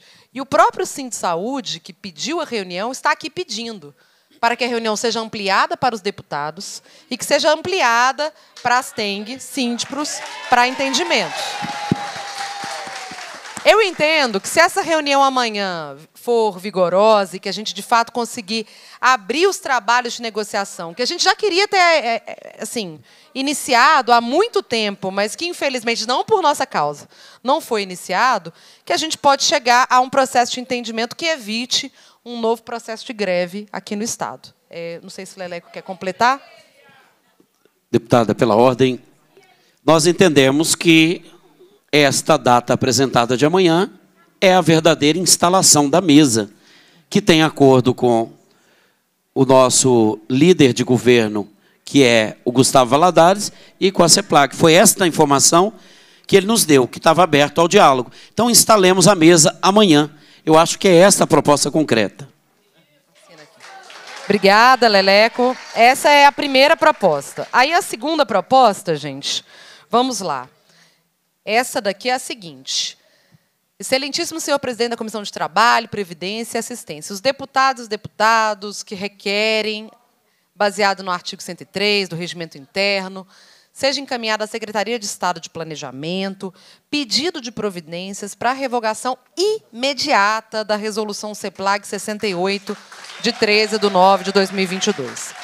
Por afrontar o princípio da isonomia entre servidores públicos, diante da decisão do STF que deu provimento ao recurso extraordinário 1237867, com repercussão geral, fixando a tese que aos servidores públicos estaduais e municipais é aplicado para todos os efeitos o artigo 98, é, parágrafo 2 e 3 da Lei 8.112 de 1990, que concede horário especial ao servidor com deficiência ou mãe, pai de filho com deficiência, quando comprovada a necessidade por junta médica oficial, independente de compensação de horário, extensivas ao servidor que tenha cônjuge, filho ou dependente com deficiência.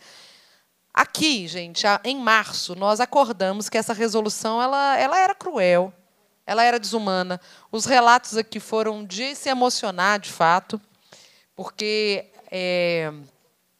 Ô, Gustavo, você fazer plantão, tá trabalhando na rede, cuidando de um filho com autismo, um filho com, com, com é...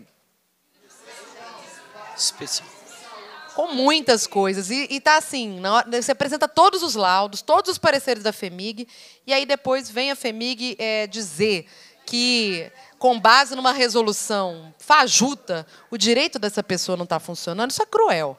Aí você até falou para mim lá fora, ah, não, mas os casos das mães já estão sendo revistos a partir do momento que elas entram com recurso administrativo. Mas, poxa, primeiro que o pessoal fala que não está.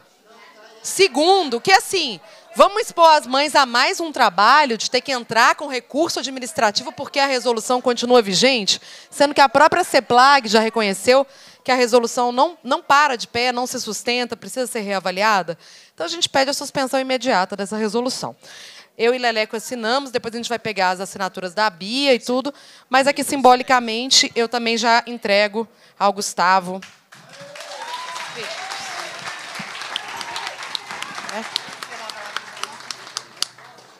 Ô, gente, boa tarde agora.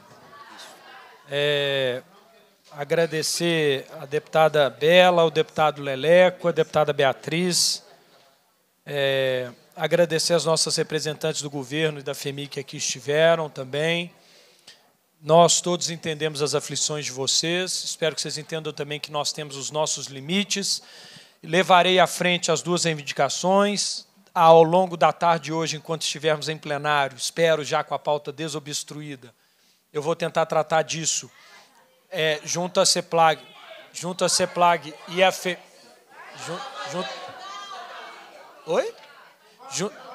Junto a, não, vamos arquivar não. Junto à CEPLAG e a FEMIG, e aí nós vamos dar notícia a vocês. Eu vou, assim como eu disse ao Lelé, quando ele foi me buscar ali na reunião do colégio de líderes ali, eu vou fazer o possível para a gente poder dar um retorno para vocês, sabendo, obviamente, vocês são sabedores que nós temos um prazo do, do, dia depois de amanhã, mas eu já disse aqui mais cedo, a Bela tinha se ausentado no momento, que as portas do, do governo continuam abertas, independente dessa questão, para nós darmos continuidade às discussões, tá bem?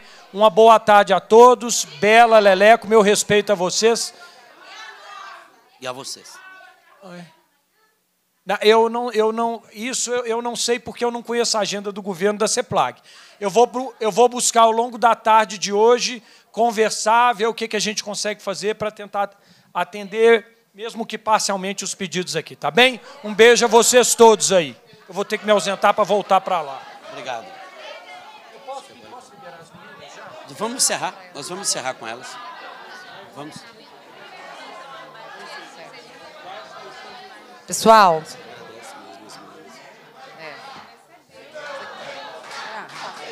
vai parar. Se não revogar, a FEMIG vai parar. Se não revogar, a FEMIG vai parar. Se não revogar, a FEMIG vai parar. Se não revogar, a FEMIG vai parar. Pessoal. Se não revogar, a FEMIG vai parar. Se não revogar, a FEMIG vai parar revogar, a FEMIG vai parar. Não revogar, a FEMIG vai parar. Não revogar. Obrigada. Pessoal, eu vou passar agora para o Carlinhos, porque a gente já escutou o Sim Saúde. Pode deixar. Não, tá bom. Então eu vou passar primeiro para a Elga, para a Marima e para o Carlinhos. Vou pedir para cada um falar em dois minutos, porque a gente precisa encerrar, porque tem outra audiência pública marcada para esse plenário. Elga. Suas considerações, Elga.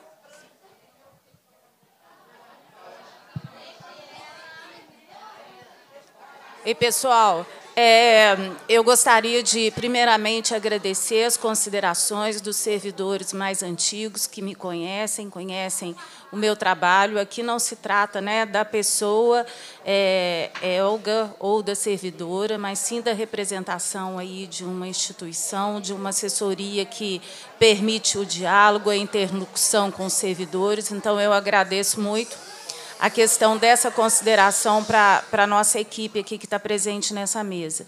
É, de outra forma, nos colocamos aí à disposição para a gente continuar né, as nossas tratativas, é, lembrando que nós recebemos representantes de servidores, grupos de servidores, grupos de categorias, associações, sindicatos, e esse diálogo é, é permeado pela transparência. Então, a gente preza que a informação chegue lá na ponta de forma é, é simples, é, transparente e correta. E, muitas vezes, né, esse, essa interlocução não faz com que o servidor, não faz com que o servidor que esteja lá na ponta compreenda realmente quais são as instruções e qual que é a intenção e o direcionamento. Então, assim, a gente está à disposição para receber de vocês as críticas, sugestões, para a gente poder é, melhorar o ambiente nosso de trabalho e melhorar a gestão como um todo. Nós somos servidores públicos, nós todos, né, pelo menos eu e Marina, que estamos sentados aqui, vocês também. Então, a gente tem esse papel, essa obrigação em relação de atendimento, primeiro, ao nosso servidor, para que a finalidade maior seja o atendimento da sociedade. Obrigado. Certo. Obrigada, Elga. Agora, Marina. Marina. Marina. Não sei que eu cismei. Queria agradecer, deputada Bela, deputado Leleco, a todos os presentes pelas discussões e pelos argumentos apresentados. Pela FEMIG, nós nos permanecemos à disposição para o diálogo, para a conversa, para os alinhamentos que se fizerem necessários. A gente vai tentar dar todos os encaminhamentos que foram é, apresentados e postos aqui. E, especialmente em nome da diretoria aqui de gestão de pessoas, eu me coloco à disposição também para os esclarecimentos de todos vocês. Muito obrigada. Obrigada, Marina. Sim, foi importante, né, gente, contar com a presença do governo nessa audiência pública. E a gente espera que até o final do dia tenha uma resposta concreta daquilo que já foi acordado há dois meses atrás. Foi o início da mesa de negociação. Mas, enquanto isso for vigente, o nosso pedido é para que é, as resoluções continuem suspensas. Assim. Então, essa foi a talvez a conclusão né, da nossa reunião. Passar para o Carlinhos para a fala final. É. Gente, é só o encaminhamento, só quero propor o encaminhamento. Conforme tínhamos combinado, tá? a nossa luta, a nossa discussão, nossos encaminhamentos não terminam agora nem aqui. A orientação é reunirmos lá no pátio das bandeiras, depois que vocês almoçarem, né? Alguns já foram almoçaram e retornaram. Quem ainda não foi, a orientação o pessoal vai coordenar para ir almoçar e vamos reunir lá no pátio das bandeiras para realizarmos a assembleia, tá conforme combinado Aí vamos explicar tudo isso que aconteceu, né? definir tudo e tirarmos o encaminhamento, tá? Então, só dar essa orientação, tá? Depois a gente continua a nossa discussões entre a gente. E agradecer né, o Leleco e a Bela por terem promovido mais essa oportunidade da gente estar aqui. Obrigado, Carlinhos. Estamos juntos, Carlinhos. Agora é o deputado Leleco para considerações finais. Pessoal, vou ser breve. Eu, eu não tenho dúvida que um dos aspectos mais importantes que os trabalhadores e as trabalhadoras, a gente fala FEMIG aqui o tempo inteiro, mesmo sabendo da contradição. Porque quem representa a FEMIG hoje não é a presidenta da FEMIG, são os trabalhadores. Então, lutar para a FEMIG ser forte e estar de pé inspira a luta dos trabalhadores e das trabalhadoras de saúde de todos os municípios de Minas, que estão sofrendo também. Agora, uma coisa eu tenho por certo: nosso processo é revolucionário. Sabe por quê? Nós não vamos descansar somente com respostas do governo a respeito dos três itens de pauta. Nós ainda vamos fazer muita luta para que este governo compreenda que o estado de Minas não é uma extensão das suas lojas e nem muito menos da Localiza.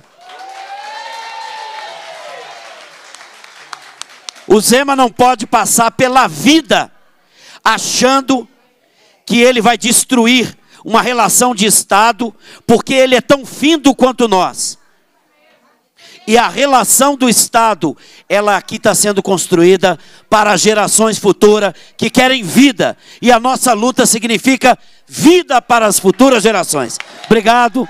Devolvo para a Bela, que é a nossa luta. Obrigada, Leleco. Da minha parte, eu queria dizer, né?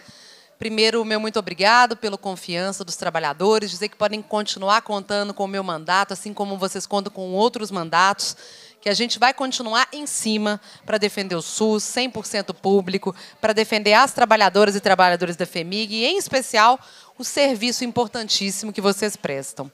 Cumprindo, e é isso, né, gente? Acho que vocês já deram aqui o tom, né, a voz do povo que já disse. Nós estamos em busca da revogação dessas resoluções e esperamos, e esperamos não precisar entrar em outro processo de greve, embate judicial, é, para que esse problema seja resolvido, uma vez que você, a gente já apresentaram qual é a solução, qual é a alternativa, qual é o caminho. Então, cumprida a finalidade Deputada da reunião... Bela, só para dizer, nós promovemos uma conferência dentro da Conferência Estadual de Saúde. Parabéns para vocês. Esta aqui é também a Conferência do Povo. Verdade. Bem lembrado, bem lembrado. Cumprida a finalidade da reunião, a presidência agradece a presença dos parlamentares, dos convidados e do público, convoca os membros para a próxima reunião ordinária, determina a lavratura da ata e encerra os trabalhos.